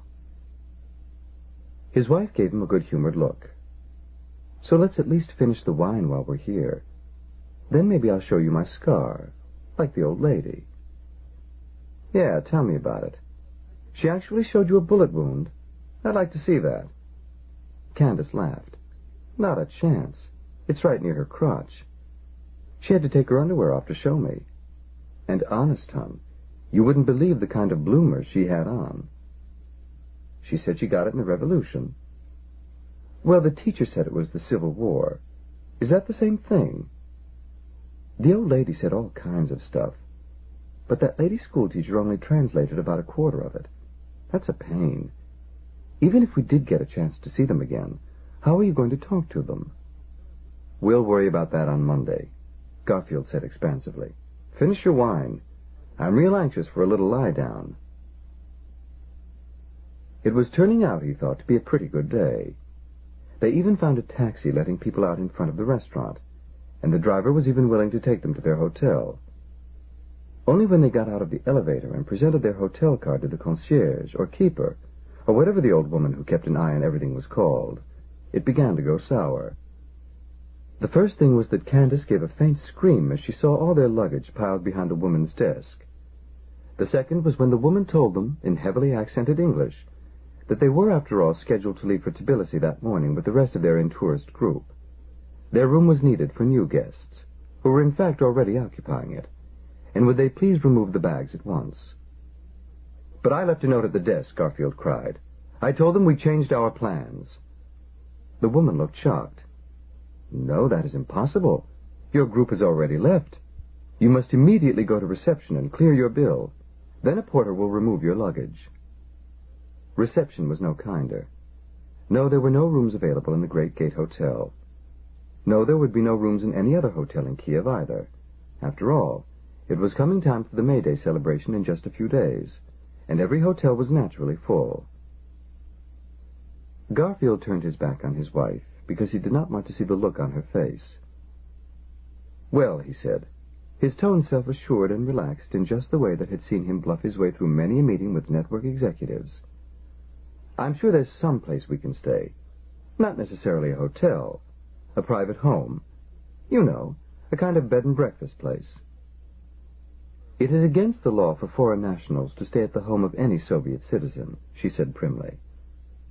But then what are we going to do? he cried. But the best the reception clerk would do was to concede, We will store your luggage for you until you pick it up. She nodded graciously, turned her back, and disappeared into another room. Garfield opened his mouth to call after her, but his wife was plucking urgently at his sleeve. Let's go outside, she said. Her tone prevented Garfield from arguing. Out in the street, he complained, But we can't sleep in the street, hon. She said tightly, There was a man standing right behind you, and he was listening to every word. What are you talking about? You mean like somebody with the secret police? But we haven't done anything. Come on, she said pulling him down the street. Passing citizens were looking at them curiously. Candace was silent until they had rounded a corner. Then she turned on her husband.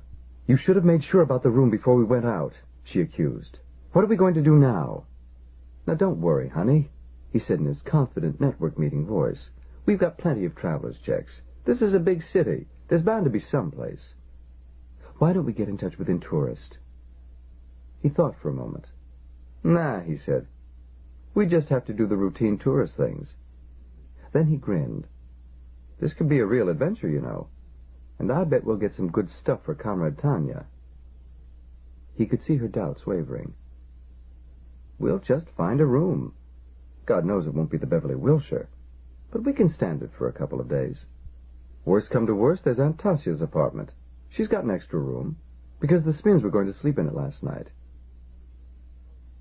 She reminded him. How are you going to find them? And anyway, an adventure's one thing. Breaking some kind of Russian law is another. You heard what the woman said about renting rooms to foreigners. Garfield thought for a moment. We'll keep Aunt Tasia as a last resort, he conceded. Well, what about Simeon? He's a big wheel. He can pull some strings for us. Dean, she said patiently, he doesn't live in Kiev. Do you even know the name of the town where he lives? And, oh God, here comes that man again. Garfield spun around. It was true. The man coming toward them was, he recognized, the same one he had seen in the hotel lobby. He did not look like Dean Garfield's idea of a KGB operative. He was not much more than twenty years old. He looked quickly about, and then said ingratiatingly, Please, you excuse me. You want house room to sleep? I know nice place. Right near bus to metro. You have USA dollars to pay. You have USA dollars to pay. You have USA dollars. Chapter 12. Sunday, April 27th. The home of Simeon Smin and his family is not a flat. It is a handsome apartment on the 16th floor of one of Pripyat's best buildings, and it has five rooms. Five! It is, of course, also in keeping with Smin's high position. And besides, they can quite properly claim space for Nikolai, their elder son. Nikolai Smin is now on duty with the Air Force, though Selena Smin does not like to think about where. It is a very comfortable home. The kitchen has a stand-up freezer as well as the fridge. The bath has a stall shower in addition to the tub. It also has a bidet, and Selena Smin has already engaged an engineer to make sure the floor is sturdy enough to bear the weight of the next fixture she hopes to acquire. She has almost succeeded in arranging for the importation of a jacuzzi to replace the tub. The bed she shares with Smin is king-sized, with sheets from England and a white Irish lace counterpane. And there may not be another like it anywhere in the Ukraine. There are coffee table books in Russian, French, and German in the living room. The prize book is a wonderfully illustrated volume on the art treasures of Leningrad's Hermitage, printed originally for export only, and hence regarded as a rare book. But there are also handsome volumes of travel scenes from all over the world, and there is a glass-topped coffee table from East Germany to put them on. There is, of course, a television set in the living room, and it has a VCR attached. The Smins possess a library of nearly 20 videocassettes, mostly of ballets and operas for the parents, but with four or five American films that belong to Vasily. His special favorite is Jesus Christ Superstar. There is a second small television in Vasily's room, which has posters of Soviet spacecraft and cosmonauts on the wall, and a signed portrait of the American astronaut Edgar Mitchell. Silyena would deny that they live Brezhnev style, although she would point out that since her husband has had his job since Brezhnev's time, they had every right to the more opulent display that was the acceptable. With all her activities, Silyena can't hope to keep such a large apartment in order, but there is a seventeen-year-old maid from the nearby kolkhoz who comes in every morning at seven, and if there are guests, sometimes remains until almost midnight. When Silyena came to her apartment that Sunday morning, the maid was absent. So was her husband. But her younger son, Vasily, was slumbering fully dressed across the checkered spread of his bed. His clothes were stained and muddy. He was snoring gently. Silyena let him sleep. There was nothing she specially wanted to say to him, now that she knew he was alive. There was not even anything she wanted to hear from him. For Silyena Smin had heard too much and seen and experienced and felt too much in the last twenty-four hours. What she wanted was for it all to go away, so that she could get back to organizing a May Day party for a few selected friends and planning for the jacuzzi. As a practical matter, the first thing for her to do was to get clean. Silyena had been wearing the same clothes for two days. She put the tea kettle on, running her finger along the edge of the gas range, and resolving to have a word with the maid when the girl chose to show herself again, and got under the shower. There was only a trickle of lukewarm water. The kitchen tap had been slow, too. Silyena sighed and used the tepid flow as thriftily as she could, soaping herself thoroughly. She thought wistfully of the jacuzzi, and glumly of the last two days in Kiev. The visit with the American cousins had been exciting and pleasurable, but it now seemed like something that had happened to her when she was a young girl, like the first solo part in a student production of Swan Lake, or the time when Simeon Smin had taken her out among the cherry trees to tell her he wished to make her his wife. The orderly part of her mind filed a reminder to speak to Smin again about that apartment in his mother's name. Was it really worthwhile to have a pied-à-terre in the city when it was in a Khrushchev slum? Silyena Smin did not dislike her husband's mother. In fact, they got on rather well. But really, what an odd fish her mother-in-law was. What was the use of a mother-in-law who knew everyone in high places, at least knew everyone's father, or even grandfather, when she lived like a collective farm pensioner? Yes, all right. Aftasia Smin preferred to live quietly and inconspicuously. Very well, nothing should prevent her. But couldn't her son get a nicer apartment, in a better neighborhood, with more space to store clothing and other things they might need? And for the love of heaven, at least a telephone. And preferably without the grandmother sharing it. And while she was at it, a little car of her own, if only a Moskvich, perhaps, so that she would never again have to take a bus from Kiev to Pripyat, and then to be dumped unceremoniously at a checkpoint, with fifteen other passengers hoping to get somewhere in the perimeter, left to make their own way to their destinations if they possibly could. She had not been alone. Ivana Khrenovna, the wife of the director of personnel and security, had been caught in the same checkpoint. No car to meet her when she returned to the Kiev airport from her trip to visit relatives in Smolensk. Her hired taxi turned back at the checkpoint by soldiers who did not care whose wife she was, or who Silyena was for that matter. Even Ivanna had had to shout to get an ambulance to take her the mere two kilometers to her own home. But at least she had given Silyena space in the ambulance. Despite the meager supply of water, the shower refreshed Selena. She began to think of what had to be done. There was food in the refrigerator, so the special distribution from the stores had arrived, and she didn't have to worry about shopping. Vasily should not be allowed to sleep all day, otherwise he would not get to sleep this night.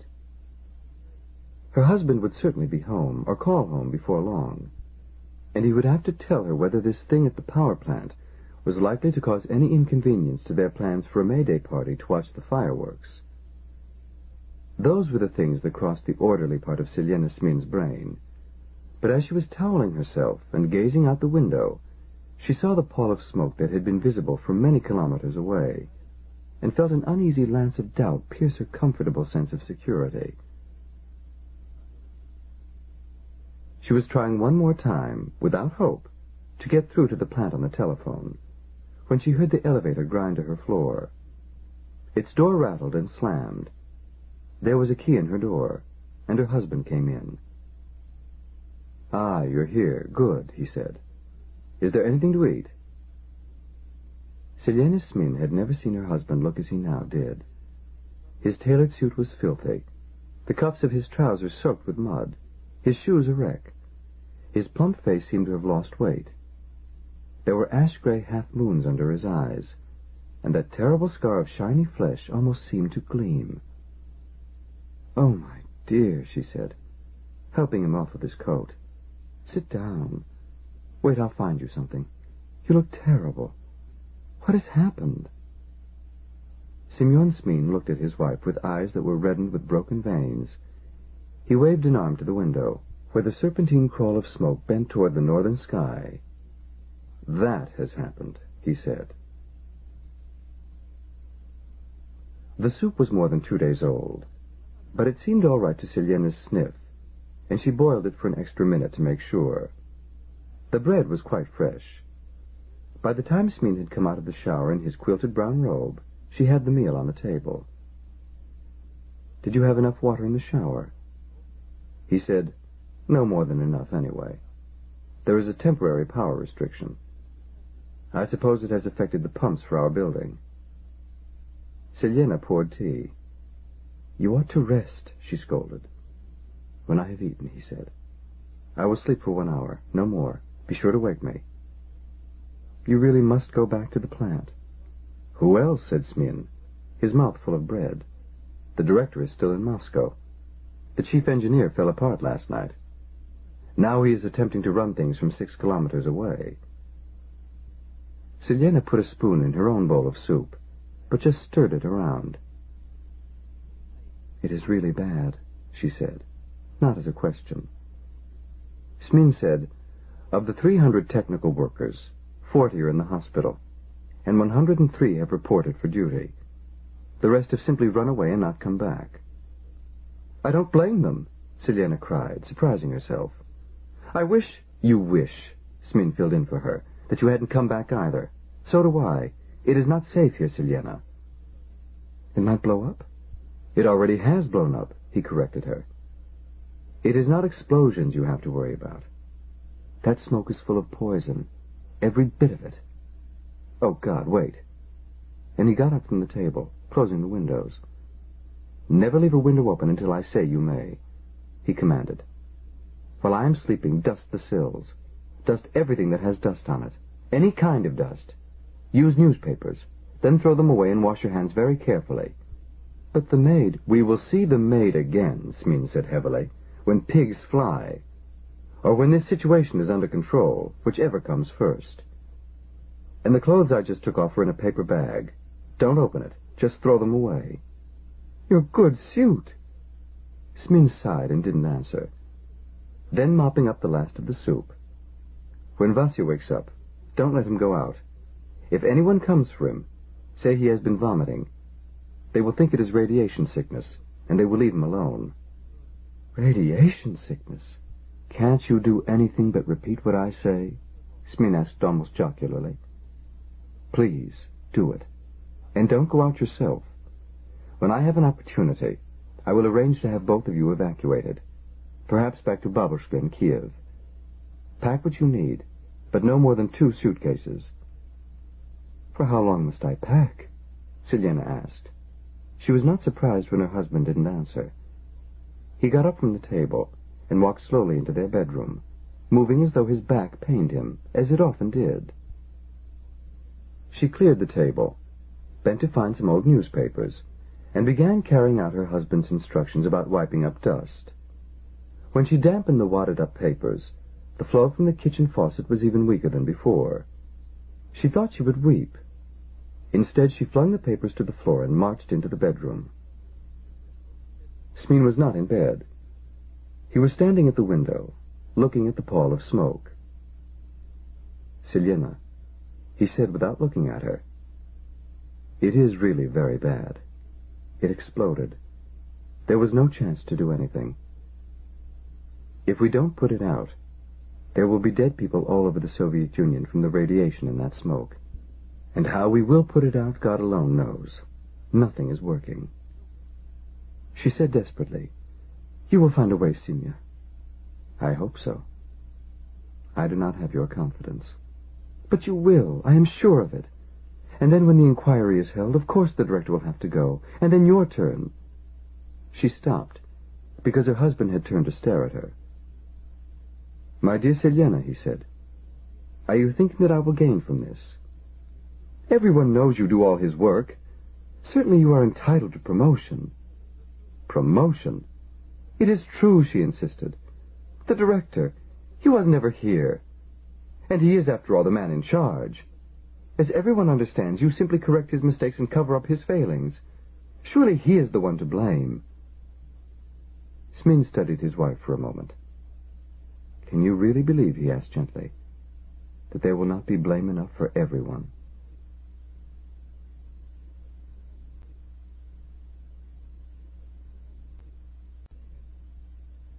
Chapter 13 Sunday, April 27th the town of Pripyat, with its shops, its film theater, its library, its five schools, its hostels and apartments for nearly 50,000 people, exists only to serve the Chernobyl nuclear power station. Pripyat is a new town, enclosed by wide fir and pine forests. Few of the buildings are much more than ten years old. Neither is the Chernobyl nuclear power station itself. During the Great Patriotic War, the ground where the town stands was a battlefield where Germans and Soviets slaughtered each other in thousands.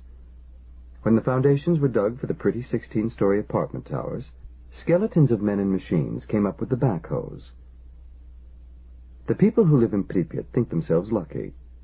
They are affluent, because pay is good at the power plant, and even at the radio factory and the construction works that are the town's other chief industries. They are young. The average age is no more than thirty even without counting all the children. Their town is architecturally advanced. Town planners come from all over the USSR to study it. It was purpose-built, but it serves its purposes not only well, but gracefully, even with a human dimension. Pripyaters are proud to say that their main avenue was redirected so that three cherished old apple trees that somehow survived the war could be preserved.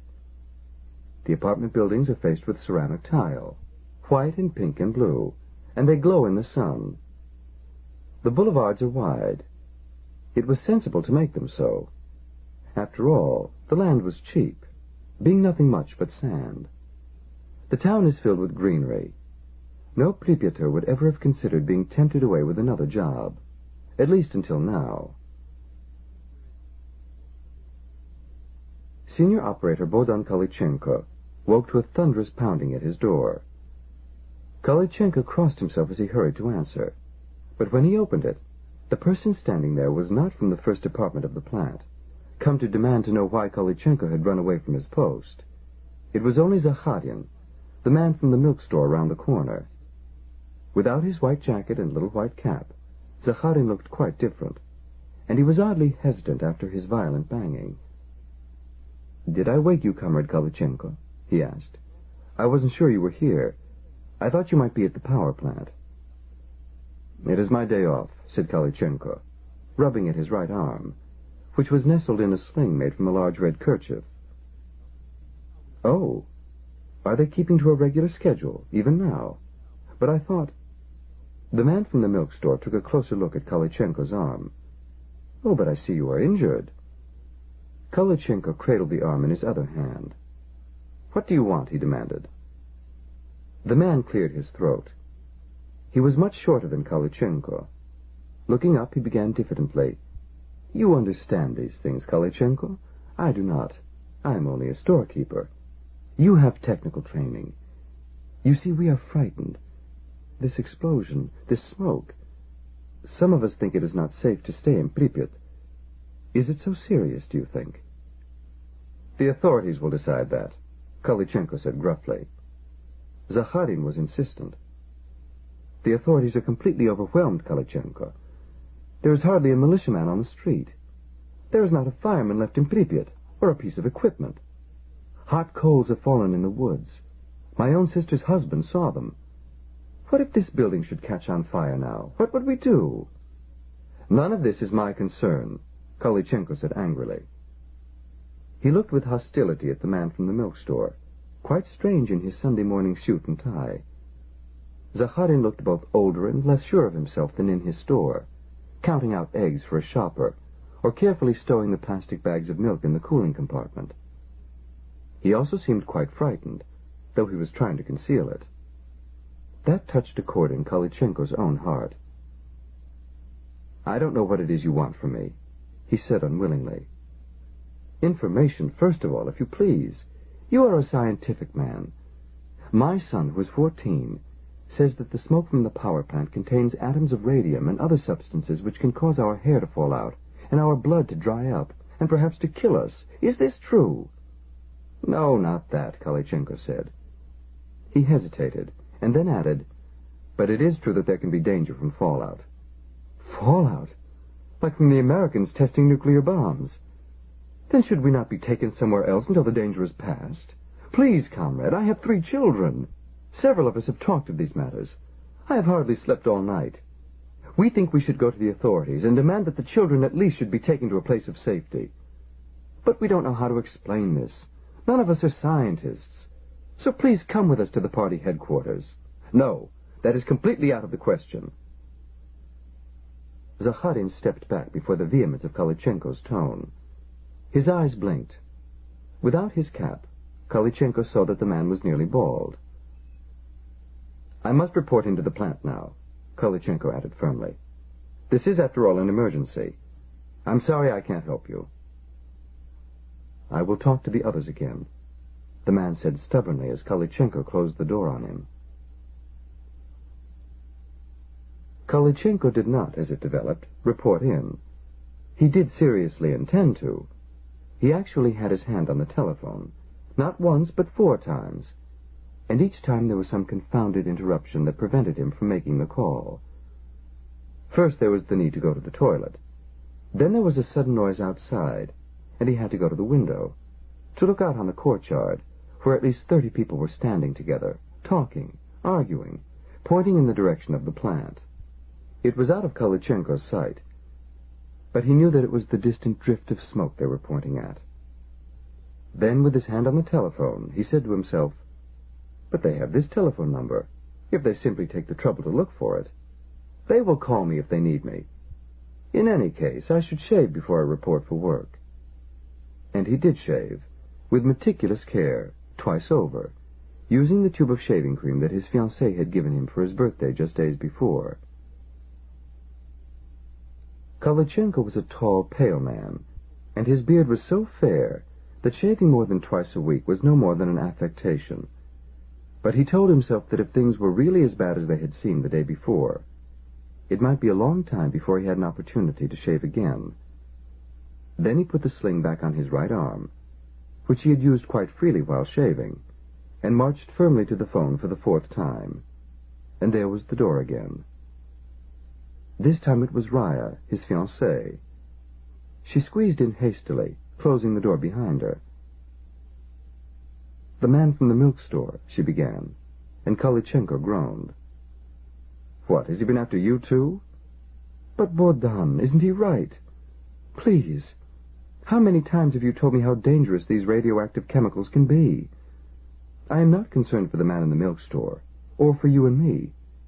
Have you forgotten what I am carrying for you?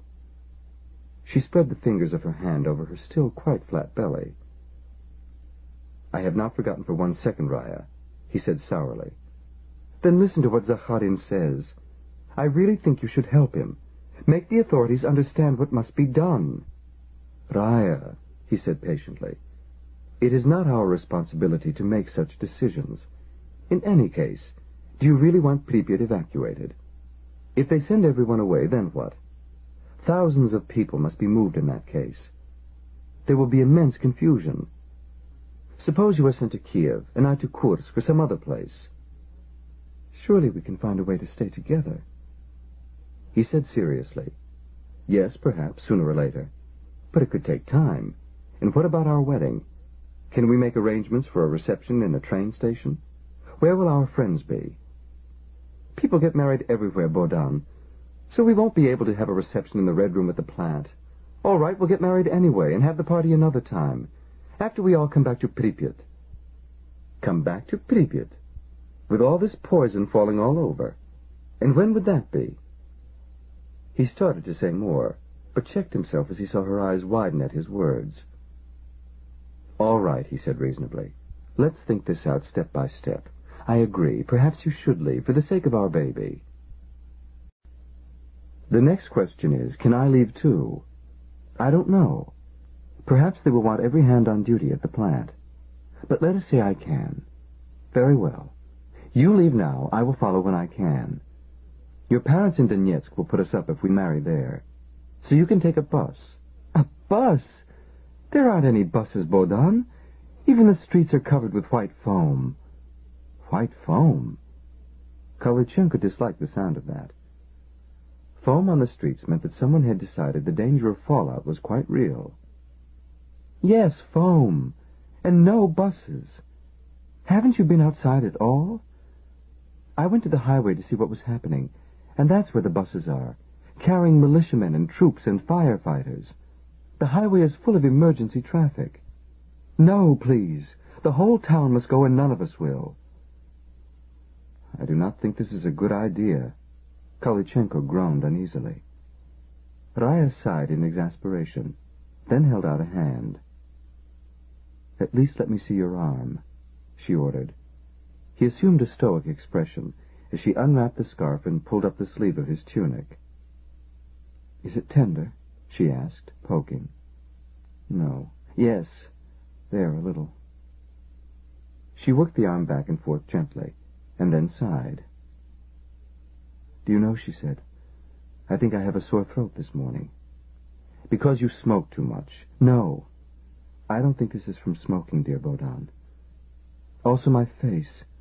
I can't describe it exactly. It tingles a bit. As though someone were poking tiny pins at it. I don't mean that it's painful.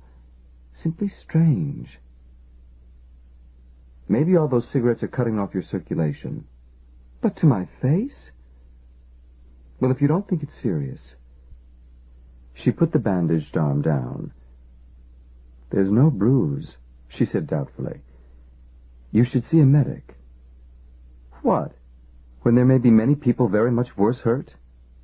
He rose and said abruptly, Excuse me, I must go to the bathroom. With the door closed behind him, he felt better. These silly symptoms of Raya's were, of course, imaginary.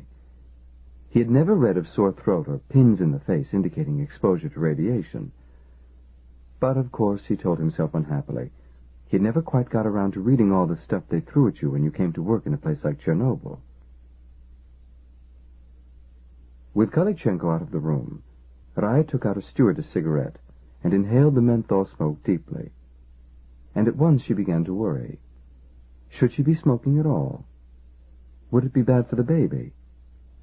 Her husband-to-be had informed her quite definitely that it was. But at the clinic they had only shrugged and talked about moderation. She wished she had thought to ask at the clinic about radiation. But who could have imagined such questions were necessary? She touched her stomach hopefully, and worried. Until now, the only question seriously troubling had been whether her fiancé would actually go through with the ceremony, and whether the child would have his blue eyes. Now, would it have any eyes at all? By the time Kolichenko came out of the bathroom, Raya had frightened herself into stubbornness. You must come to the party headquarters, she said firmly. And leave the telephone? What if I'm needed at the plant? She said reasonably, How would they find you here? As far as the plant knows, you're still at the hostel for single men. Isn't that so? I think I informed the plant that I would be staying here, he said, although it was a lie. Actually, he had not thought it anyone's business if he temporarily borrowed this apartment from the friend who had followed his wife to Odessa, hoping to talk her out of a divorce. In any case, judging from some of the remarks Khrenov had made, even this telephone number was almost certainly somewhere in the personnel and security files. And in all this confusion, will anyone remember that? No, really, Bohdan. If you're worried that the plant needs you, call them. But first come to the party headquarters. There's nothing else to do, is there? Perhaps there wasn't. Kolichenko could think of no way out. He could not simply go on hiding in his friend's apartment as he had done all the previous day. In the long run he sighed, threw up his hands at his fiancée's gentle nagging, and went reluctantly out to tell the man from the milk store that after careful consideration he had decided that he would go along to talk to the people at the party committee building. It was not that he thought it was a good idea. He simply didn't have a better one. There were a hundred people in the crowd that marched doggedly through the streets to the party headquarters. The white foam had caked solid and was soiled, and there was an unpleasant, smoky, chemical, almost ammonia-like smell in the air. It was true enough that there were no buses on the streets this day. There was little traffic of any kind, with nothing coming in from outside the town. They strode along the center of the roadway itself, with no militia around to find them for jaywalking. Zakharin was in the lead, with Kolichenko looking stern enough and determined enough as he strode along just behind him. It was still early morning, not as much as ten o'clock, but it was a sullen, coppery-colored sort of day. There weren't many clouds. The sun was bright enough, even hot, but overhead, covering half the sky, was a thin pall of smoke from Chernobyl. Citizens who would normally be sitting in their bathrobes, drinking tea in comfortable relaxation on their day off, were peering out the windows or standing on the sidewalks. They called back and forth to the clot of men moving down the center of the street, and some joined the march. Most merely looked worried.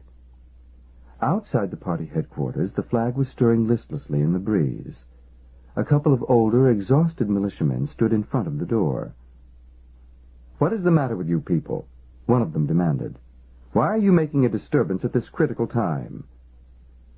We want to speak to the party secretary, Zakharin said boldly.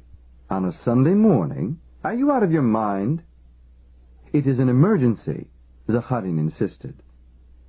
The other militiaman said, Of course it is an emergency, and the party secretary is at his post of duty. Go back to your homes at once. No, said Zakharin. We demand that something be done. The town must be evacuated. The danger is very great to all of us. Comrade Kolichenko here is an expert on such matters. He will explain it to you. But Comrade Kolichenko did not, because when Zakharin looked around for backing from his technical expert, Bogdan Kolichenko was nowhere to be seen. Where to be seen. Where to be seen. Chapter 14 Sunday, April 27th. There is no core meltdown at the Chernobyl power station. At least that particular disaster was impossible, for uranium dioxide does not melt until it reaches a temperature of 7,000 degrees Fahrenheit. Even burning graphite never gets much hotter than half that. When the graphite burned, it was, after all, only a simple chemical matter of carbon combusting in the presence of oxygen not basically different from the blazing logs in the fireplace of a split-level ranch house. Although it was a real nuclear explosion that started the disaster, the nuclear reaction blew itself out in the first fraction of a second after the initial blast. So there is no longer any real danger of that famous nuclear nightmare, a core meltdown. But another danger is most ominously present. In a way, it has become even worse. As the carbon in the graphite reacts with the oxygen in the air in that fire, the smoke rises. It has no chimney, as the fireplace logs would, but it doesn't need one. At such temperatures, the fire creates its own chimney, as the column of hot smoke and gases thrusts upward through the atmosphere. The column carries other gases and tiny bits of solid matter along with it. That is where the real and most terrible danger lies. That smoke contains deadly poisons. It is not just the uranium in the core that is radioactively poisonous now. The reactor has created its own new poisons, some of which are far more worrisome than uranium. It is inevitable that it should. Even if a nuclear reactor could start with pure and nearly harmless materials, its purity would not last. Its own radiation corrupts it. Some atoms are broken into fragments, and each fragment is a new chemical element. Nuclei gain particles or lose them. Elements which do not exist in nature, the transuranic ones, are created. Many of the new elements are fiercely radioactive. This is the unique danger of nuclear accidents. Without exception, all radioactive elements are harmful to living things. Every living thing from fungi to human beings. High doses of radiation kill quickly. Lower doses take more time. At the lowest possible concentration, a single particle striking a single cell, there may be no detectable damage at all, because the rest of the body may be able to repair or replace the cell. Or it may not, in which case the damage may not show up for decades, appearing only late in life as cancer. Say what you would about the men from the Ministry of Nuclear Energy, Smin thought wearily, you at least had to admit they got things done. He had lost count of the number of experts, specialist doctors, engineers, construction people, who had poured into Chernobyl in the last dozen hours. Of course, Chief Engineer Varazin's dacha was far too small to hold all the meetings and individuals concerned in the effort to control the damage to reactor number four. Perhaps, Smin thought, it was also a bit too close to the naked core for the comfort of the experts. At any rate, a new command post had been established 30 kilometers away in the regional party headquarters of a collective farm village. It was not just men the people from the ministry had conjured up. It was materiel. A steady flow of heavy machines lumbered through the checkpoint on their way to the plant. Trucks had arrived all through the night, bearing all sorts of things that the Chernobyl nuclear power station had never had before. Everyone now carried a little aluminum pen-shaped dosimeter. Everyone, even at the checkpoint, wore coveralls caps that came down over the neck and ears, even cloth masks to put over the mouth and nose, though at the checkpoint all of those hung loose around the wearers' throats. You could not tell a general from a laborer.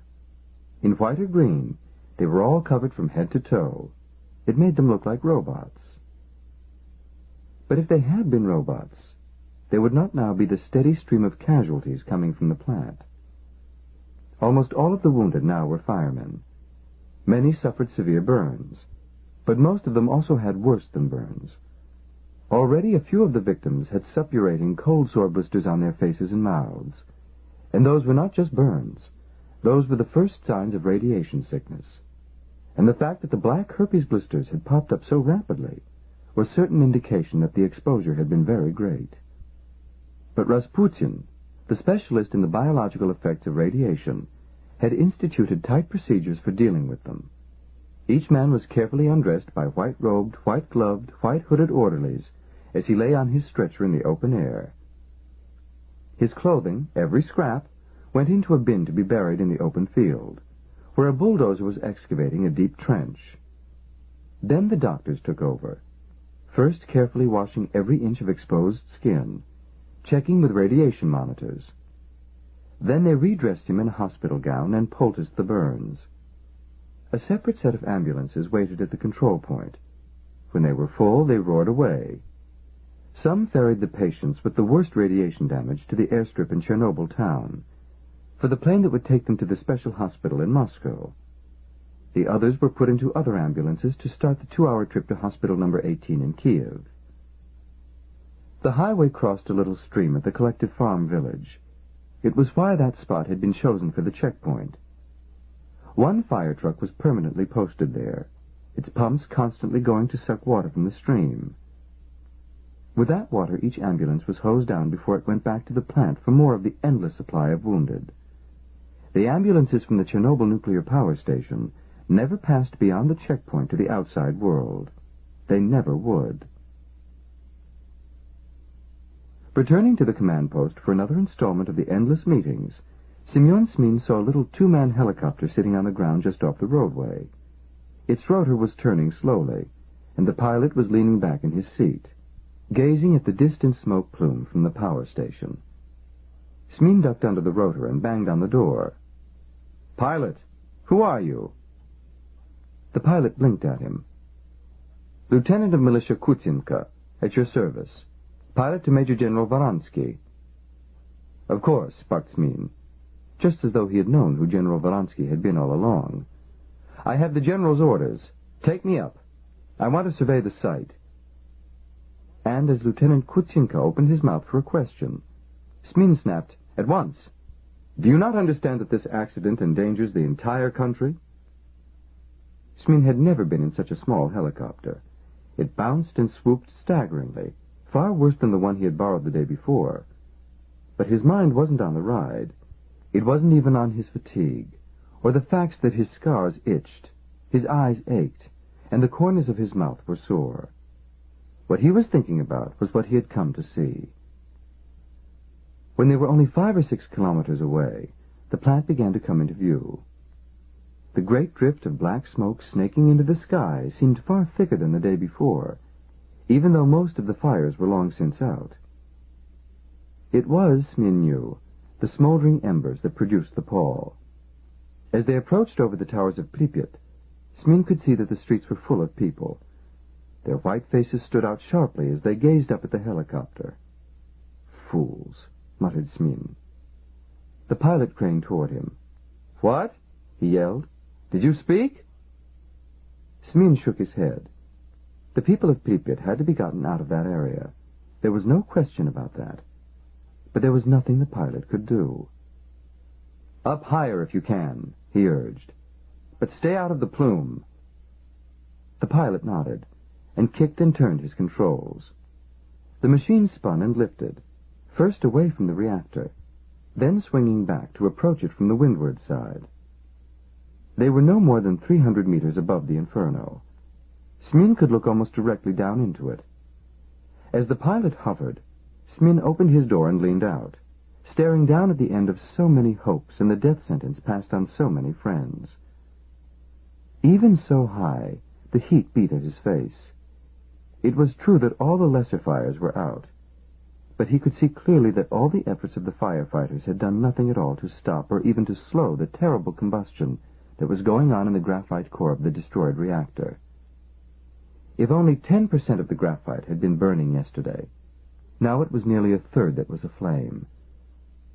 The still unburning surface of the graphite was a rubble of lumps and cracks and hillocks. The burning part was as bright and hot as the sun. Great rainbow-shaped streams of water came up from the hoses and down onto the furnace, but to no avail. Where the streams of water hit the fire, there were clouds of steam, but when the jet wavered away, the fire was still burning as fiercely as ever. On the ground, Smin could see bulldozers grinding away as they heaped up berms of earth. Beside the bulldozers, a pair of water cannon were blasting away at the lower reaches of the reactor shell. Whether any of their water was getting through, or what good it was doing if it did, he could not tell. The smoke billowed toward them. Get away, Smin shouted pulling himself back inside and slamming the door. The pilot was already slanting away, but the vagrant gust of air was faster than he. For a moment there was smoke all around them, and a stink of burning chemicals that tore at Smin's throat. Then they were clear. Both men were coughing, and the helicopter lurched as the pilot spun it away. Better get down, Smin managed to rasp out, and the pilot didn't even nod. He was already heading back to the perimeter post. By the time they were on the ground, the coughing fits were over. Thank you, said Smin gravely, and got out to confront the man in the green coverall who was watching them impassively from the door of the headquarters building. Even without the insignia on his shoulder bars, Smin knew who he was. He said, Thank you also, General Varansky, for allowing me to borrow your aircraft. The general didn't even smile. He only murmured, Why should I refuse one helicopter, when you people have already borrowed half the movable equipment in the Ukraine? But should we not go inside for the meeting? The general's remark was not much of an exaggeration at that. From the air, Smin had seen literally scores of trucks, bulldozers, ambulances, fire vehicles, and examples of almost everything else that moved on the roads around the stricken plant. Smin followed Major General Voronsky into the meeting room. The only conference actively going on was with the special doctors from Moscow. At least these specialists knew exactly what they had to do and could get on with it. Their home base, Hospital Number 6, had been designated the center point for radiation injuries, and the first job of the task force that had flown in the night before was to screen every victim for radiation. More than a thousand so far, with nearly 200 of them already on their way to Moscow for whatever treatment there was to give them. They were explaining this to some party and town officials for Pripyat, who were looking glum. Smin paused a moment at the door, where there was a rack of the pen-shaped dosimeters. He glanced around while the general went on ahead. No one was looking. Smin unclipped his old one and threw it into a basket, and fixed a new one to his jacket before he went in. I do hope, the Pripyat party secretary was saying cheerlessly, that you are not proposing to test everyone in Pripyat. Of course they will test everyone in Pripyat, Smin snapped, aware that his tone was offending the man, aware that the secretary would be writing a report on what was happening, aware, most of all, that none of that mattered. Smin wrinkled his nose at the faint smell of animal manure that permeated the meeting hall. The cow barns were only a dozen meters away. It is not all that has to be done, he said, in the town of Pripyat. Those people's lives are all at risk. They must be evacuated. Two of the Moscow doctors nodded, but the men from Pripyat looked thunderstruck.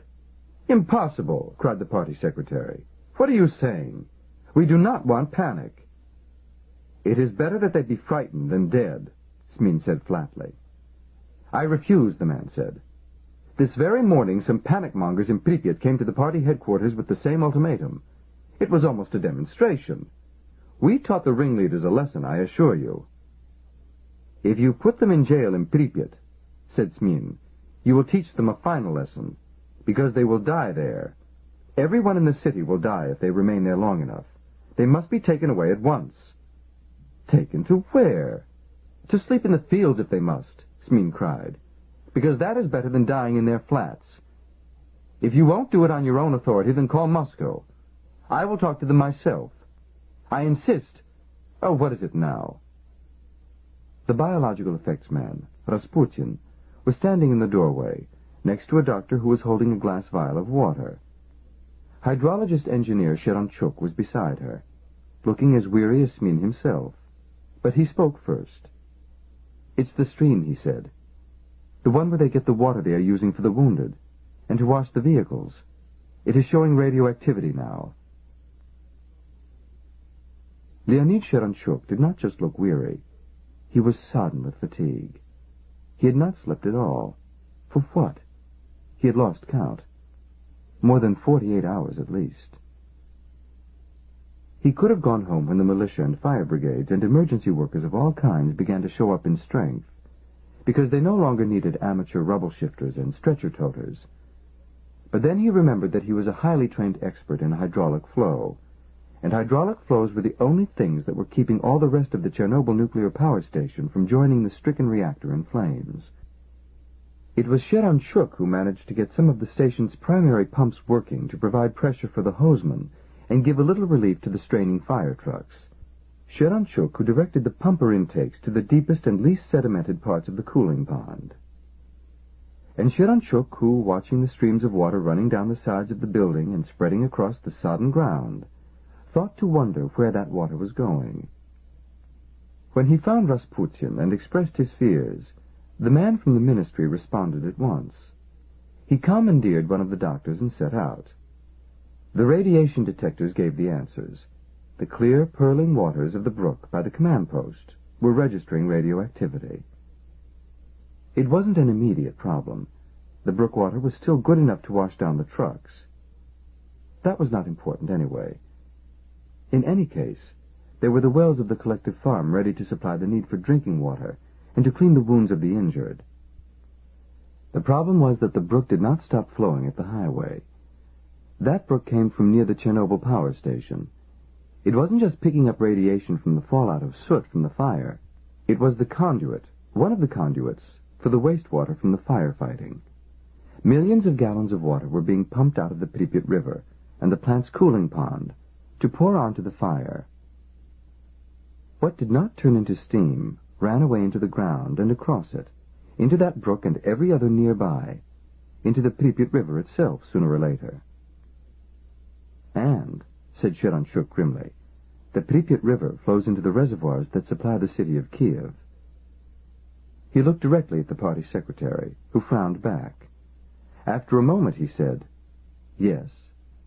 And then, raising a hand to keep Sheranchuk from answering, I see what you are implying. But surely that is not important. The hose water from a few fire engines against a reservoir. That hose water, said Smin wearily, is full of radioactive material. What do we do, Comrade Plumber?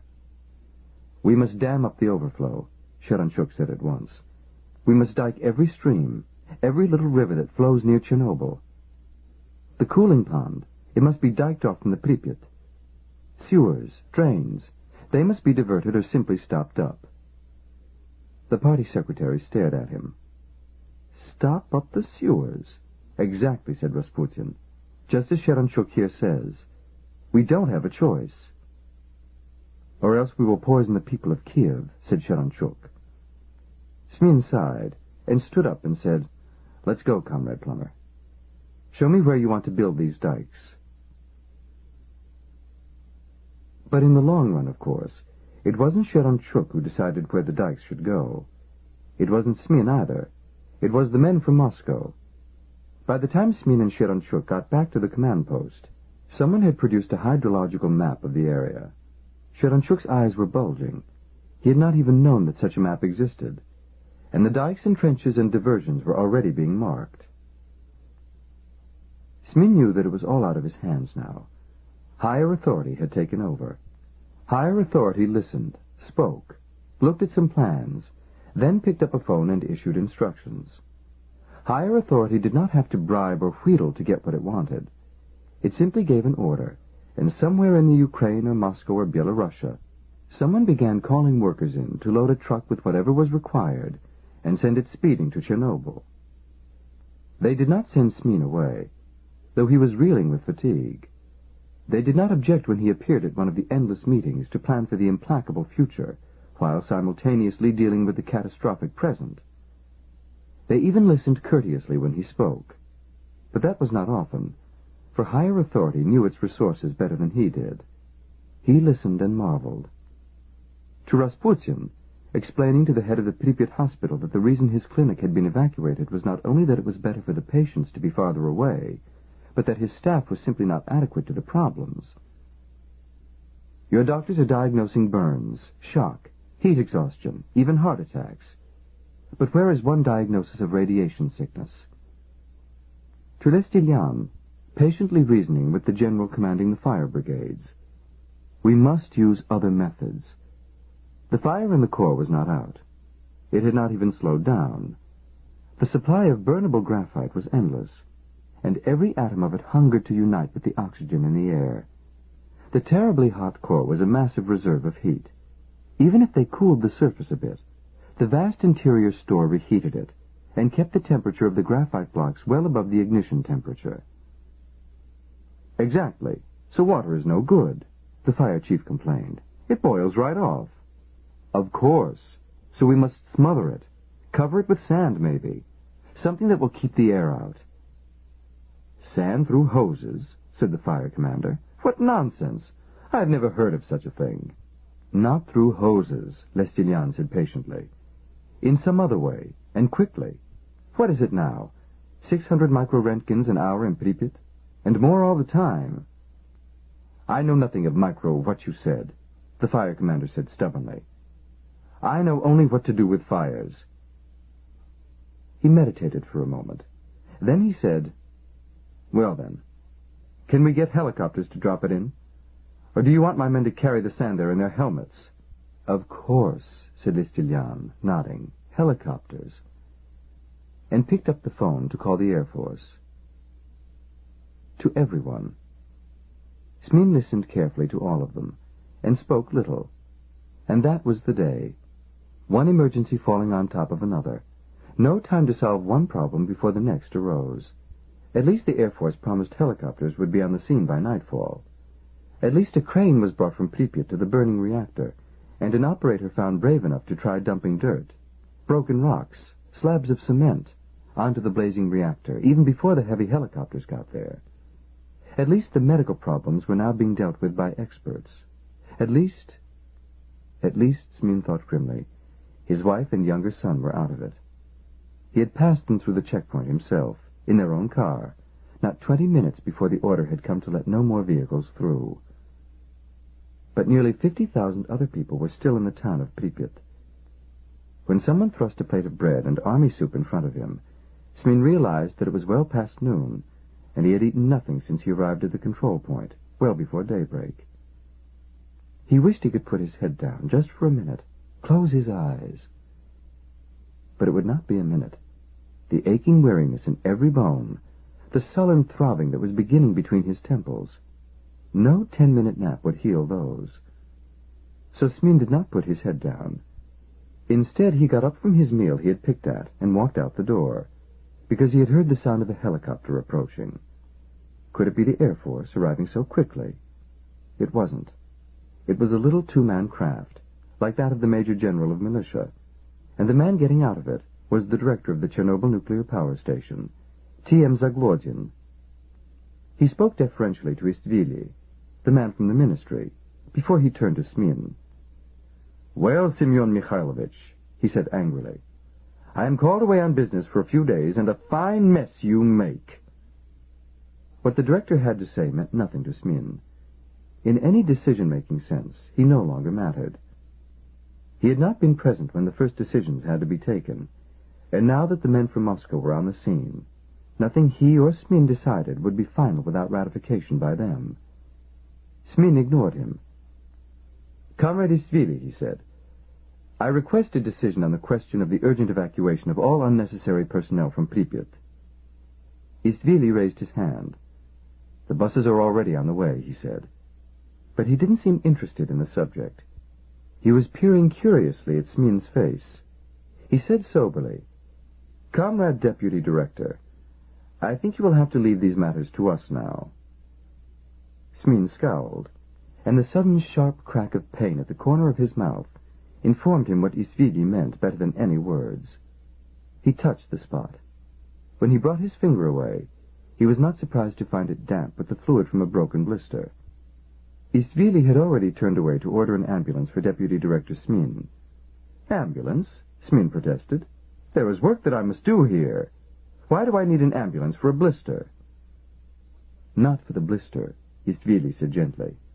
For what caused it. What you will do now is what the doctors will tell you to do, in hospital number six. You're relieved of your duties, Deputy Director Smin. He turned to Zaglodin, his face hardening.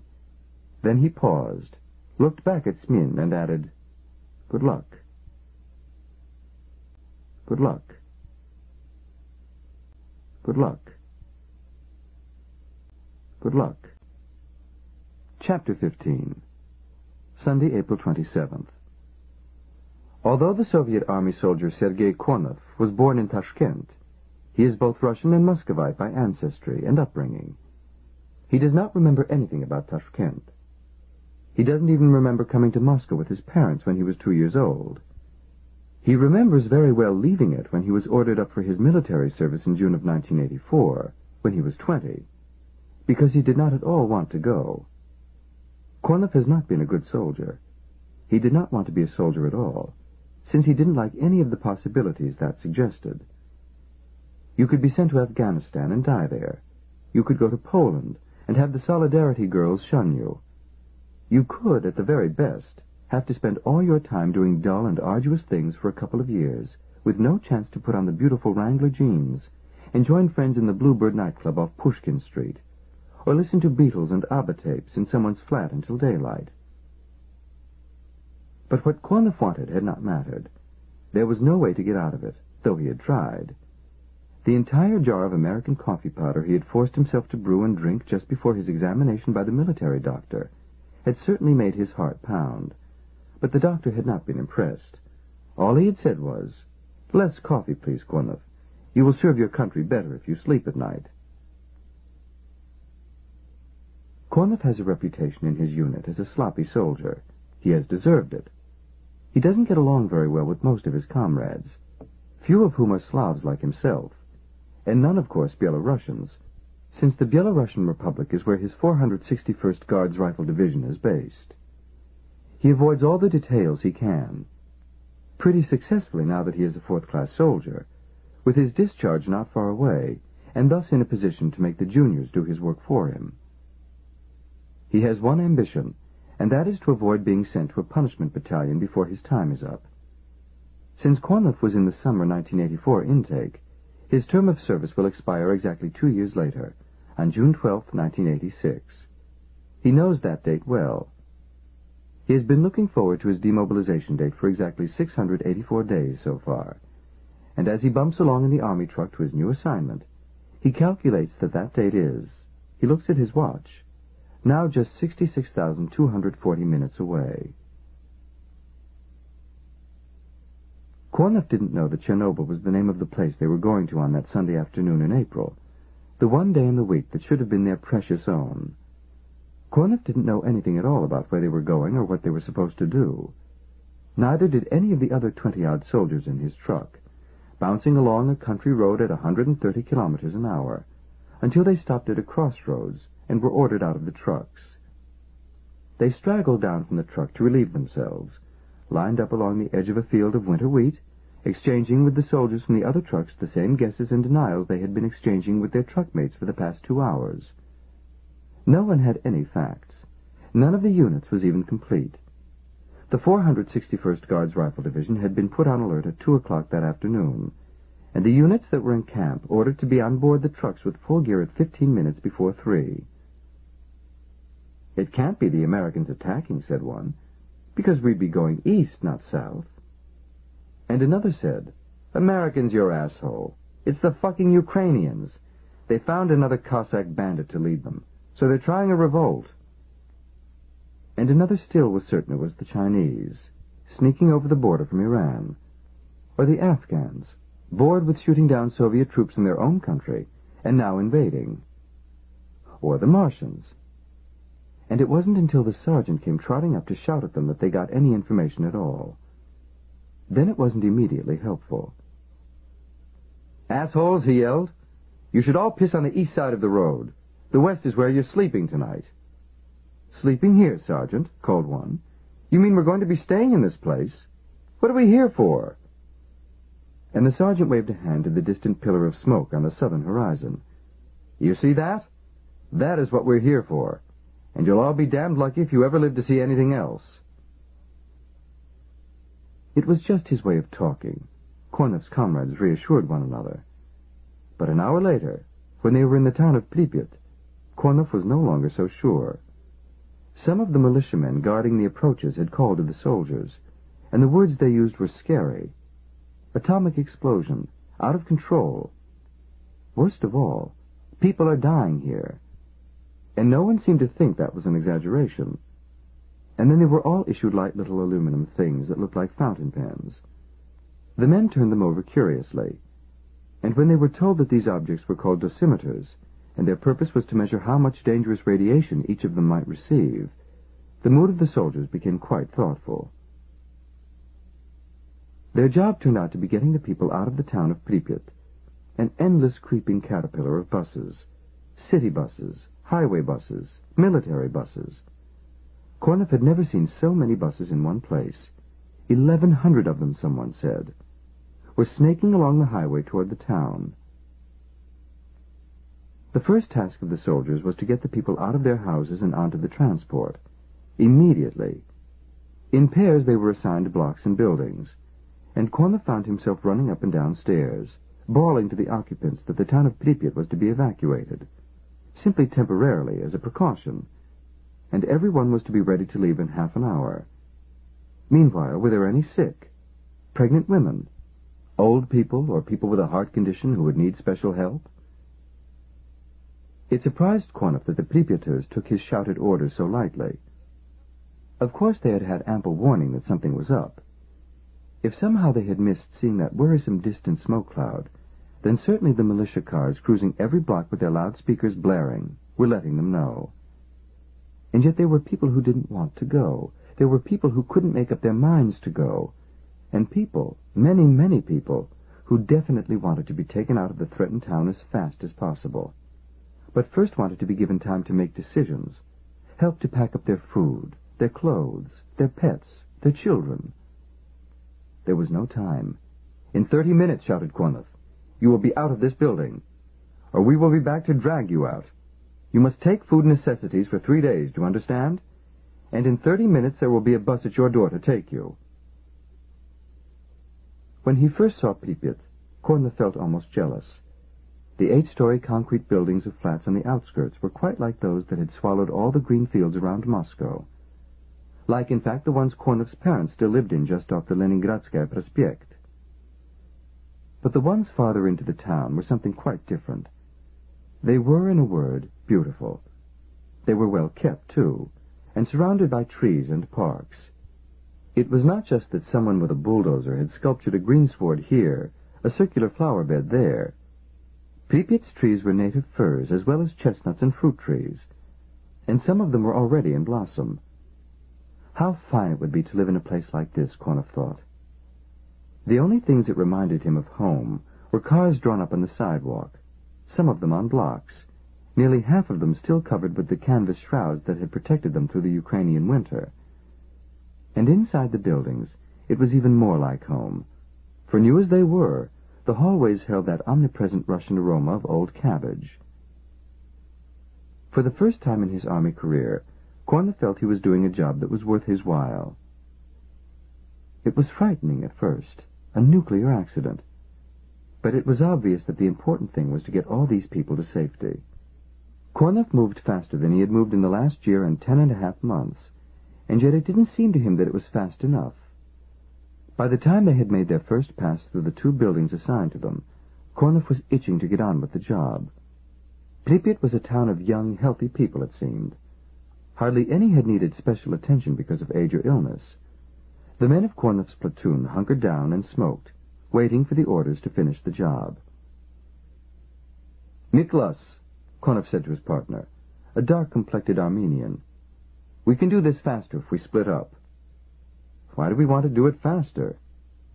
Korneff hesitated. To help these people? It had turned into a question as he said the words. Miklas looked at him with curiosity. Seryoja, he said reasonably. If we finish fast, they'll just find something else for us to do. Even so. Miklas shook his head. Well, why not? All right. You take the tall building, I'll take the other one. Well, that served him right, Korneff thought as he entered the second apartment house in the block. He had already figured out a new skill to meet the needs of the situation. It was better to start from the bottom of the building and to work his way up than to begin at the top. In his new system, he reasoned, you could double-check every flat on the way down, because when the people were out of the top floor, the ones lower down were already informed of what they had to do. Even if you were lucky, many of them might already be in the street, trudging toward the loading zones on the sidewalks with their belongings in their arms, and perhaps one child on their backs. He had to use threats at one of the first-floor apartments, but on the second floor he got unexpected help. A tall, pale man with his arm in a sling was standing at the stairs, waiting for him. Surprisingly, although the weather was warm in this late afternoon, the man was wearing a turtleneck sweater and a woolen cap. Let me help you, he said, his tone oddly supplicatory. My name is Kolichenko. I'm an engineer. I worked at Chernobyl. Korneff frowned at him. And how can you help now? he demanded. The man said apologetically, at least I can explain to the people what they are facing. Many of them simply do not understand the danger of radiation. But you are hurt, Korneff objected, eyeing the man's arm. It was not in a proper sling, but a woman's shawl. If you go down now, there may still be some ambulances for the sick people. I don't need an ambulance. I'll have it looked at later. Come on, then, said Korneff, turning away. He paused as the man tossed his own suitcase inside his apartment door. But he left the door open. Aren't you afraid that will be stolen? he asked. The man laughed. But that is impossible, he said. There is not one person leaving Pripyat who can carry one more thing than he already has. Come on. The sooner we get these people moving, the sooner we will all be gone. Korneff would not have believed it possible. But in less than ninety minutes from the time they entered Pripyat, a town of nearly 50,000 people had become a wasteland. The street Korneff had been assigned to was almost the last to be evacuated. He patrolled the sidewalk with Miklas, always watching to see that none of the complaining citizens obeyed that impulse to go back for one more thing while they waited. It would have been better, Miklas told him, observing the scene with a critic's eye, to assemble everyone in the main squares and load from there. Nonsense, Korneff said, equally critical. They keep them at their houses because they don't want them to panic. Only they should have assigned each bus to a specific address at once, of course, so there would not be this long waiting. Nonsense to you, too, said Miklas amiably. And up your asshole. What would the Soviet Union be without long waiting? That is why you are not an officer, Sergei. You do not understand Soviet life. I will understand it perfectly when I am back in it, Korneff said. And then, calling sharply, You! Stay by the curb! Your bus will be here directly. It wasn't, though. Korneff could hear buses grinding their gears in the next block. But so far their own had not been reached. Only soldiers were moving on foot in any of the streets. Militia cars were all that roamed the avenues. Korneff watched the knots of people on their block carefully for those who might change their minds or remember something irreplaceable that they must certainly go back at once to retrieve. Some tried. None got through. Now they could see the next block loading almost the last of Pripyat's people. As they were herded into the hundredth, or perhaps it was the thousandth, of the buses that patiently crawled through the emptying streets, loaded, and rolled away. The buses were of all kinds. Some had been making their runs in Pripyat itself. Most seemed to be from the distant city of Kiev, Others perhaps came from other communities nearby.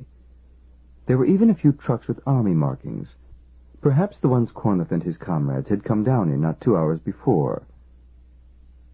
So we walked back to our campground, grumbled Miklas, and Korneff clapped him on the shoulder. You may be luckier than that, he said. Look, they are putting one soldier on each bus. Maybe you'll spend the night on the Black Sea. If that was where the buses were going, some of the people waiting to be evacuated had made bad guesses. Many wore sheepskin coats, even boots. One man even had a pair of skis. Another had a tennis racket. Well, since they had been told the evacuation would be for only three days, no doubt they planned to have a little vacation to make up for the pains. But where did the man with the skis think they were going? And the things they carried! A live chicken, even. Korneff saw it with his own eyes, under one old woman's arm. There were bird cages and rolled-up blankets. There were suitcases and duffel bags, paper sacks, cardboard cartons, table lamps with rosy pink shades, television sets, a stereo or two. There was nothing in any Soviet home small enough to carry, Korneff thought, that he did not see on the backs or in the arms of some of the thousands. What possessions could there be that had been left behind? And yet, Korneff knew, the answer was everything. Even the poorest owned much more than he alone could carry away, and the officers had been adamant. What a person could not lift aboard a bus in one trip stayed on the ground when the bus pulled away. There was already a mound of discarded, wept-over belongings stacked helter-skelter just inside the building door, to add to everything left in the flats or at people's places of work, and the washing on the lines, and the food on the tables. It must, Korneff thought, have been like this nearly half a century ago, when the Germans finished their sweeper on the Pripyat marshes and overran all this land. But this was not Germans. This was not the work of any external enemy. It was, Korneff thought uneasily, simply the result of what they had done to themselves. He did not like that thought. Korneff pulled the unfamiliar dosimeter instrument off his cape and held it up to the light. When he peered through it, he could see cryptic numbers and symbols, black on a white background. But what the symbols meant, no one had told Korneff. At the end of the block, the sergeant was in an altercation with a man who was shouting and pointing to a car, while the sergeant uninterestedly shook his head. Look, said Miklas, the poor man only wants to evacuate himself in his Zhiguli. Why won't the sergeant let him? Because they don't want traffic jams, of course, said Korneff. But there was something he wanted to ask the sergeant for himself. He was beginning to be very hungry. He got up and walked toward the sergeant, almost bumping into the pale man with an arm in a sling who had helped him evacuate one of the buildings, the one with the Ukrainian name, Kali something or other. But Korneff had more important things on his mind. He barely returned the man's greeting, though he noticed the young woman beside him in the line was good-looking. Korneff approached the sergeant, who was standing by himself and sipping something that came out of a Fanta orange drink bottle but looked and smelled like beer. Sergeant, Korneff said politely, it is past time for us to eat, I think. You will eat when you are told to. There will be food at the bivouac area, probably. Yes, Sergeant, said Korneff.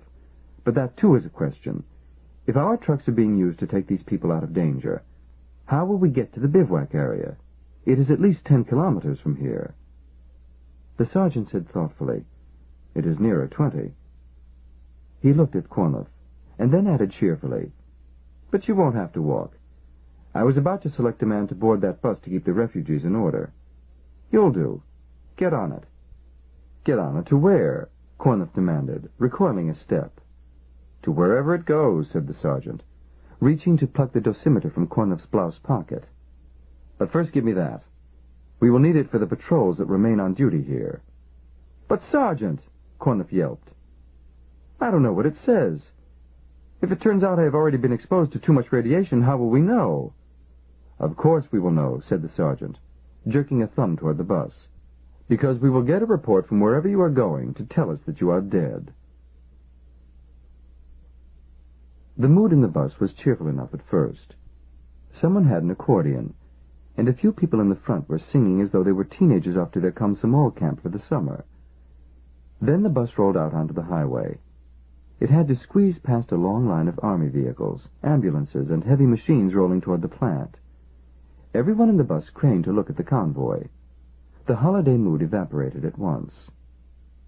The bus was filled with people and their belongings. There was no seat for Korneff, only the stairwell by the bus door. But at least he was on what seemed to be an intercity bus. Not one of those urban ones, where even the stairwell was so cramped no one could sleep in it. Korneff did sleep, leaning back, his head almost under the driver's seat. So, after a while, did most of those on the bus, even Kolichenko. He and his fiancée, too, had been lucky. They had managed to get two seats together. They had even managed to get into the very back of the bus, where there was a little more room on the floor to set down Raya's straw suitcase, her cooking pots, her sack of flour, and already melting half kilo of lard.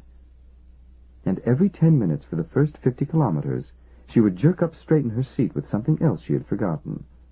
The wine bourdon! The champagne for our wedding! It's still in the kitchen cabinet. They gave me no time to think.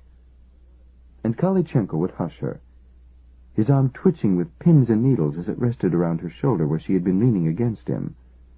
Shush, Raya. It's all right. We're not leaving forever, you know. But was that true?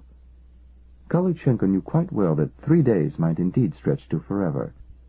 The fact that the town had been evacuated so hurriedly and utterly was certain proof that the radiation level had been not only above warning levels, but definitely very dangerous indeed. And how much radiation had each of them received already? Not as much for Kolichenko himself as he would have if he had remained at his post of duty, of course. But that line of thought led him to worries almost worse than future leukemia. He performed calculations in his mind, trying to remember the half-lives of all the deadly radionuclides that were likely to be in the smoke from the explosion and fire. Suppose, he thought, the firefighters and the engineers managed, somehow, to put out the flames and control the fission reactions. Suppose they sealed it all off. Very well. There would still remain all the tiny radioactive particles that had already fallen from the sky. The soot from the fire, the morning dew, the air itself had already left invisible films of radioactive cesium, iodine, strontium, and a dozen others. and all of them were still there in Pripyat, emitting radiation. Well, but some of them had short half-lives, he reminded himself. In just a few days, half of the iodine would have radiated itself into some other element, a harmless one. In a few months, the same would be true of the cesium, the strontium. In just a year or less, the radiation would be only a fraction of its current levels. A year or less. He did not even think of the long-lived transuranics, like plutonium, with a half-life of a quarter of a million years. A year was already an eternity. And anyway, it all depended on how much there was to begin with. A quarter of a little bit was perhaps no more than the normal background, while a quarter of very much might still be enough to kill. And worst of all, when could they start the patient clock that would tell them when they might return? For as the bus pulled out of Pripyat, Kolichenko had craned his neck to stare back. He could still see in the waning light of that April day the distant, uneven column of smoke. There seemed to be helicopters fluttering around it. Sightseers. Foolish ones if they were, because if they flew through that plume, they would learn caution very thoroughly, if too late to do them any good. The plume had been not one whit smaller or less frightening than it had been the day before. So it could easily be a year before any of them saw Pripyat again, Kolichenko told himself. It could be much longer. It could be never. And what then of his precious stereo from East Germany? His magnetizdat tapes of Okudzhava and the Beatles? His hopes for a car? His career? What of Raya's ten thousand forgotten treasures? What of their wedding? When she started up again, My raincoat from Czechoslovakia! What if it rains where we're going? He patted her silently. It would rain all right. It would rain many, many times before she saw that smart new black trench coat again. When he woke from an uneasy sleep an hour later, it was because Raya was leaning across him. She was trying to help the woman in the seat ahead of them with her wailing baby. The infant had soiled itself, and the mother was trying to make a flat space on the clutter of bundles, bags, and personal possessions of all kinds that were piled in the aisle so she could change it.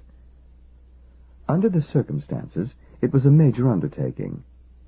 The mother had not failed to bring everything she needed with her, especially including the rolls of gauze bandages that were used for diapers. Unfortunately, the child was in her lap, and the bandages were in a bag buried somewhere along the aisle of the bus.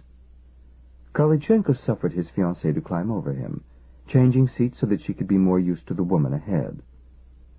Raya held the crying infant's shoulder securely while the mother dabbed him clean, then grumpily wound a headscarf around the baby boy's bottom.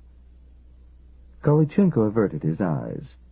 He could not avert his nose, and when the woman carefully rolled up the soiled diaper bandages and deposited them at her feet, he complained to his fiancée. She should throw them out the window. It's not fair making us stand all that stink. Then it was Raya's turn to shush him. And then what would she use when we got where we are going? It's all right, Bohdan. Here, let me make it smell better. From her pocketbook she pulled out a little flask of cologne and patted it on Bohdan's cheek. You don't mind about the scarf, do you? She added shyly. The scarf? You mean you gave that woman my sling? Kolichenko was suddenly outraged. But you don't seem to need it any more, Bodan dear. You lifted the bags with both hands. And think, in just a few months, when we have our own little one. I suppose it is all right, he grumbled. Let us go back to sleep. Obediently, Raya put her head on his shoulder again, and presently closed her eyes. But for Kolichenko it was not so easy. Raya's last remark had reminded him of another problem of radiation. What about the baby she was carrying? Just how much radiation had Raya absorbed? He didn't know, but had an uneasy feeling that pregnant women, or their babies anyway, were especially subject to radiation damage. In any case, he told himself, there was nothing he could do about it right now. But he remained wide awake, trying not to think. He squirmed carefully in his seat, not wanting to disturb Raya. The woman ahead had politely opened her window a crack to try to dissipate the odor pervading her immediate area. But as a result, a blast of damp, cold night air was striking Kolichenko just on the side of his head. His bladder was full. His future was murky. His mood was dour. There was no doubt in Kolichenko's mind, well, no real doubt, that he wanted to go through with marrying Raya, even less that he wanted the child she was carrying. Of course one should have a son. But his stomach churned with fear. Perhaps there was a way to have Raya checked for radiation. As for himself, the little bruises on his elbow, got when he fell as he fled the exploding reactor, no longer seemed very convincing even to him especially since Raya had given his sling away. The sling, of course, was no more than camouflage, simply circumstantial evidence to add credibility to the story he was planning to tell. But Kolichenko was aware he would need all the help he could get when questions were asked. And sooner or later, questions surely would be asked. Kolichenko groaned, stifling it so Raya would not hear, and tried to settle himself again for sleep. But the bus seemed to be slowing down, even stopping. It came to a dead halt, then lurched slowly forward again. Kolichenko tried to raise himself to see ahead. There were lights in the road. Someone was shouting directions. The bus crept forward, then turned into a space on the side of the highway, and came to a complete stop. The passengers began to stir. The overhead lights on the bus came on, and the door opened. Up ahead there was a muttered colloquy between the driver, the soldier who had gotten on with them, and someone from outside. Then the soldier stood up. Everybody is to get out here, he cried, his voice hoarse with sleep and fatigue. Leave your belongings on the bus. Now please hurry up. It had not, after all, been altogether a good idea to sit at the back of the bus, for it took them forever to get out. Emptying the bus was a complicated logistical problem. First, the people in the front seats had to stand up and lift some of the things from the aisles onto the seats they had vacated before those in the next row could move into the aisle. The process had to be repeated row by row, the whole length of the bus, before it came to Kolichenko's and Raya's turn. There was no way to speed the process. All they could do was peer out the windows. They could see that they were in what seemed to be an agricultural station of some kind. There were other buses there, a dozen of them or more, and people milling around under bright lights. As they limped forward and stiffly disembarked, the soldier was calling, Please, everybody, listen. Remember your bus number. Bus number 828. 828. Remember. When the bus number is called, follow instructions. And especially when it's time to go, make sure you get back on bus 828. For it is my ass if you aren't. An old woman chided him.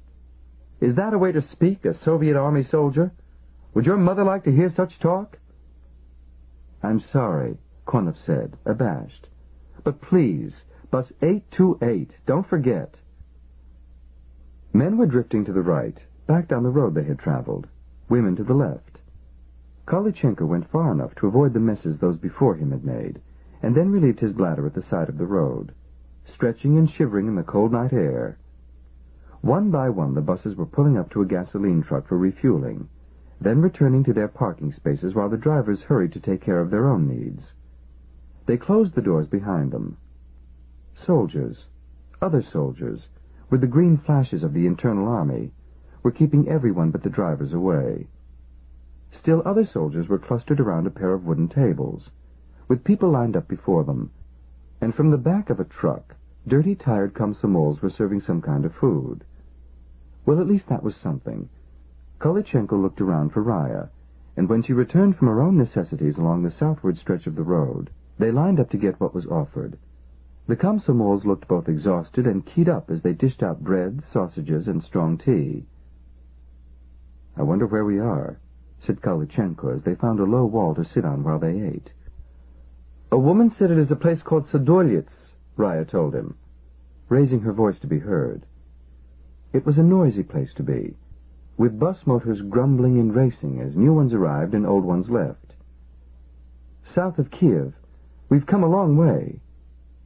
She was gazing at the mother from the bus who, her back modestly turned, was nursing her baby. I hope we're nearly there, Raya fretted. It's not good for the child, being up so late in this night air. It's not too good for me either, Kolichenko grumbled, but softly. And then their bus number was called, and they lined up one more time, under the bright lights, before the tables where an army colonel was standing, scowling, smoking a cigarette while two lieutenants were, wonder of wonders, giving away money. When he reached the head of the line, Kolichenko displayed his passport. The lieutenant painstakingly copied his name onto a long list, and then carefully counted out twenty new ten-ruble notes into Kolichenko's hand. For what? Kolichenko asked, astonished. For you, said the lieutenant, to help you get settled in your new home. A gift from the peoples of the Soviet Union. Now move along quickly. There are others behind you. Kolichenko counted over the notes, frowning. He followed Raya to where the passengers from bus number 828 were now ordered to assemble. The soldier from Pripyat was standing there at the closed bus door, a mug of tea in his hand. He looked more cheerful than before, and he nodded to Kolichenko. Now all of you listen, he ordered. When you get back on the bus, be sensible. The ones in the last rows go first. Take the same seats you had before. Otherwise it will simply be a disorderly mess, and... Then he fell silent as an army captain came up with a clipboard. Reboard now, he ordered in a weary voice, punching at the door until it opened. Just a few more hours, comrades. Then you'll be in your new homes. Where? He looked at the clipboard. This is bus number 828? Well, you've got a trip still ahead of you. It's a place called Yuzhevyin. It's a place called Yuzhevyin. It's a place called Yuzhevyin. It's a place called Yuzhevyin. Chapter 16 Sunday, April 27th. Radiation kills the cells of living things by spoiling the way the cells grow. And so it is the fastest growing parts of the human body that suffer the most. The lining of the mouth and the digestive tract are quickly damaged. But it is the bone marrow that is most at risk. The marrow of the bones is where the blood cells are manufactured, thousands at a time, to replace those that are always being lost in the body's normal wear and tear. When the bone marrow is damaged by radiation, blood counts drop. The blood loses its ability to fight off infection, to carry oxygen from the lungs, even to clot. It does not much matter whether the harmful radiation comes from nuclear war, from a natural source, or from something like Chernobyl. What matters is how much radiation is received. There are many ways of measuring the damage caused by radiation, but the handiest unit is called the rad, which is short for radiation absorbed dose.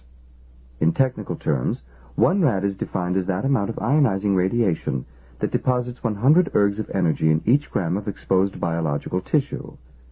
The number of rads tells the story. A person who has received no more than 150 rads is likely to recover completely. Around 300 rads, his life is in balance. But blood transfusions, antibiotics, and the best of nursing care should pull him through. 500 rads and over means that the bone marrow is destroyed, and without bone marrow, no one can live for long. In the swaying, jolting ambulance en route to hospital number 18 in Kiev, Tamara Sheranchuk wished she had ironed fewer of her husband's shirts and taken more time to look at his books. Perhaps there would have been something in them about these rads and Röntgens. She knew very well that such dose numbers were very important. The experts from Moscow's Hospital Number 6 had explained that to all of the Pripyat and Chernobyl doctors, in that quick 20-minute briefing that was all anyone had time for that weekend. Unfortunately, she didn't really know what they meant. Even more unfortunately, the casualties who came to her medic point didn't wear numbers. Some of them didn't wear much of anything at all. Before they got to the medics, they went through radiometric screening. As often as not, the counters squealed the alarm as they sniffed the garments, and then their contaminated outer clothing was taken away from them and added to the heap of condemned goods. They were lucky if they got a smock or a bathrobe from the dwindling stores to cover their underwear. They were luckier still if it was only their clothes that made the detectors squeal. And even the ones who had swallowed or inhaled radioactive material were not as frustrating as those who had merely been exposed to intense radiation. They were the hardest ones to diagnose. There wasn't any visible wound. They were weak. They felt nauseated. They vomited unpredictably. Yes, very well, those were precisely the early symptoms of radiation sickness. They were also the symptoms of shock or overexertion or a hundred other things, even simple fatigue. And certainly every human being working to control the damage from the accident had every right to a great deal of fatigue, including Tamara Sheranchuk herself. So what Tamara had been doing, before she was ordered onto an ambulance to accompany four of the seriously wounded to hospital number 18 in Kiev, were the simple medical things she had always done for injured people. Poultice and debris, sew and dress. It was not enough. There wasn't really room for four patients in the ambulance, much less for Tamara herself, and the stands that held the plasma and antibiotics that trickled into the bloodstream of two of the patients. There were not enough clamps for so many stands, and so, as the ambulance swayed, Tamara had to have one hand to steady a glucose drip and another to catch a stand of saline solution that was about to topple, and none at all to keep herself from bouncing about. These particular patients had, at least were thought to have had, only light doses of radiation, if any at all. Three of them were seriously burned. Unfortunately, only one of the three was unconscious. The other two could not help moaning and crying out as the ambulance lurched and Tamara fought to stay awake and steady the IV stands.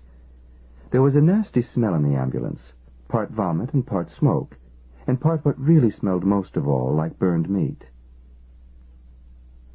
The fourth patient was a woman, with chest pains, perhaps the beginning of a heart attack.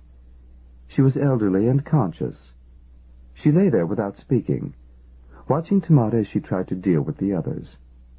When Tamara sat back for a moment, brushing hair out of her eyes and wishing she dared close them for a moment, the woman spoke.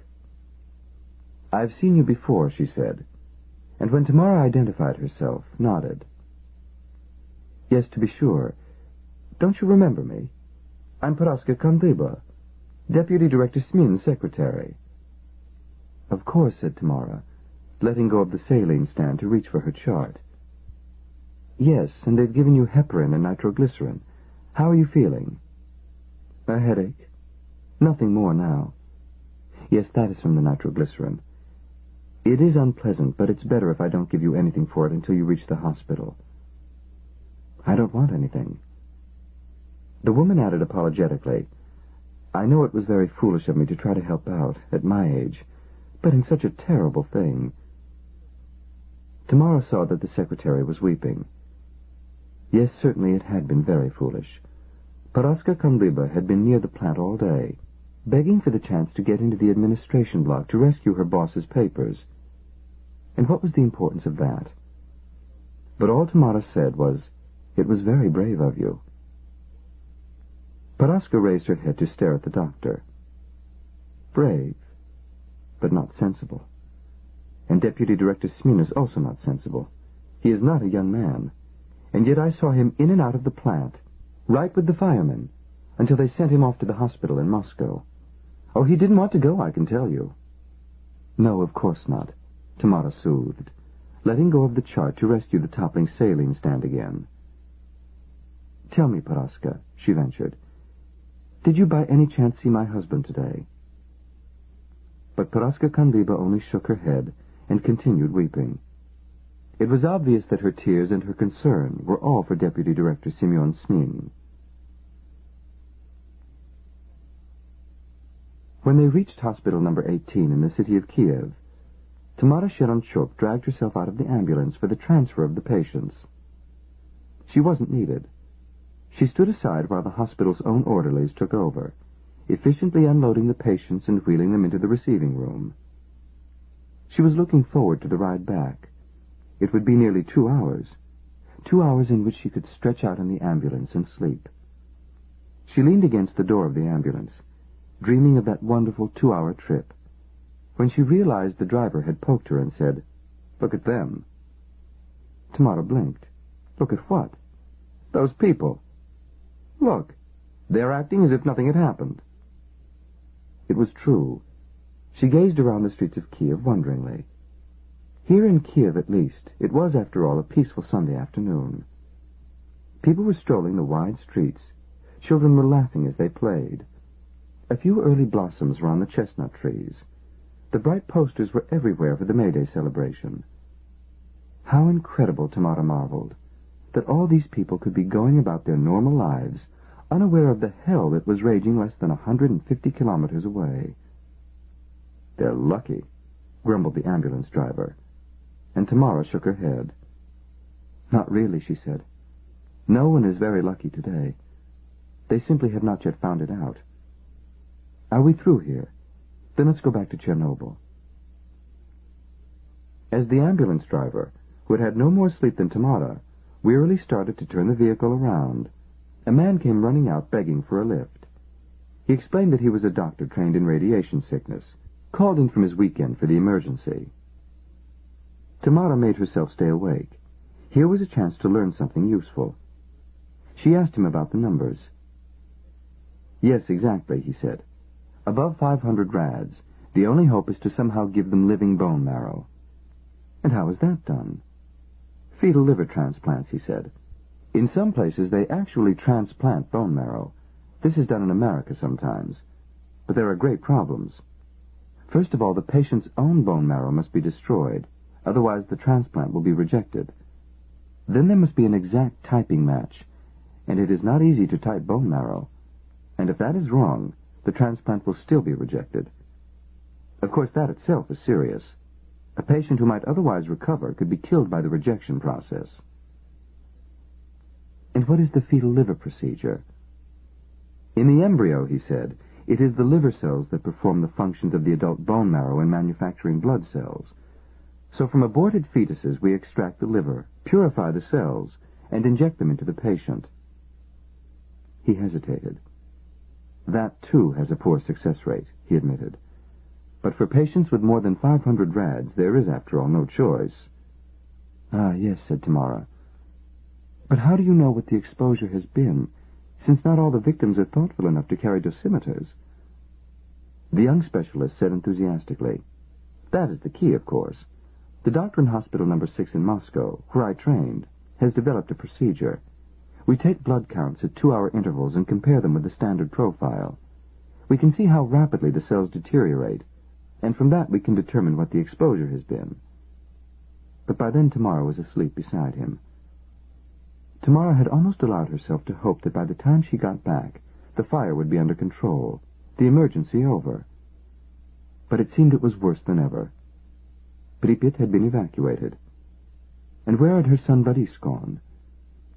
The ambulance was sent on to Chernobyl town, thirty kilometers away from the reactor. It was, it seemed, as near as was really safe. And so now there was talk that everyone, everyone within that 30-kilometer radius of the plant was to be ordered away. And where would they find places for all these people to stay? There were a dozen villages and nearly 30 collective farms in the area. Where would they all go? It was not just the people now. Half the farms in the area raised livestock, cattle mostly, but any number of sheep, pigs, goats, even a few horses. Many of the animals came from the kolkhozist's private ventures, which made their owners doubly desperate to save them. As they circled around the town of Pripyat and the stricken plant, Tamara looked longingly out of the back of the ambulance. Sheranchuk was there, doing, Tamara was sure, something doggedly heroic and certainly dangerous. If only she could take him and Boris and run away. It did not occur to her that this was almost the first time she had been separated from her husband when her principal worry had not been that he might be with another woman. When they reached the town of Chernobyl, they were directed to the bus station. There Tamara Sheranchuk set up shop. But she had no more than entered the room set aside for the medics than her boss, the chief of surgery from the Pripyat clinic, wrinkled her nose and scowled. When did you change your clothes last? she barked. Go at once. Shower. Eat something. Get cleaned up. Don't come back for one hour. But there are so many patients. There are plenty of doctors now, too, said the elder woman. Go now. And indeed, when Tamara came back in a clean white gown, her hair still damp but pulled neatly to the back of her head, there were four strange doctors taking their turns with the influx. Two were from Kursk, one from Kiev. The dark, small, oriental-looking woman all the way from Volgograd, but they must have emptied out every hospital in the Soviet Union, said Tamara. The woman from Volgograd said, No, the hospitals are all fully staffed. It is people like us who are off duty. Now we give up our Sunday to come here to help. And are the people in Volgograd so concerned about an explosion in the Ukraine? The people in Volgograd know nothing about an explosion in the Ukraine. Neither did I. I was simply told to report to the airport at nine this morning. Sunday or no, and here I am. What is holding up the line? Send in the next patient. Even the patients were easier to deal with here. Triage had already been done. Again by teams of fresh doctors brought in from everywhere, taking their turns at the medic point in the Chernobyl town bus station. The seriously injured ones had already been sorted out and sent off to hospitals elsewhere. The ones that were coming through were lightly injured, or not injured at all. For most of them, all Tamara had to do was a quick physical check. The eyes, the pulse, the blood pressure, the inside of the mouth. A quick questioning about symptoms and a few cc's of blood drawn for a lab somewhere to make a count. Then she passed them on. Most of them went directly onto buses or trains. For those who were able to travel were counted at once as evacuees. Mother, said a voice from the next queue, and when she looked up from her patient, she saw that it was a young boy. His face was filthy, and he wore an outsized army blouse, not his own. It took a moment for her to realize that it was her son. Boris, are you all right? I think so. Only they are sending all the Komsomols away now. And quite time for it, too. But where are you going? she demanded. Oh, to a summer camp, Mother. A good one. Maybe Artek, down in the Black Sea. And oh, Mother, he said joyfully, it isn't going to cost us a kopeck.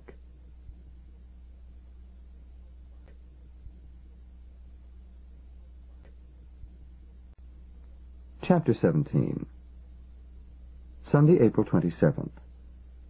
Smoke does not last very long in the air. What makes a column of smoke visible are the tiny particles of soot and other things that it contains, and they are transitory. The larger particles fall fairly quickly to the ground. The others fall more slowly, or are washed out of the air by rain. And in any case, diluted by the air they float in, quite soon they can no longer be seen. The gases that go with the smoke, however, remain. In the gases from the nuclear accident are many which are invisible but not undetectable. Chemical analysis will spot them readily, but if it took a laboratory to detect them, they would not cause much concern. Unfortunately, they announce themselves in a different and much more alarming way.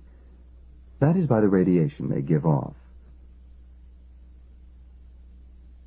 The first person to observe anything amiss in the air about him was a Finnish soldier. There was no smoke left by the time the Chernobyl cloud reached the Finnish border, so he saw nothing. His instruments told the story. The soldier's duty was to supervise a radiation detection station on the border between Finland and the USSR, and what his instruments noticed was a small but unexplained increase in the normal background radiation. The soldier reported it at once to his superiors, of course. They puzzled worriedly over the information, but for the time being, they decided to keep it to themselves. There was a political problem they had to take into account. Finland is not part of the Warsaw Pact, but all the same, Finnish leaders have learned a good deal of discretion. It was possible, they thought, that the radiation came from an unannounced Soviet nuclear bomb test. Disturbing reports about nuclear events in their Soviet neighbor are not broadcast indiscriminately in Finland. Finland, however, was not the only foreign country to discover that there was something wrong with the air on that otherwise peaceful Sunday in April. It was only the first of them. At two o'clock that afternoon, in the Swedish nuclear power plant at Forsmark, a worker coming off shift went through a radiation scan. The test was pure routine, but the results were not. The man's shoes were radioactive. Sweden does not take the discovery of unexplained radioactivity lightly. There is a powerful anti-nuclear movement among the Swedish people. Everything that happens at an atomic power plant is scrutinized at every step with great care. So this information was reported on the nationwide alert network at once. It caused immediate concern, multiplied when other stations reported that their air, too, was unexpectedly as radioactive as after a nearby bomb test, or even after a real bomb. The first thought, after they decided that the Swedish plants themselves were innocent, was a terrifying one. Most of Scandinavia's air comes from the west and south. It is for that reason that the smoke from England's factories kills Swedish lakes. The British got rid of their pea soup fogs with huge stacks that export the pollution to Scandinavia. So their first thought was that the source of the radiation was in the United Kingdom. Was it possible that England had suffered a nuclear attack? But the English radio stations were still prattling away. Alternatively, could the English, the Germans, or the Dutch have, totally unexpectedly, set off a nuclear bomb test? Then meteorologists traced the recent movements of the air masses over Sweden and informed the nuclear authorities that the patterns were a bit unusual. It was not from the west that the radioactive cloud came.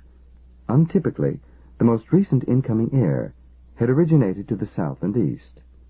It had come from the Soviet Union. The Swedes are as conscious of their Soviet neighbor as the Finns, but less careful about Soviet sensibilities. They saw no reason to keep the matter secret. The news services were informed. The report made instant headlines. In an hour, most of the world knew that something big and nuclear had happened in the USSR. Almost all of the world, in fact, except for the USSR itself. Chapter 18 Monday, April 28th.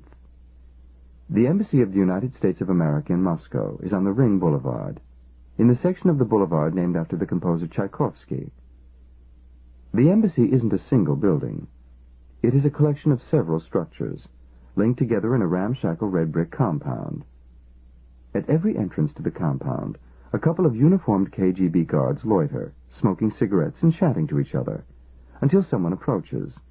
Then they interpose themselves in front of the door and request U.S. passports or hotel cards. When the documents are found to be in order, the KGB guards then say, or the more polite ones say, Pожалуйста, which means please, and perhaps they even touch the visors of their caps as they step out of the way. There have been times when they have been less polite and a very great deal more energetic, especially when, as has now and then happened, some desperate Soviet citizen has tried to hurl himself past them to sanctuary.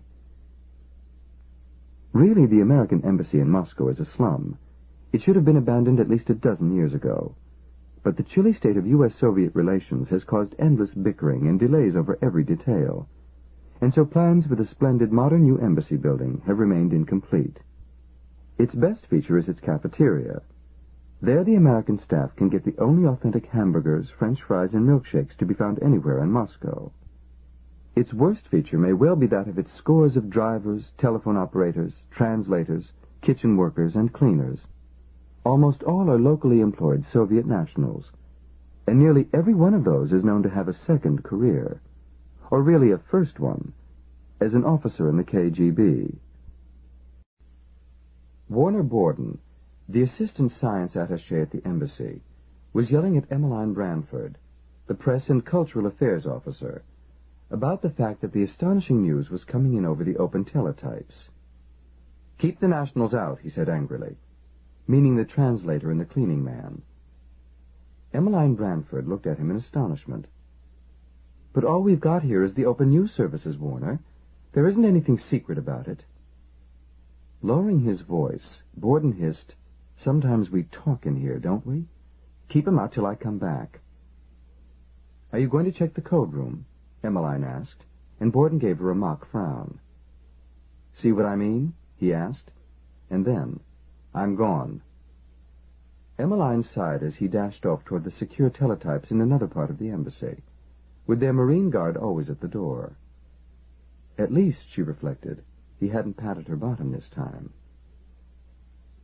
Across the narrow hall, her translator, Rima, was bent over her morning Pravda, meticulously putting a story about fisheries production goals in the Baltic Sea into her careful English. Rima had a last name, it was Solovyova. But for most of the American embassy staff, most of the Russians had only one name, like plantation hands in Old Dixie. For Emmeline, a black woman, some of whose ancestors had been named Cuffy, Napoleon, or Jezebel, the practice was unpleasing. But the Russians themselves seemed to prefer it that way. Perhaps that was because they didn't enjoy American attempts to pronounce names like Solovyova. Emmeline stopped beside her and said, Look, Rima, we'd better do what he says. Rima said, looking down at her desk, It is no problem, Emmeline. If the Russian woman had any interest in this nuclear radiation flat that was burning up the teletypes, she was keeping it to herself. Emmeline tarried for a moment, thinking. She wanted to ask Rima Solovyova if there were anything at all improvident about unexplained radioactive emissions. But she already knew there was not. Emmeline herself had already scanned the paper. Although her command of Russian was still a long way from easy, she would not have missed a story like that.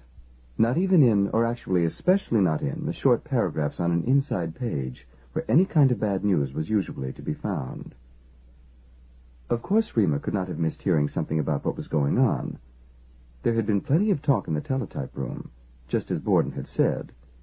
The simplest thing would be to come out and ask her what she'd heard and what she thought. But nothing was that simple in the relations with Soviet nationals. The relations between Emmeline and her translator were friendly enough. Certainly they did friendly things. Emmeline saw no harm in an occasional gift to Rima of a box of American tampons, or a shopping bag advertising Macy's or Marshall Field's. And Rima was helpful beyond the call of duty in locating off the books painters, plumbers, and carpenters, and supplying Emmeline with home-makeable recipes to replace the things that even the hard currency stores always seemed to be out of. Roach spray, for instance. Still, Emmeline had not been stationed in Moscow long enough for them to become anything like close enough to bring up politically embarrassing subjects. While she was debating whether or not to try it anyway, Rima Solovyova looked up, her face drawn.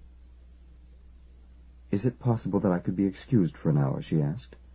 I do not feel well. Oh, is there anything I can do? Simply that I could lie down for a bit, the translator said apologetically. One hour at the most. Then I will be all right. Of course, said Emmeline, and watched the woman put a paperweight on her translation, pick up her imitation leather pocketbook, and depart. Rima didn't look back. Emmeline listened to her modish heels clatter down the narrow staircase until the bang of the outside door informed her that Rima hadn't gone to the little lady's room on the ground floor, but outside the building. It had been Emmeline's assumption that the Russian woman was having the onset of her period. Now she revised it. More likely she was going somewhere outside to make a telephone call, perhaps to ask for instructions on what to do in the light of the unexpected news. Emmeline sighed and remembered the cleaning man. Practicing her Russian, she said, Andre, can you finish this later on, please? After lunch would be good. And went back to the teletype room to see what else was coming in. What else was coming in was scores on yesterday's National League baseball games. Montreal at the Cubs, the Mets at St. Louis. Emmeline waited a moment to see what the Atlanta Braves had done, but it seemed they'd been rained out. She went back to her own desk and opened the folder on the American jazz pianist who was being brought in to tour Moscow, Leningrad, and Volgograd, and the novelist who had a special invitation from the Union of Soviet Writers to follow. Her heart wasn't in it. Clouds of radioactive material coming from the USSR was big news. Emmeline's first thought, of course, had been the same as everybody else's, namely that the Russians were sneaking in a nuclear test in spite of their self-imposed moratorium. But that made so little sense. The United States was going on with testing whenever it chose. There was nothing to prevent the Soviets from doing the same, except if they were stupid enough to lie about it in which case whatever propaganda benefits they had gained from their moratorium would be more than wiped out by the deceit. Then there was the possibility of an accident of some kind. Warner Borden had told her all about the mysterious Kyshtym event, more than 25 years earlier. It seemed that the Soviets had been storing radioactive wastes in Siberia, near the town of Kyshtym, and somehow carelessness had allowed some of them to flow together, reaching critical mass. It had never occurred to Emmeline Branford that waste could turn itself into a little atomic bomb, but Borden assured her that that was the best explanation for the, the whatever it was, that had poisoned hundreds of square kilometers of the Siberian landscape, caused the abandonment of a dozen villages and any number of collective farms, poisoned lakes and rivers, and even changed the Soviet maps. Of course the Soviets had staunchly denied that anything of the sort had happened, but of course they would. So when Warner Borden called for her to join him again at the teletypes and said, I talked to one of the Swedes. They fingerprinted the cloud, and it definitely was not a nuclear test. Her first response was, something like Kyshtym again. No, no, nothing like that. Not a nuclear weapons plant either. Although for a minute I thought that might be it. But the wrong elements were in the gases, according to the Swedes. It's... He looked around and closed the door. It's got to be an accident in a nuclear power plant. It could even be a meltdown. Oh, my God, said Emmeline, thinking of the movie The China Syndrome. But if there were that kind of an explosion, it wouldn't have to be a big explosion. Anyway, that's what the Swedes are saying. They've tested the cloud, and the proportions of radioactive materials match what the Russians would have if a power plant blew up. He was studying the teletypes eagerly, but all they were producing now were weather reports. I've checked the maps, he said. There are two nuclear power plants up on the Baltic. It has to be one of them, maybe both of them. Two power plants blowing up at once. He grinned at her. He seemed almost happy. What are you? One of those no-nuke nuts? These are Russian plants. You have to expect they'll blow up now and then. He leaned cozily over the teletype next to Emmeline, one hand negligently resting on her hip. She moved patiently away, not willing for a fight just then. Why were white Georgia boys so often turned on by a black skin? I'd better get back to work, she said, and returned to her office. Rima was back, diligently working away on letters in her own room. She didn't look up. Emmeline paused at the window by her desk, looking out on the broad, traffic-filled Tchaikovsky Boulevard. Didn't those people know that their power plants were blowing up? Shouldn't someone tell them? She sighed and sat down. And there on her desk was an opened copy of a magazine. She had not left it there. She picked it up and discovered it was something called Literaturna Ukraina. Emmeline's Russian was more or less adequate, or at least as good as anyone else's after taking the Crash Foreign Service course. But this magazine was not published in the Russian language. It was in Ukrainian. Most of the words were nearly the same, but with distinctively Ukrainian twists. Emmeline frowned. The article seemed to be about deficiencies in a nuclear power plant, but it wasn't about a plant located on the Baltic. She looked across the hall at Rima Solovyova, but the translator did not look up. Emmeline thought of asking Rima if she had put the magazine there, but if she intended to say so, she would have done it already. But why was Rima, or someone, giving her an article about a place called Chernobyl. Chernobyl. Chernobyl. Chapter 19. Monday, April 28th. Vremya, the nine o'clock television news broadcast, is a Soviet institution.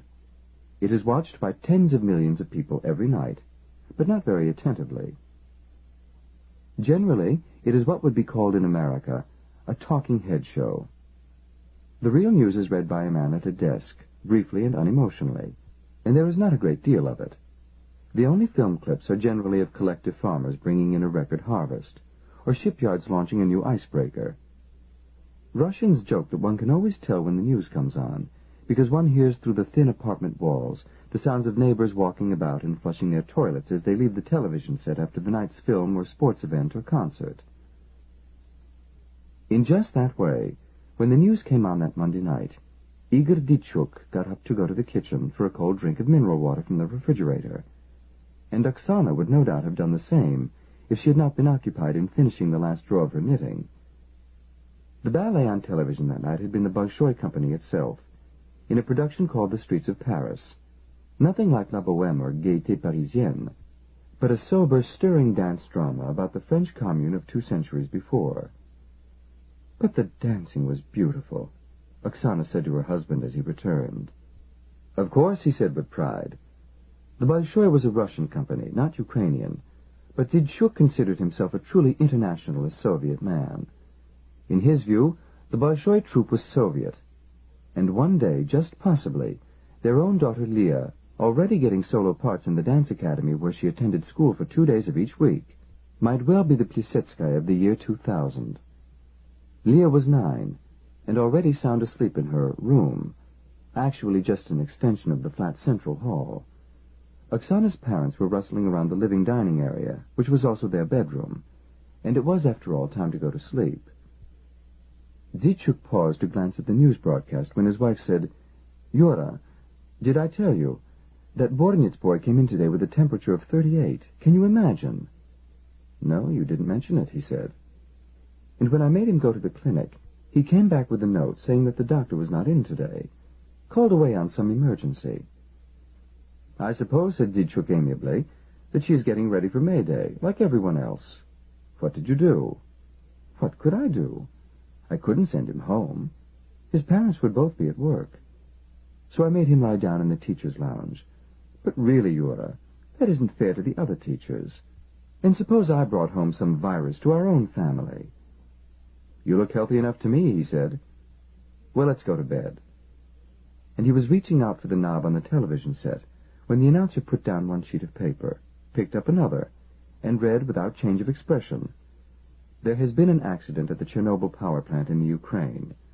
People have been injured, and steps are being taken to restore the situation to normal. There is a conversion table that Soviet people apply to government announcements of bad news. If the news is never broadcast but only a subject of rumor, then it is bad but bearable. If the event is publicly described as minor, then it is serious and if there is no measure assigned to it at all, then it calls for resorting to the voices. The only radio the Ditchuks owned was not in the kitchen with the television set. It was in the other room, where the grandparents were preparing for bed. Ditchuk knocked on the door and excused himself. The radio, he said. I think we should listen for a moment. At this hour? his mother-in-law demanded. But when she heard about the news announcement, she said, Yes, I understand now. That Mrs. Smin Saturday morning, it was clear that she was concealing something. But please, not too loud for the voices. Ditchuk didn't need to be told that. He turned on the Record 314 radio, the size of a baby's coffin, and waited patiently for the tubes to warm up. The volume he set only to a whisper. It is not exactly illegal to listen to the Voice of America and the other foreign broadcasts beamed into the USSR, but it is not something most citizens want to advertise. There did not seem to be anything coming in from abroad in Russian, and most of the other foreign stations, of course, were jammed. All they could find was the broadcast from France. That, for reasons no one had ever explained, was almost never jammed. But it was also in French, and none of the Ditchuks spoke that language. But even they were able to pick a few phrases out of the rapid-fire announcements, and those included 2000 de morts, and un catastrophe totale. But the Chernobyl power plant is more than a hundred kilometers away, Oksana protested, her face pale. Yes, that's true, her husband agreed somberly. We are very fortunate to be so far. They say that radiation can be very dangerous, not only at once, but over a period of many years. Cancers, birth defects, in children, leukemia and they looked at each other, and then into the hall, where Leah lay peacefully asleep, with her head on her fist and her lips gently smiling. Lips gently smiling. Chapter 20 Tuesday, April 29th. The control point for fighting the disaster at the Chernobyl nuclear power station is no longer at the collective farm. There are far too many people now to be held in a farm village, and so it has been moved to the town of Chernobyl itself. 30 kilometers away. The evacuation of the town of Pripyat has been expanded to include every community within that 30-kilometer ring. Where more than 100,000 people lived 72 hours earlier, there is now no living person except firefighters, emergency workers, and medics. Two squadrons of heavy-lift Soviet Air Force helicopters have joined the damage control forces, and day and night they load up sandbags and nets filled with bars of metal, take them on the five-minute flight to the reactor, dump them into the white-hot glow, and return for another load. The helicopter cabins have been lined with sheets of lead, which seriously cuts down the loads they can carry, and their pilots are working 12-hour days. The crews battling the accident on the ground are allowed only three two-hour shifts out of the 24. Even so, each man is stuck twice a day to yield a blood sample so his white corpuscles can be counted. And when the count is down, he is out of business entirely. Sheranchuk understood the reason for the two-hour shifts perfectly, but no one told him what to do in the six-hour stretches when he was forbidden entry to the zone. What he did mostly was try to sleep. When that failed, he ate, and smoked feverishly, and made a nuisance of himself. He knew that he was being a nuisance, because he had been told so when he visited the Chernobyl town hospital to see how his wife was getting along. Well enough, my dear, she told him, but really we're very busy here. And when he tried to call the hospital in far-off Moscow to check on Deputy Director Smin, his condition is being carefully monitored. He is conscious, and please don't tie up our telephone lines at this time. He couldn't help it. He missed Smin. All these new experts and volunteers from all over the USSR were well enough, but after all, the graphite core was still burning, was it not? He was pacing back and forth, scowling at the distant smoke on the horizon, when the armored personnel carrier pulled up outside the Chernobyl town bus station. He jumped in to join the fourteen others ready to take their turns. It was a half-hour ride to the plant, and none of them spoke much. On the way, they all pulled on their radiation coveralls, checked one another's dosimeters, made sure the hoods were fastened. As soon as the personnel carrier came to a stop, Sheranchuk trotted right to the closed-circuit water system to check the Bourdon gauge pressure readings. Overhead he heard the choppers flutter in and swoop away. One came in just overhead. It looked like an airborne whale, with a rotor on top and the revolving flukes of the tail assembly. He could see someone kicking a bag of something, sand no doubt, out of the door. Then he was at the pipes, and he didn't look up at the helicopters again, not even when he felt a rustly patter of dust on his helmet, and knew that one of the bags had come apart as it was dropped. It was only loose sand, after all. If he had been hit by one of the bags or by one of the falling sacks of lead shot, he would not need to look up he would be dead, as had happened already to at least one of the firemen whose work kept them closer to the drop point. That was the good part of Sheranchuk's immediate task, which was to free the great water valves to the steam system. They were in a sheltered location that kept him out of the direct range of the helicopter dumps. The bad part of the job was that the valves didn't want to be freed.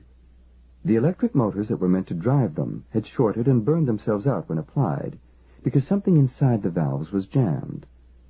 The control wheels outside failed to move the giant leaves within. When Sheranchuk reached the scene, he saw that his relief crews had tried a different tack. They had drained the system of cooling water from the pond in order to attack the valves with crowbars, but that hadn't worked either, because the steam system had run so hot that there was little liquid water in the pipes. It was now nearly steam all the way through. No one could work in that heat, and so they had to open the dikes and let the cooling water in again. By the time Sheranchuk got back with the new crew, the action had shifted to the external valve wheels again. Sheranchuk saw that the previous shift chief had rigged up a system of crowbars interlocked in the wheels, and the crew was trying doggedly to move the valves with the added leverage. Sheranchuk saw at once that it was risky. The great danger was not only that it probably wouldn't work, but that if too much force were applied, it might merely snap the shaft, sturdy forged steel though it was.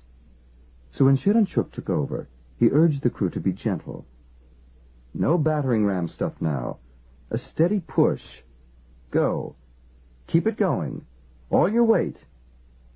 And when that effort accomplished nothing, he tried backing the wheel off a little for another attempt. It almost worked. The wheel moved, grudgingly, a few centimeters of a revolution. And back and forth, back and forth, they kept up the hard work, sweating inside their coveralls, in the noise of the helicopters overhead, and the rattle of dropped sand and metal bars, and the rumble of fire pumps and the hoarse cries of the men.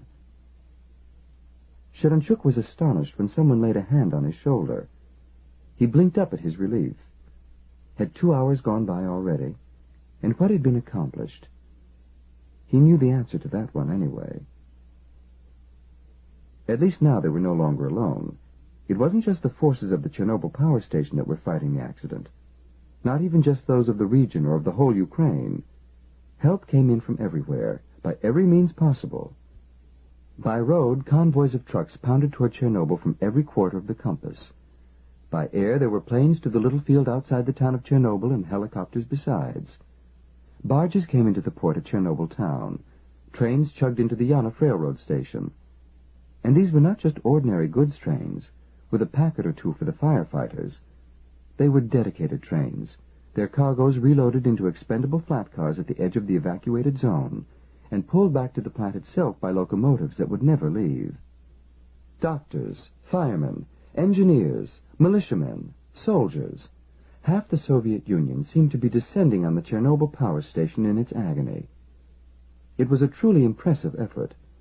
The only question in Sheranchuk's mind was whether it was going to be enough. They were ordered to shower without fail every time they came in off duty, and as often as possible in between times, just to make sure. As soon as Sheranchuk was out of his protective clothing and had allowed another few drops of his blood to be siphoned out, he headed for the showers, rubbing the inside of his elbow. The medics were finding it harder and harder to pick a spot on his arm not already sore from taking the blood samples. They looked tired, too. So was Sheranchuk. He pushed his way through the other tired, naked men waiting their turn, and let the cold water pour over him. He soaped well, wondering what load of radioactive poison was in the water itself. But that was a useless worry. They had to shower anyway. And besides, those moments under the shower were the only ones he had to relax and think about his wife and his son. The last word from Tamara was that Boris was already on his way to a Komsomol camp on the Black Sea, with twenty other young people from Pripyat. Sheranchuk took consolation in those good thoughts. At least his family was out of danger. If, thinking of the cloud of gases that blew helter-skelter across the face of the earth, anyone in Europe were out of danger, or anyone in the world. The pleasant moment had turned sour. Sheranchuk got out of the shower and dried himself in a pair of his own undershorts. Towels were among the niceties no one had yet thought to truck into the control post. He pulled on a cotton shirt and a pair of work pants and felt slippers. As dressed as he needed to be, he shuffled down the length of the improvised dormitory, past the rows of bunks, some of them with men snoring away, and the tables where other men were talking or playing cards, to a six o'clock conference. That was the bad side of the good fact that so many Soviet citizens had hurried to help. Meetings. With more than 2,000 men and women deployed to fight the explosion and its consequences, the people in charge had to keep an almost constant conference to coordinate their efforts. In the meeting room there was a table with an unshaded light hanging over it, and half a dozen men were waiting for his report. He gave it quickly. The valves won't open. They're trying to force them now, but I think they'll just break. Looking around the table, Sheranchuk realized that he was now nearly the highest-ranking person left on the scene from the peacetime. He corrected himself the pre-explosion time of the Chernobyl power station. Smin was in his hospital in Moscow, fighting for his life. After the director had arrived, he had insisted on taking charge of the emergency effort just long enough to be removed from it. Where he was now was easy to guess, and the chief engineer along with him. Others were in hospital number 18 in Kiev, or evacuated with their families, or simply run away. The people around this table now were all from outside the district, from Moscow and Kiev and Novosibirsk and Kursk. Most of them wore military uniforms under their coveralls. The person chairing the meeting, however, was the civilian from the Ministry of Nuclear Energy, Istvili. He was no longer as dapper as when he first arrived, but he was still energetic as he received Sheranchuk's bad news. He did not seem surprised. He only said, the plenum has to be drained. The plenum was the reserve of water under the reactor itself, built there so that in the event of a rupture of a single tube, the steam would bubble through the plenum and cool back down to water instead of bursting the containment shell. Of course, against what had actually happened at the plant, it was useless. Worse than useless, a danger. The general of fire brigade stirred restlessly. I don't see why we can't just leave it alone, he said. Because, comrade general, we don't want water down there. We want concrete. We need to isolate that entire core from the world outside, top, bottom, and sides. You're talking about work that will take months. I hope we can do it just in months. In any case, we don't know how much strength there is in the structures that hold the core. If it should fall into the plenum, it would be serious. Serious? It was already serious enough for Sheranchuk, who put in obstinately, Nevertheless, I don't think those valves will open. Istvili nodded.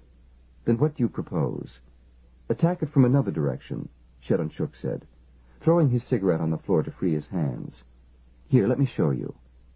He quickly sketched the outlines of the ruined reactor and the water-filled chamber below it. If we cut into the tank from another side, we can pump it dry, here, where it approaches the plenum for reactor number three. Pump that one out, then people can get in to cut through. Istvili studied the sketch, unsurprised. I approve. Also, I think we should try digging another shaft from here. It will be longer, but easier to cut through, perhaps. My men aren't moles, the fire general barked. We won't need your men for that, Comrade General. A team of miners from the Donetsk coal fields is already on its way. Now, as to the fire in the graphite itself. The fire brigade commander said, the helicopter drops are helping. Another 50 tons of sand are needed, though, at least. Comrade Colonel? The Air Force officer rapped out, Of course. We have requested another squadron of men and machines. They should be here in the morning. With them we will continue the drops on schedule. Istvili looked at the fire brigade commander, who shrugged. If that is so, then perhaps we ought to have more volunteers to fill the sandbags. Also, my men can't get through the rubble near the reactor building. Have it bulldozed away. To be sure, Comrade Istvili, the fireman said mildly. But to where? Some has already been dumped into the pond. Good God, man! Sheranchuk cried. Not the cooling pond. We poisoned enough water already. So I have said, but then where? Since no one else spoke, Sheranchuk said, There's a foundation dug for another reactor on the other side of the station. I doubt it will ever be built now. Can't you shove everything in there? Do it, said Istvili, turning to gaze at Sheranchuk again. He asked the meeting at large, Is there anything else we need our hydrologist engineer for at this time? Sheranchuk said quickly, There is something I need the meeting for, at least. And what is that? It is simply impossible to accomplish anything in a two-hour shift a couple of times a day. I request permission to work for longer periods. How long? As long as I have to. Four hours at a time at least. Istvili drummed his fingers on the table, looking around. How are your white blood corpuscle readings, Comrade Sheranchuk? Who can tell? They simply take it and go away somewhere. At least they have not told me I am in danger. Istvili nodded. Then he sighed. Permission granted, he said. Now let us see how we stand for materiel. Materiel. Materiel. Chapter 21. Wednesday, May 1st. Except perhaps for the anniversary of the October Revolution, which occurs in November because of the changed calendar, the paramount public holiday of the Soviet Union is on the first day of May. It is called International Labor Day, or more frequently simply May Day. There is no village in the USSR so small that it does not have at least a celebration on May Day, and in the larger cities, the event is an immense production. But we can't watch it on the TV, Candace Garfield told her husband reasonably, because we don't have one in this delightful little toilet you found for us. And they'll just charge us extra if we want to use the one in the living room. And it's in black and white anyway. Well, hell, hon, said her husband, also reasonably. It was only eight in the morning, and they were both still being reasonable. Who wants to watch it on TV? We might as well be home in Beverly Hills if that's all we want to do. We'll go on into town and, and walk to the subway, right? because those buses don't ever run. They were running all right yesterday, honey. It was only like on Sunday and Monday that we couldn't find one. And today's a holiday, right? So they probably won't be running at all. Garfield opened his mouth to respond a touch less reasonably, because his own temper was beginning to run short after four days on their own in Kiev. They were saved by a knock on the door. Oh, poop, said Candace. That's Abdul for the rent. Wait a minute till I get something on. Abdul was who it was, although his name was surely not Abdul. He was some sort of Arab in some sort of diplomatic post at some Arab consulate. For four straight days he had managed to avoid telling them which nation paid his salary. He was a constantly smiling, slim young man, no more than thirty. This time, as always, he greeted them with a cheery good morning to the both of you, and an outstretched hand.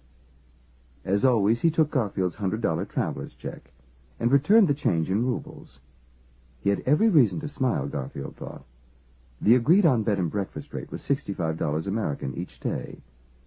The $35 worth of rubles Garfield got back in change were always calculated at the official rate, and Garfield was quite certain the man got his own rubles from one of the furtive young men who hung around the tourist hotels at no more than 25 cents apiece instead of the official rate of over a dollar and a half.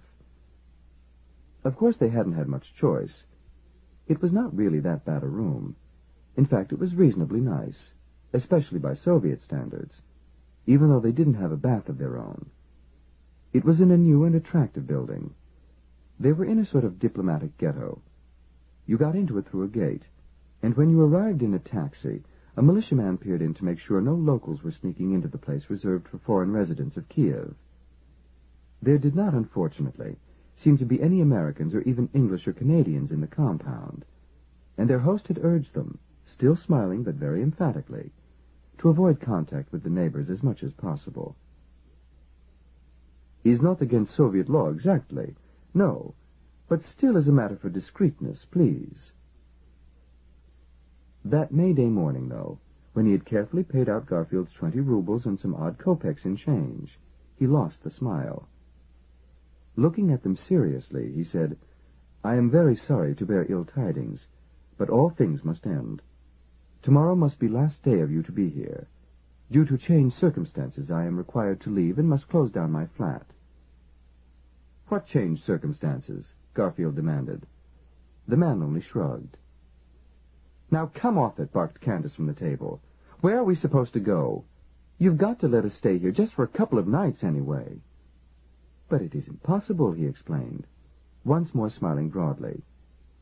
Your luggage? Yes, if you like, you may leave it here until you call for it. No later than six tomorrow evening. And now I must leave at once to prepare for our May Day reception, and then we must pack for departure. My good wife will now have your breakfast ready. It has been very great pleasure to know you, really.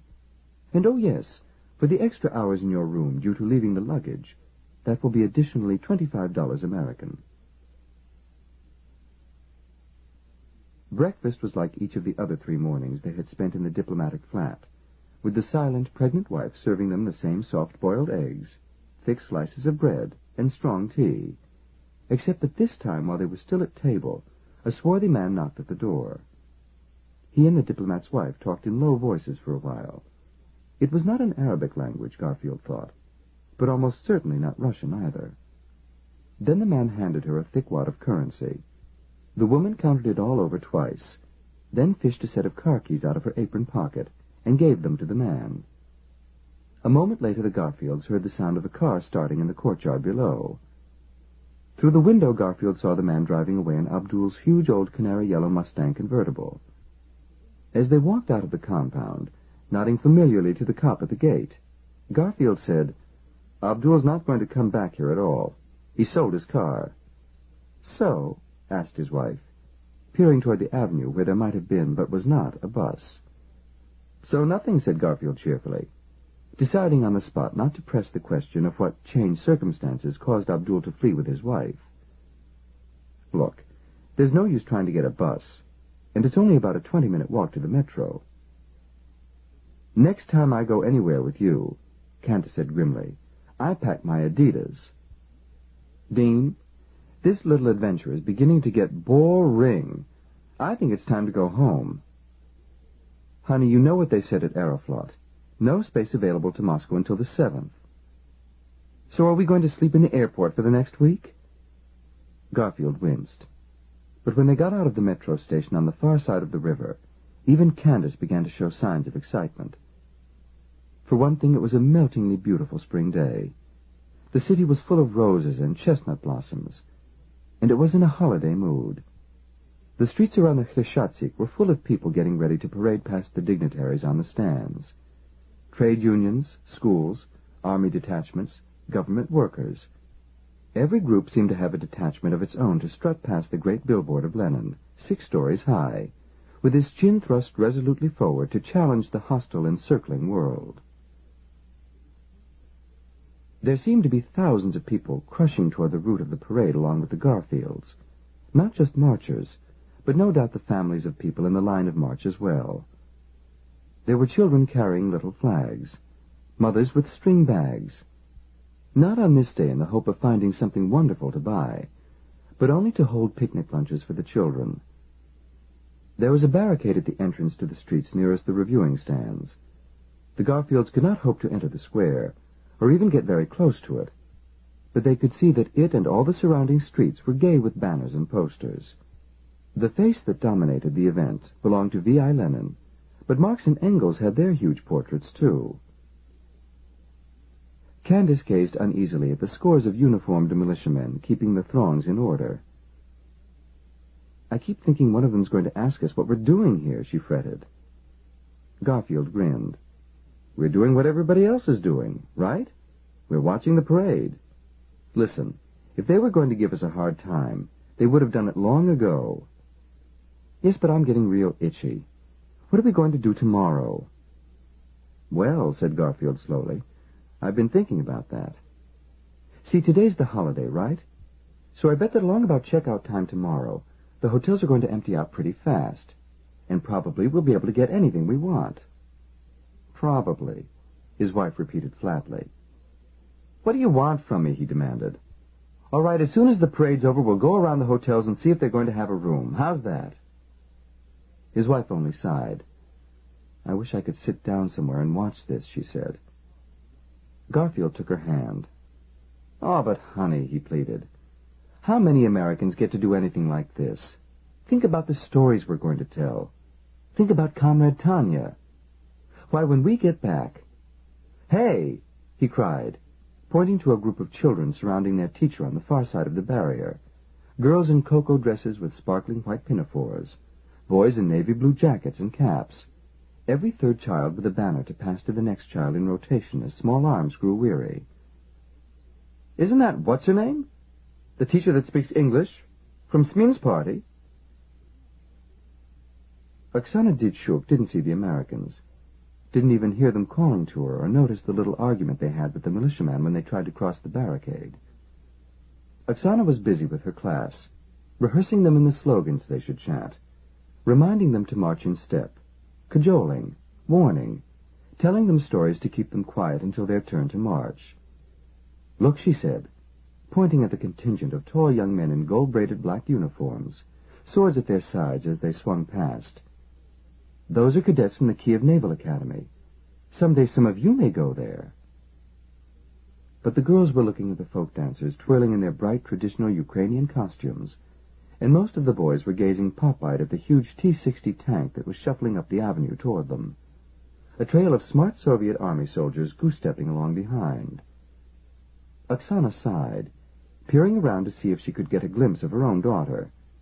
But there were too many groups of schoolchildren, too many floats and bands and military vehicles, too many people entirely. Oksana Ditchuk wondered if it could possibly be true that this thing at the Chernobyl power station could be dangerous even to people here in Kiev. What was one to believe? The voices had been more strident than ever that morning. The Ditchuks had even managed to catch a few minutes of Radio Free Europe before the jammers discovered the wavelength they had switched to, and the warbling twee-wee-wee-weep had drowned it out. But what was one to do? At school the authorities had been quite firm. There is certainly no cause for panic. If any extraordinary measures are required, of course we will be informed at once. And yet the rumors grew. Twenty-five thousand dead and buried in a mass grave on the banks of the Pripyat River, one colleague had whispered. Or so he had heard one of the voices say. Almost certainly that was untrue, Oksana thought staunchly, especially considering the source. No one believed Radio Free Europe, but what a pity that they could not get the calm, trustworthy voice of the BBC. And then the signal came for their unit to begin the march. Oksana gathered up her group, and they took their places in line. What angels they were being this day. Every one of them, little as they were, unruly as sometimes they could be, marched along bravely, and as they passed the reviewing stand, each did a perfect eyes right and shouted together, We will defend the motherland of socialism. Her eyes were moist as they passed under the great posters of Marx, the size of the head demonstrating the immense power of the great brain that lay inside it, and of Lenin, sharp gaze ever alert to seek out those who sought refuge in the twin enemies of the working class, God and vodka. And then at the very edge of the square was a tiny poster of Khrushchev. Oksana stole a quick look around as they passed it to see if any of her class had noticed that a new face had been added this year. None of the children seemed to, so there would be no difficult questions. Although, Oksana told herself, it was after all quite proper that the man who had held the city of Kiev together in those terrible days of 1941, while the Germans hammered past it on both sides, should be recognized on Kiev's May Day. One must always remember that it was Khrushchev who, years later, had insisted on adding Kiev to the short but illustrious list of the USSR's hero cities for that desperate resistance. Though, of course, at the time of that resistance, a good many Kievans, listening to the traitorous words of defeatists and saboteurs, had not been nearly as eager for their tasks as the people of Moscow and Stalingrad. Nevertheless, the delay at Kiev had cost many thousands of lives, but it served a purpose. It had slowed the Hitlerite drive toward Moscow just long enough to make it fail. And of course, one of the little girls was tugging at her sleeve. They were out of the square now, stopped, waiting for the signal to be dismissed. Oksana said sharply, What is it, Lydia? Those people, the girl whispered. They're calling to you. And when Oksana turned, she saw the American couple, waving urgently at her from behind a pair of scowling militiamen. Mrs. Ditchuk, the woman cried. Help us, please! It was nearly dark by the time Oksana Ditchuk had finished with her responsibilities and could take the Americans to the apartment house. They found Mrs. Smin and her son with Smin's old mother on the roof, waiting for the fireworks to begin. Are we ever glad to see you? grinned Dean Garfield. We got thrown out of our hotel, and we've been staying at some Arab's apartment ever since and were about to get thrown out of that. But he was surprised to see that Selena Smin did not seem really delighted to see them again. The expression on her face as she listened to Oksana Ditchuk's translation of their adventures was hooded. No worse than that, worried. She was not at all the same gracious hostess who had pressed them to eat just a little more just a few days before. Selena Smin thought for a moment before she spoke, then she watched the Garfields gravely as Oksana translated. You have heard nothing of the accident at Chernobyl. And when Garfield shook his head, she began to speak rapidly, so rapidly that Oksana could hardly keep up. It was not just that either. Garfield saw that Oksana Ditchuk was hearing some of this for the first time herself, as Selena Smin told of the explosion, the radioactive gases that were reported from many parts of Europe, the injuries, the evacuation of the town of Pripyat. The dead. And my own husband, she finished, is now in hospital in Moscow, perhaps gravely ill. They cannot be sure yet. Our son Vasily is to be sent to a Komsomol camp for the summer. But first, first I suppose he will accompany me. I will go to Moscow tomorrow, to be with my husband. Oh, my God, whispered Candace gripping her husband's arm. Garfield said thickly, I bet that's the changed circumstances that Arab son of a bitch was talking about. But he wouldn't tell us a word. Candace wasn't listening to him, but to a quick, soft-voiced exchange between Selena and the translator that made Oksana look suddenly pale. What's she saying now? Candace demanded. Oksana hesitated. I only asked her what I should do about my own little girl, she said. She said she didn't know. Selena Smin spoke sharply again. But as for you and your husband, Oksana translated, there is only one thing to do. You must go home quickly. Mrs. Smin or her mother-in-law will arrange everything. You will fly out to Moscow or Warsaw or Bucharest in a few days, and then home. Many foreigners have already left. Vasily Smin had been listening to every word, but now he turned away. Look now, please, he said in English. The, uh, the pyrotechnicals is begun. Off toward the skyline of the city, rockets were blossoming over the Dnieper River, red and gold and white. Below, hidden by the buildings between, was a huger, steadier glow. That is a Soyuz spacecraft in pyrotechnicals, said Vasily, carefully rehearsing each word. We cannot view it properly because... because... He fumbled for the words, helped himself out with gestures. Because it's turned to face the city instead of us? Exactly, he said, beaming. It has turned face to the city instead of to us. I think it will be quite beautiful. Candace said gently, And what are you going to do now, Vasily? He said proudly, Tomorrow I fly to Moscow. Then he swallowed and added, It is that my father, he has a failure of the blood, and they think that out of my bones they can get something which will make him better. I'm sure it will, Candace said, pumping confidence into her voice. And then, uh, Vasily. Yes, Mrs. Garfield. My husband was so distressed at your news that he forgot to mention it. But we don't have a place to live after tomorrow. So if we could leave with you... One moment, if you please. The boy talked quickly with his mother and grandmother, and then turned to the Americans, smiling happily at being able to oblige them. You will have a hotel room, of course. But there aren't any hotel rooms. What nonsense, the boy scoffed. Believe me, a room will be found. After all, my grandmother is still Aftasia Smin. Still Aftasia Smin. Still Aftasia Smin.